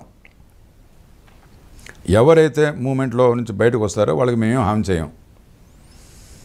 పైగా మా ఏదైనా సహాయంగా మనకు చేయగలిస్తే మా స్కీమ్స్లో వాటిలో సహాయం చేస్తాం. వాడి మీద రివార్డ్ ఉందనుకోండి. వాడు ఒక దళం కమాండరు వాడి తల మీద ఐదు లక్షలు ఉంది. ఐదు లక్షలు వాడికి ఇచ్చేస్తాం. నువ్వు సరెండర్ అయిపోయావు కదా నీ మనసు మార్చుకొని మూమెంట్ నుంచి బయటకు వచ్చావు నీకు డబ్బు ఇచ్చేస్తాం. నువ్వేదో నీ సెల్ఫ్ ఎంప్లాయ్మెంట్ లేదు నువ్వు చేసుకో నువ్వు. నీ మీద కేసులు ఉంటాయి. ఎక్స్చేంజ్ ఆఫ్ ఎన్కౌంటర్లు దళం అదే సరెండర్లు ప్రోత్సహించుకుంటూ సరెండర్ పాలసీగా పెడితే అదొక గవర్నమెంట్ పాలసీగా అనౌన్స్ చేశాం. ఇక ఒక జిల్లా ఎస్పీ నిర్ణయం కొన్ని డీజే నిర్ణయం కాదు. Government policy. అది వాళ్ళకి అర్థమైంది. అర్థమయ్యి ఇట్లాంటి డిజైన్ కొంతమంది ఎవరైతే ఇప్పుడు ఒక దళం ఎన్కౌంటర్ అయింది నలుగురు బచాయించారు అనుకుందాం వాళ్ళకి తెలుసు మళ్ళా రేపు పొద్దున ఇంకేదో ఎన్కౌంటర్ అయితే మేము ఎగిరిపోతామని. సో వాళ్ళు బయటకు వచ్చేయాలంటే సరెండర్ పాలసీ ఉందని అప్పుడు వాళ్ళు లోకల్ ఎస్పీకో కవర్ చేయడమో లేకపోతే లోకల్ ఇన్స్పెక్టర్ తీసుకొచ్చి దళాలని సరెండర్ చేసుకొచ్చారు. అప్పుడు చాలామంది సరెండర్ అయిపోయారు. చాలామంది ఈవెన్ దళం commanders district committee secretaries district committee members వీళ్ళందరూ కూడా చాలామంది నిజామాబాద్ జిల్లా ఎక్కువ నార్త్ తెలంగాణ తర్వాత సౌత్ తెలంగాణ కూడా. తర్వాత ఎందుకంటే మేము సౌత్ తెలంగాణ కూడా తర్వాత అంటే నల్గొండ మహబూబ్నగర్ ఇవన్నీ కూడా చాలా క్లీనప్ అయినాయి తర్వాత. చాలామంది దళాలు పోయినాయి. రంగారెడ్డి జిల్లా మెదక్ మెదక్ జిల్లా ట్రేడ్ యూనియన్ దళం అని ఇవన్నీ ఇక్కడ ఊరు అవుట్స్కర్ట్స్లో ఉండేవి దళంలోనే అంత ఇన్ఫ్లుయెన్స్ ఉండబట్టే మరి అతనికి వ్యాస్ లాంటి వాడికి మరి లాల్బాగ్ స్టేడియంలో చంపారంటే వాడికి ఎంత స్థానబలం ఉండాలి చుట్టుపట్ల. సో ఈ దళంస్ అన్నీ పోయినాయి. ఈ మెదక్ జిల్లాలో ఉన్న దళంస్ అన్నీ పోయినాయి. ఆ మిగిలిన వాళ్ళు కూడా సరెండర్ అయిపోయారు. ఈ సరెండర్ అవడం వల్ల అది వాళ్ళకి చాలా పెద్ద దెబ్బత కొట్టింది. కానీ అదే టైంలో ఉమేష్ కుమార్ గారు కూడా సిటీ సెంటర్లో మర్డర్ అయ్యారు. అవును మరి మరి చేశాడు అదే. ఆయన కరీంనగర్ నుంచి వస్తున్నప్పుడు సరైన సెక్యూరిటీ లేకపోవడం వల్ల మర్డర్ జరిగింది. లేదు లేదు. అంటే సెక్యూరిటీ ఆయనకి ఇచ్చారు. వై వై స్కేల్ సెక్యూరిటీ ఇచ్చారు. కానీ ఆయన ఏదో ఇద్దరు ముగ్గురు కానిస్టేబుల్స్ మీద నమ్ముకొని వాళ్ళని పెట్టుకునేవాడు ఎప్పుడున్నో అది తప్పది. అలాగుంటే పర్మిషన్ తీసుకొని అది తీసుకోవాల్సింది. కానీ వాళ్ళు సరిగా వాళ్ళ జీతాలు రాక ఏదో అడ్హాక్ అరేంజ్మెంట్తో పెట్టుకున్నాడు ఆయన. పెట్టుకొని ఆయన ఆఫీస్కి వెళ్ళడం చూసి వాళ్ళ మ్, సంజీవ్ రెడ్డి నగర్ అక్కడ ఈ రెడ్ లైట్ వస్తే వాడు signal చేస్తారు. అది అది చేసా- చేశారు. చంద్రబాబు నాయుడు అటాక్ ఎప్పుడు మీరు? అలిపిరిలో జరిగినప్పుడు. అప్పుడు సిచ్యువేషన్ నేను లేను బట్ ఈ నేను బుల్లెట్ ప్రూఫ్ కార్స్ చాలా ఆర్డర్ చేశాను అప్పుడు. ఎప్పుడైతే మేము ఎదుర్కోవడం మొదలెట్టామో నాకు తెలుసు వాళ్ళు ఏదో ఇలాంటి అటాక్స్ చేస్తారని. నాయకుల మీద కానీ సీనియర్ ఆఫీసర్స్ మీద కానీ నా మీద కూడా రెండు అటెంప్ట్స్లో ట్రై చేశారు బట్ లక్కీగా సక్సెస్ అవ్వలేదు వాళ్ళు. సో నేనేం చేశానంటే ఈ తెలంగాణ జిల్లా అందరికీ బుల్లెట్ ప్రూఫ్ కార్స్ ఇచ్చాం. ఇంకా కొన్ని బుల్లెట్ కార్స్ ఇక్కడ పెట్టాం. ఎవరైనా తెలంగాణ జిల్లాలకు వెళ్తే బీఐపీలు ఈ కార్లో వెళ్ళొచ్చని. అది కాకుండా తిరుపతి పుట్టపర్తి విశాఖపట్నం విజయవాడ. ఇక్కడ కూడా బుల్లెట్ ఎందుకంటే వీఐపీస్ వస్తారు అక్కడికి. మా హోమ్ హోమ్ మినిస్టర్ వచ్చేవాడు అప్పుడు విశ్వరాజ్ పాటిల్ వాళ్ళందరూ. పుట్టపర్తి. సో అక్కడ మనం పెట్టాలి కదా. అందుకు అక్కడ పెట్టాం. సో అటువంటి కారు ఒకటి తిరుపతిలో పెట్టడం వల్ల చంద్రబాబు నాయుడు సేఫ్ ఆ వాళ్ళ సేవ్ అయ్యాడు. అది బుల్లెట్ వాక్ కార్ లేకపోతే డిఫరెంట్గా ఉండదు కదా వీళ్ళు ముందు మనకి కొంతమంది మినిస్టర్ బొజ్జల గోపాలకృష్ణారెడ్డి. అంతకుముందు బుల్లెట్ ప్రూఫ్ కాదు ఎక్కువ కావాలంటే వీళ్ళు కొంచెం కొంతమంది మినిస్టర్స్ "ఆ, ఇదేంటి సార్? పోలీస్ రాజ్యం అయిపోద్దని అన్నారు. పోలీస్ రాజ్యం కాదు. మనం వాళ్ళు ఎదుర్కొంటున్నాం వాళ్ళు చాలా పవర్లో ఉన్నారు ఇప్పుడు పవర్ఫుల్గా ఉన్నారు. వాళ్ళు ఎదుర్కోవాలంటే మనం ఇవన్నీ కొన్ని మనం పెట్టుకోవాలా? లేకపోతే మన డిఫెన్సివ్ మెకానిజం ఒకటి ఉండాలా? అందుకే కార్లు ఇవన్నీ పెట్టాలని అప్పుడు దేవేంద్ర గౌడ్ గారు వీళ్ళందరికీ చెప్పాను. సార్ మీరు ఇప్పుడు డిపార్ట్మెంట్ వరకు మీ అచీవ్మెంట్ చెప్పుకొచ్చారు. ఇంకా మీకు సత్యబాబు గారికి ఉన్న బంధం? సత్యసాయిబాబా గారు అంటే నేను డివోటీగా నాకు చాలా బంధం ఉండేది. వారి కార్యక్రమాల్లోనూ వాటిలోనూ తరచూ వెళ్ళేవాడు నేను. వెళ్ళినప్పుడు అంటే ఆ కాలేజ్ బిల్డింగ్ వీటన్నిటిలో కూడా గవర్నమెంట్ నుంచి ఏమైనా పర్మిషన్స్ కావాలన్నా చేయాలన్నా తేవాలన్నా తొందరగా అని చంద్ర చేయించి సత్యబాబు పంపడం. గారు హైదరాబాద్ వచ్చినప్పుడు మీరు స్వయంగా డ్రైవింగ్ చేసుకుంటూ శివం రోడ్ అదే మన కళ్యాణ మండపం కట్టినప్పుడు. అవును శివం నుంచి అప్పుడు నేను డ్రైవ్ చేసేవాడిని కార్ అది వారిది. సో అంటే చాలా క్లోజ్గా నేను స్వామి ఆయన దగ్గర చాలా విషయాలు నేను నేర్చుకున్నాను. అంటే మనం ఎలా సిన్సియర్గా పనిచేయాలా మనం ఎలాగ ఆనెస్ట్గా ఉండాలా గర్వం అటువంటివన్నీ ఉండకూడదు సౌమ్యంగా ఉండాలి అందరినీ కలుపుకొని తీసుకొని వెళ్ళాలా? ఇవన్నీ నాకు నా వృత్తిలో కూడా పనికొచ్చాయి. అందరినీ కలుపుకొని మనం టీమ్గా వెళితేనే మనకు సక్సెస్ వస్తుంది. ఏదో నేను చాలా పెద్దవాడిని కుర్చీలో కూర్చొని చాలా మనం చేస్తే అది అది అక్కర రాదు అది. ఎందుకంటే క్రైసిస్ సిచ్యుయేషన్లో నడవదు అది. అంటే పాప గారు చనిపోవడానికి మీరు ఒకసారి జీర్ణించుకోలేకపోయారు సడన్గా చాలా అంటే రోజులు చాలా కాలం చాలా కాలం అంటే మరి అతనికి చాలా కాంప్లికేషన్స్ వచ్చాయి ఫిజికల్గా. సో అక్కడ చాలా గొప్ప వైద్యులు వైద్య బృందం ఉండేది కానీ మరి వాళ్ళు చేసినవన్నీ పనికి రాలేదు. ఆఖరికి అంటే ఈ new is only matter of time అని ఆ స్థితికి వచ్చింది. సో అప్పుడు అలాగైంది. బట్ ఇప్పటికీ కార్యక్రమాలన్నీ చేస్తున్నాయి. ఎందుకంటే ఈ డ్రింకింగ్ వాటర్ ప్రాజెక్ట్ కానీ తర్వాత ఈ హాస్పిటల్స్ అది చాలా గొప్ప సేవ అది. మీరు వెళ్ళి చూడాలి అవి. నేను ఎంత చెప్పినా మీకు తక్కువే. ఇవాళ కూడా సూపర్ స్పెషల్ హాస్పిటల్ పుట్టపర్తి కానీ వైట్ ఫీల్డ్ బెంగళూరు దగ్గర కానీ చాలా గొప్ప సేవ చేస్తున్నారు. వాళ్ళు హార్ట్ విషయాలు కానివ్వండి కిడ్నీ ట్రబుల్ కానివ్వండి లేకపోతే ఆర్థోపెటిక్స్ చాలా లేటెస్ట్ ఇవన్నీ ఉన్నాయి వాళ్ళ దగ్గర ఎక్విప్మెంట్ కానీ వాళ్ళ పెద్ద పెద్ద డాక్టర్స్ వచ్చి వాళ్ళకి ఎన్నో విషయాలు చెప్తుంటారు. అమెరికా నుంచి రష్యా నుంచి ఇవన్నీ కూడా. అలాగే వైట్ ఫీల్డ్లో కూడా అక్కడ న్యూరో న్యూరో సర్జరీ తర్వాత చైల్డ్ మదర్ కేర్ అని. ఇది ఇన్ ఎడిషన్ టు కార్డియాలజీ. అంటే ఇప్పుడు కూడా ఇప్పటికీ. అన్నీ కన్య అవుతున్నాయి. అన్నీ ఫ్రీగా చేస్తున్నారు. వాళ్ళతో వచ్చిన అటెండెంట్కి కూడా. ఫ్రీ అకామిడేషన్ భోజనం పెడతారు. సో మన దేశంలో కాకుండా నేపాల్ ఇక్కడ లాంటి దేశాల నుంచి కూడా చాలామంది వస్తారు. వచ్చి ఈ ఆపరేషన్ అన్నీ చేసుకుంటున్నారు. సో వారి స్ఫూర్తితో అనేక జిల్లాల్లో మన దేశంలోనూ మిగతా దేశాల్లో కూడా ఎంతో కార్యక్రమాలు జరుగుతున్నాయి. ఇప్పుడు నేను మొన్న ఆదిలాబాద్ వెళ్ళాను. నేను ఇప్పుడు సత్సాయి ఆర్గనైజేషన్లో చాలా ఇంపార్టెంట్గా తిరుగుతున్నాను. మన స్టేట్కి ప్రెసిడెంట్ కూడా నేను. ఆదిలాబాద్ ఒక మందిర్ కట్టాలని వెళ్ళాను. అక్కడ గవర్నమెంట్ హాస్పిటల్లో బీదవాళ్ళు ఇప్పుడు వెళ్తున్నారు కదా ఏమాత్రం పైసలు ఉంటే ప్రైవేట్ హాస్పిటల్కి వెళ్తాడు ఏమీ లేని వాళ్ళు గవర్నమెంట్ హాస్పిటల్కి వెళ్తారు. సో వాడికేం లేదు. గవర్నమెంట్ హాస్పిటల్లో అడ్మిట్ అయిపోయి వాడికి ఏదో ఆపరేషన్ ఇది చేస్తే వాడితో పాటు ఒక మనిషి ఉంటాడు. వాడికి తినడానికి అవకాశం ఉండదు. సో ఇలాంటి వాళ్ళకి మేము ప్రతిరోజు భోజనం ఫ్రీగా పెడుతున్నాం. ఆదిలాబాద్ నేను మొన్న వెళ్ళి చూస్తే ఆశ్చర్యపోయాను. చక్కగా అంటే లోకల్గా కలెక్టర్ కానీ హాస్పిటల్ స్టాఫ్ కానీ మనకి ఏదో ఒక షెడ్ అది ఇవ్వడం ఒక లేకపోతే పాడుబడిన బిల్డింగ్ ఉంటే ఇస్తే అది మేము బాగు చేసుకోవడం అక్కడ వంటలు చేయడం. ఈ వార్డులోకి వెళ్ళి టోకెన్లు ఇస్తారు ప్రతిరోజు. ఇతనితో ఒక మనిషి వచ్చాడంటే ఆయనకు ఒక టోకెన్ ఇస్తారు. అతను మధ్యాహ్నం వచ్చి ఇక్కడ భోజనం ఫ్రీగా చేసుకోవచ్చు. మళ్ళీ నైట్ కూడా వచ్చి భోజనం ఫ్రీగా చేసుకోవచ్చు. మా వాళ్ళే ఈ భోజనాలు ఇవన్నీ చేస్తారు. ఇది చూసి చాలామంది ఉత్తేజులై మా తల్లి గారి ఇది దినం అండి ఇవాళ మీకు ఎదుగు ఐదు వేలు ఇస్తున్నాను. అంటే ఎంత ఖర్చు అవుతుందో రోజుకంటే ఆ డబ్బు ఇవ్వడం అలాగా బుక్ చేసుకోవడం. ఇంకొంచెం డబ్బున్న వాళ్ళైతే వాళ్ళు అయితే బాబు మీరు చేస్తున్న చాలా మంచి కార్యక్రమం. ఈ డబ్బు కూడా ఖర్చు పెట్టండి వాళ్ళు డిపాజిట్ చేయడం. ఇలాగే ఇది శ్రీకాకుళం నుంచి ఎన్నో జిల్లాల్లో ఇప్పుడు ఈ కార్యక్రమాలు జరుగుతున్నాయి. అలాగే ఫ్రీ క్లినిక్స్ జరుగుతున్నాయి చాలా చోట్ల. మన ఇక్కడ కూడా శివం దగ్గర జరుగుతుంది మన సత్య కళ్యాణ మండపంలో కూడా జరుగుతుంది ఫ్రీ క్లినిక్ ఎవ్రీ సండే. ఇది కాకుండా మొబైల్ హాస్పిటల్స్ వెళ్తున్నాయి. ఇవన్నీ కూడా చాలా సేవా కార్యక్రమాలు స్వామి పేరు మీద జరుగుతున్నాయి. తర్వాత అన్నదానం అది మమ్మల్ని రెగ్యులర్ అది కాకుండా ఈ బీదవాళ్ళు వాళ్ళకి ఏమీ ఎవరూ లేరు తోడు. అలాంటి వాళ్ళు క్యారియర్స్ కూడా పట్టుకొని వంట చేసి ఇస్తారు. మళ్ళీ రెండో రోజు ఇంకో క్యారియర్ తీసుకెళ్ళి పాత క్యారియర్ తీసుకొస్తారు. అలా అలాంటి జరు జరుగుతున్నాయి. అంటే సత్య అంటే స్వామి ఆయన జీవిత కాలంలోనే ఆయన మెసేజ్ నూట ముప్పై దేశాలకు స్ప్రెడ్ అయింది. బికాజ్ నేను వరల్డ్ బాడీలో కూడా నేను ఉన్నాను. అది ఉంటే కానీ నాకు తెలియదు మనకి. ఈయన ఏ దేశం వెళ్ళకుండా ఈయన మెసేజ్ ఈయన మిరకల్స్ స్ప్రెడ్ అయ్యి నూట ముప్పై దేశాల్లో ఆర్గనైజేషన్ ఉంది ఇప్పుడు. వాళ్ళు వస్తుంటారు పుట్టపర్తి ఇవాటి కూడా. కాన్ఫరెన్స్ జరుగుతుంటాయి మాకు. డెబ్బై ఎనభై దేశాల నుంచి యూత్ వాళ్ళంతా లాస్ట్ ఇయర్ ఒక జరిగింది.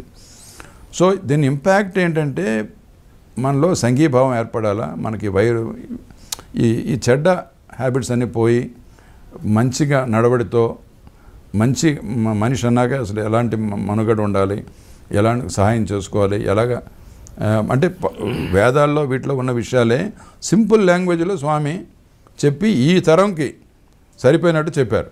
ఇప్పుడు ఫర్ ఎగ్జాంపుల్ మీకు చెప్తాను హర్ట్ నెవర్ హెల్ప్ ఎవర్. ఇది ఒక పెద్ద వేద ప్రమాణంగా ఒక అది ఇంకోళ్ళైతే ఒక పెద్ద శ్లోకం చదువుతారు. బట్ స్వామి ఈ తరం కానీ హర్ట్ నెవర్ హెల్ప్ ఎవర్. నువ్వు ఎవరిని ఇబ్బంది పెట్టొద్దు సాయం కూడా చేయి. నీ సాయం చేయడం వీల్లేదు కనీసం హర్ట్ ఎవరికి హర్ట్ చేయొద్దు నువ్వు. అలాగే లవ్ ఆల్ సర్వ్ ఆల్. ఇవన్నీ చిన్న చిన్న స్లోగన్స్. నువ్వు ప్రతివాడిని ప్రేమించు ప్రేమపూర్తంగా చూడు. ప్రతివాడికి ఏదో నీకు కలిగిన సేవ నువ్వు చేయి ఇలాంటివి స్ప్రెడ్ అయినాయి ఇన్ని దేశాల్లో. సత్యసాయిబాబా సేవలు ఆ ట్రస్ట్ పక్కన పెడితే ఇంకా మీరు తర్వాత సిఎస్ఎఫ్ చేశారు. సో ఇక్కడ నుంచి నేను సిఎస్ఎఫ్కి వెళ్ళాను. సిఎస్ఎఫ్లో central industrial security force airports ఇవన్నీ సెక్యూరిటీ ఇవన్నీ ఉన్నాయి కదా. అవన్నీ కొద్ది రోజులే అక్కడ ఉన్నాయి. ఆరు నెలలు ఉన్నాక నాకు గవర్నమెంట్ ఆఫ్ ఇండియా ఆఫర్ ఇచ్చారు. విజిలెన్స్ కమిషన్లో మెంబర్ తీసుకుంటామని. అది త్రీ ఇయర్ టర్మ్ అది. యాక్ట్ పార్లమెంట్ యాక్ట్ కూడా పాస్ అయింది. సో అందులోకి వెళ్ళాను. అక్కడ కూడా నాకు చాలా మంచి అనుభవాలు అవన్నీ ఒక ఇండిపెండెంట్ సంస్థకి ఎలా చేయాలి అని కూడా చాలా చేయగలిసాం అక్కడ కూడా. తర్వాత జిఎంఆర్ గారికి ఢిల్లీ ఎయిర్పోర్ట్ రావడం నాకు ఉన్న అనుభవంతో మీరు కొద్దినాళ్ళు మాతో ఉండండి అని ఆయన రిక్వెస్ట్ చేస్తే ఆ జిఎంఆర్లో టూ ఇయర్స్ ఢిల్లీలో ఉన్నాను నేను. సో వాళ్ళు ఎలాగ గవర్నమెంట్ సంస్థ చేయలేని పనులు ప్రైవేట్ సంస్థలు ఎలా చేస్తారనేది నాకు అప్పుడు అర్థమైంది.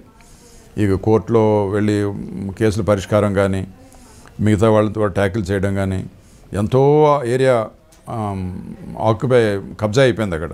అవన్నీ తీసి వాళ్ళందరినీ తీసి కోర్ట్ ఆర్డర్ తెచ్చుకొని చేసి చాలా తక్కువ టైంలో టెర్మినల్ త్రీ అదంతా కట్టారు. సో అప్పుడు నా కార్పొరేట్ వాళ్ళు వాళ్ళ వ్యవహారం కూడా నాకు అర్థమైంది. సో తర్వాత మళ్ళీ నేను హైదరాబాద్ వచ్చాను. ఇప్పుడు కూడా జిఎంఆర్తో సంబంధం ఉంది. బట్ ఎక్కువ సత్సాయి వెల్ఫేర్ యాక్టివిటీస్ మీద నేను ఎక్కువగా అది నాకు చాలా సంతృప్తి ఇస్తుంది. అలాగే మా ఊర్లో మా మదర్ చనిపోయినాక ఆవిడ పేరును ట్రస్ట్ పెట్టి ఆవిడ కట్టించిన ఆ జడ్పీ హై స్కూలు బిల్డింగ్ అంతా ఆవిడే ఉండి పోని కొని కట్టారు. అది మేము దత్తత తీసుకొని వాళ్ళందరికీ స్కాలర్షిప్స్ ఇచ్చి ప్రతి సంవత్సరం తర్వాత వాళ్ళకి ఏది కావాలంటే అది ట్రస్ట్ నుంచి మేము కడతాం. ఒక టాయిలెట్స్ కావాలా లేకపోతే ఇంకేదో అండర్ గ్రౌండ్ వాటర్ పంప్ కావాలా వాటర్ గురించి లేదా సైకిల్ షెడ్ కావాలా పిల్లలకి. ఇవన్నీ కూడా ఆ స్కూల్కి చేసి మా టీచర్స్ అందరికి కూడా మేము గౌరవించి కొత్త బట్టలు పెట్టి వాళ్ళందరికీ కూడా ఎంతో బాగా చూసుకోవటం వల్ల మంచి రిజల్ట్స్ వస్తున్నాయి. ప్రైవేట్ స్కూల్స్ ఏవి అక్కడ నిల్చోలేకపోతున్నాయి మా ఊరు స్కూల్తో జడ్పీ స్కూల్తో. అలాగే ఒక శివాలయం కట్టారు దానికి కూడా కొంత ఫండ్స్ అన్ని ఇచ్చి మా ఊరు ఇప్పటికీ నేను కనీసం త్రీ ఫోర్ మంత్స్ కానీ ఒకసారి వెళ్తాను. మా మదర్ ఉండేటప్పుడు ప్రతి నెల వెళ్ళేవాడిని మినిమం బట్ ఇప్పుడు కూడా three four time times in year వెళ్ళి ఈ పిల్లలతో మాట్లాడి వాళ్ళకి ఇంకేమైనా పోషకాహారం ఎలాగ చేయాలి ఏమిటి? కొంతమంది డాక్టర్స్ తెచ్చి వాళ్ళకి హెల్ప్ చేసి టీచర్స్కి ఏదైనా కొన్ని బుక్స్ ఏమో కావాలంటే వాళ్ళకి ఎక్స్ట్రా అవన్నీ ఇచ్చి కంప్యూటర్స్ ఇచ్చి కంప్యూటర్ టీచర్ని ఒకటి అపాయింట్ చేసి ట్రస్ట్ తరఫున ఆ స్కూల్ని మేము కంప్లీట్గా అడాప్ట్ అడాప్ట్ చేసుకున్నాం. నా మదర్ తరఫున ట్రస్ట్ మదర్ తరఫున అయితే ఇక ఫైనల్గా తీసుకుంటే మీ సర్వీస్లో మంచి ఆఫీసర్ బాగా పనిచేశాడు నా కింద అని ఎవరైనా మీరు ఐడెంటిఫై చేస్తారు? ప్రెసిడెంట్ ఉన్న ఆఫీసర్లు అలా చాలామంది చేశారు. నా నా అనుభవం ఏంటంటే ఇప్పుడు ఇప్పుడు శివశంకర్ లేకపోతే ఇంకొకళ్ళు ఇంకోళ్ళు ఇప్పుడు మరి ఇప్పుడు పో డీజే అవుతాడు మహేందర్ రెడ్డి వీళ్ళందరూ చాలా మంచి ఆఫీసర్స్. వీళ్ళు ఇప్పుడు Anurag Sharma was with me ఈ వాజ్ డిఐజీ వరంగల్ ఆ రోజుల్లో ఈ ఈ మూమెంట్ అప్పుడు. అంతకుముందు నేను కమిషన్ ఉన్నప్పుడు సౌత్ జోన్ చాలా మంచి ఆఫీసర్స్ వీళ్ళందరూ ఇటు వచ్చి సరైన నాయకత్వం మన లీడర్షిప్ ఇచ్చి మనం టాస్క్ ఇస్తే ఎప్పుడు కూడా పోలీస్ డిపార్ట్మెంట్ నా అనుభవం ఏంటంటే they did not let me down అంటే నా స్థాయికి అందుకోలేకపోయారనే మాట రాలేదు ఇప్పుడు కూడా. నేను వాళ్ళకి చెప్పాలా? నాకు రో- ముందు క్లారిటీ ఉండాలి? రోల్ క్లారిటీ నేను వాళ్ళకి సరిగా నిర్దేశించాలి దిశానిర్దేశం చేయాలి. వాళ్ళకి తగిన ఎక్విప్మెంట్ ఇవ్వాలి? వాళ్ళని నేను చూసుకోవాలి? అంటే ఆ ఆ బాధ ఉండాలి? వాళ్ళ గురించి తపన ఉండాలి? వాళ్ళ బాగోగుల గురించి. అందుకే మీకు తెలుసు అనుకుంటాను నేను ప్రవేశపెట్టిన భద్రత ఆరోగ్య భద్రత అని రెండు వెల్ఫేర్ స్కీమ్స్ చాలా ఫేమస్ అయిపోయాయి ఇండియాలో మన గవర్నమెంట్లో కూడా. అంటే మీరు అంటున్నారు ఇప్పుడు మీకు నమ్మి టాస్క్ ఇచ్చిన ఆఫీసర్స్ కరెక్ట్గా పనిచేస్తే వాళ్ళకి మనం సపోర్ట్ ఇస్తే చేస్తాం. కానీ ఇప్పుడు ఇప్పుడున్న సిచ్యువేషన్లో అలాంటి ఆఫీసర్ లేదు అనేది ఒక ప్ర- ప్రధానంగా ఎందుకుండా అంటే నేను ఏ ఏ టెక్నిక్ వాడితే మనకి రిజల్ట్స్ వస్తాయో అది నేను చెప్తున్నాను నేను. ఇప్పుడు మా ఆరోగ్య భద్రతలో any member of the fam police constable family ఒక కార్పొరేట్ హాస్పిటల్కి వెళ్ళి వైద్యం చేసుకొని అలా నడుచుకొని వెళ్ళిపోతాడు బయటికి. అంటే మీరు చెప్పేది మా కార్పొరేషన్ వాడికి పే చేస్తారు. హెల్త్ ఇష్యూ వరకు మీరు చెప్తున్నారు. కానీ ఒక టాస్క్ కోసం పనిచేసినప్పుడు కొన్ని రిస్క్ చేస్తుంటారు. వాళ్ళకి ఆఫీసర్లు మీరు చాలా, చాలా, చాలా. ప్రమోషన్ ఇచ్చారు ఆ. కానీ ఇప్పుడున్న సిచ్యువేషన్ అటువంటి ఆఫీసర్ ఎవరు లేరు అన్నది. అది నాకు తెలియదు. అంటే నేను రిటైర్ చాలా కాలం అయిపోయింది. నేను అలాగ అనుకోను. అలాగే అలా ఇప్పుడు ఉండరు. మంచి చాలామంది మంచి ఆఫీసర్స్ ఉన్నారు. ఇప్పుడు చాలామంది డీసీపీలు ఇక్కడ ఉన్నవాళ్ళు చాలామంది డిఎస్పీలు వీళ్ళందరూ సమస్య పెట్టి స్టార్ట్ అయ్యి చిన్న వయసులో అప్పుడే డిఎస్పీస్ అయిపోయారు. కొంతమంది ఎంతోమంది ఐపీఎస్ వచ్చింది వాళ్ళకి. వచ్చి డిఎస్పీ ఎస్పీలుగా వాళ్ళుగా ఉన్నారు. ఒక మంచి ఆఫీసర్లు వాళ్ళని చూస్తే ఐ గెట్ సో హ్యాపీ. మంచి ఆఫీసర్లు ఉన్నారు అంత గుర్తింపు వచ్చింది కదా అని. కరెక్టే సార్ మీరు మంచి ఆఫీసర్ల పేర్లు చెప్పారు కొంతమంది పేర్లు చెప్పారు. అండ్ మీ సర్వీసులో ఈ డిపార్ట్మెంట్ పనికిరాడు సరిగ్గా పని చేయలేదు అన్న ఆఫీసర్ అలా ఎవడు పనికి రాడని ఉండదయ్యా. అంటే ఒక డిఐజీ ఆల్రెడీ భయపడి వెనక్కి లేదు ఎవడు పనికిరాని ఉండదు. మనం వాళ్ళని పని చేయించుకోవాలి. మనం ముందు వెళ్తే నా వెనకాల వస్తారు వాళ్ళు. ఎందుకు రారు? ఇప్పుడు నేను కమిషన్ ఉన్నప్పుడు డిస్ట్రిక్ట్ మన సిటీ ఆమ్ రిజర్వ్ పనికిరాని ఇది సార్ వాడు ఏం పనికిరాను నేనన్నా ఏదో నేను వాళ్ళని మారుస్తాను కంప్లీట్గా. I will change them. అన్ని వాళ్ళు డిస్ సిటీ గార్డ్స్ అని పెట్టి ఒక యూనిట్ పెట్టి బ్రహ్మాండమైన ట్రైనింగ్ వాళ్ళకి ఇచ్చి బ్రహ్మాండమైన పనులు చేయడానికి రెడీగా ఉన్నారు రెడీ అయ్యారు వాళ్ళు. ఒక ఒక ఒక టెర్రరిస్ట్ మూమెంట్ అయినా ఏదొచ్చినా ఎదుర్కొనే సత్తా మనకు ఉండాలని. సో అలాగా మనం వర్కౌట్ చేసుకొని మనం ఆ సామర్థ్యాన్ని పెంచాలి. అంటే దొరగారి దగ్గర పనిచేసిన వాళ్ళందరూ కూడా చాలా హ్యాపీగా ఉంటారు. దొరగారు బాగా మంచి ట్రీట్మెంట్ అన్నది ఒకటి ఉంది. అంటే కానీ దొరగారు కొంతమంది తమ జిల్లా వాళ్ళకి మాత్రం ఎక్కువగా పోస్టింగ్లు ఇచ్చారు అది ఇంపాసిబుల్ అది. ఒక్క ఏ ఒక్కళ్ళ వాళ్ళు కాదు. బట్ ఒకటి శ్రీకాకుళం జిల్లా నుంచి చాలామంది మైగ్రేట్ అయిపోతుంటారు. కానిస్టేబుల్ ఉద్యోగంకో లేకపోతే ఇంకొక ఉద్యోగంకో ఇప్పుడు మీరు కలకటా కానీ కరకపూర్ కానీ అక్కడికి వెళ్తే ఎక్కువ మంది దీంట్లో అలాగే ఇక్కడ కూడా మ్యాసన్స్ అని ఈ చిన్న ఈ పెయింట్లు వేసిన వాళ్ళు అందరూ శ్రీకాకుళం వాళ్ళే. ఆ మైగ్రేషన్ ఏపీఎస్పీలోకి వీటిలోకి అలాగే సిఎస్ఎఫ్లోకి వెళ్ళిపోయిన వాళ్ళు మన సిఆర్పిఎఫ్ వీళ్ళందరూ వెళ్ళిపోతారు. ఎంత మైగ్రేషన్ అయిందంటే శ్రీకాకుళం నుంచి రెండు కాన్స్టిట్యున్సీస్ తగ్గించారు. మీకు తెలుసు కదా హరిచంద్రపురం కాన్స్టిట్యున్సీ ఉండేది ఇంకో కాన్స్టిట్యూన్సీ రెండు కాన్స్టిట్యూన్సీ తగ్గించారు జనాభా తగ్గిపోయిందని. సో అలాగ ఉద్యోగాలు ఎవరు సంపాదించుకుంటే నేను ఇవ్వడం అంటూ ఉండదు దానికి. అలాగా అది కరెక్ట్ కాదు. అండ్ అండ్ మా మా రిక్రూట్మెంట్ సిస్టమ్స్ కూడా సో పర్ఫెక్ట్ అది ఎప్పటి నుంచో పా విజయరామరావు ఉన్నప్పుడే చాలా పర్ఫెక్ట్ చేశారు. ఇంకా చిన్న చిన్న ఉంటే కూడా మేము ఉన్న టైంలో తీసాం. కానిస్టేబుల్ని కూడా డీజీ రిక్రూట్ చేయలేడు సీఎం రిక్రూట్ చేయలేడు. అలాంటి సిస్టమ్స్ మావి. అంటే అప్పుడు డిఎస్పీలు కానీ లేదంటే ఆర్టీసీలో కానీ ఎక్కువ శ్రీకాకుళం జిల్లా వాళ్ళే ఎక్కువ ఉండేవారు? లేదు లేదు లేదు. డిఎస్పీలు లేదు లేదు. వాళ్ళు ఉన్నారు. వాళ్ళకి పోస్టింగ్స్ అన్ని దగ్గర ఇచ్చాం. ఇక్కడ ఏంటన్నా ఇది ఒకటి. ఎక్కడ అక్కడ ఎస్ఐ చేస్తాడు అక్కడ ఇన్స్పెక్టర్ చేస్తాడు అక్కడ డిఎస్పీ. అసలు అది తప్పన్నాను నేను. మాధురెడ్డి గారు చెప్పాను తర్వాత మన దేవేంద్ర గౌడ్ గారు చెప్పాను. వీళ్ళకి మనం మార్చాలి. డిఎస్పీ అయితే వాడు శ్రీకాకుళం వాడైతే వాడు ఏదో రాయలసీమలో వెళ్ళాలా? రాయలసీమ వాడు అక్కడికి వెళ్ళాలా? వాళ్ళు ఇక సిటీకి రావాలా? సిటీ వాళ్ళు అక్కడికి వెళ్ళాలా?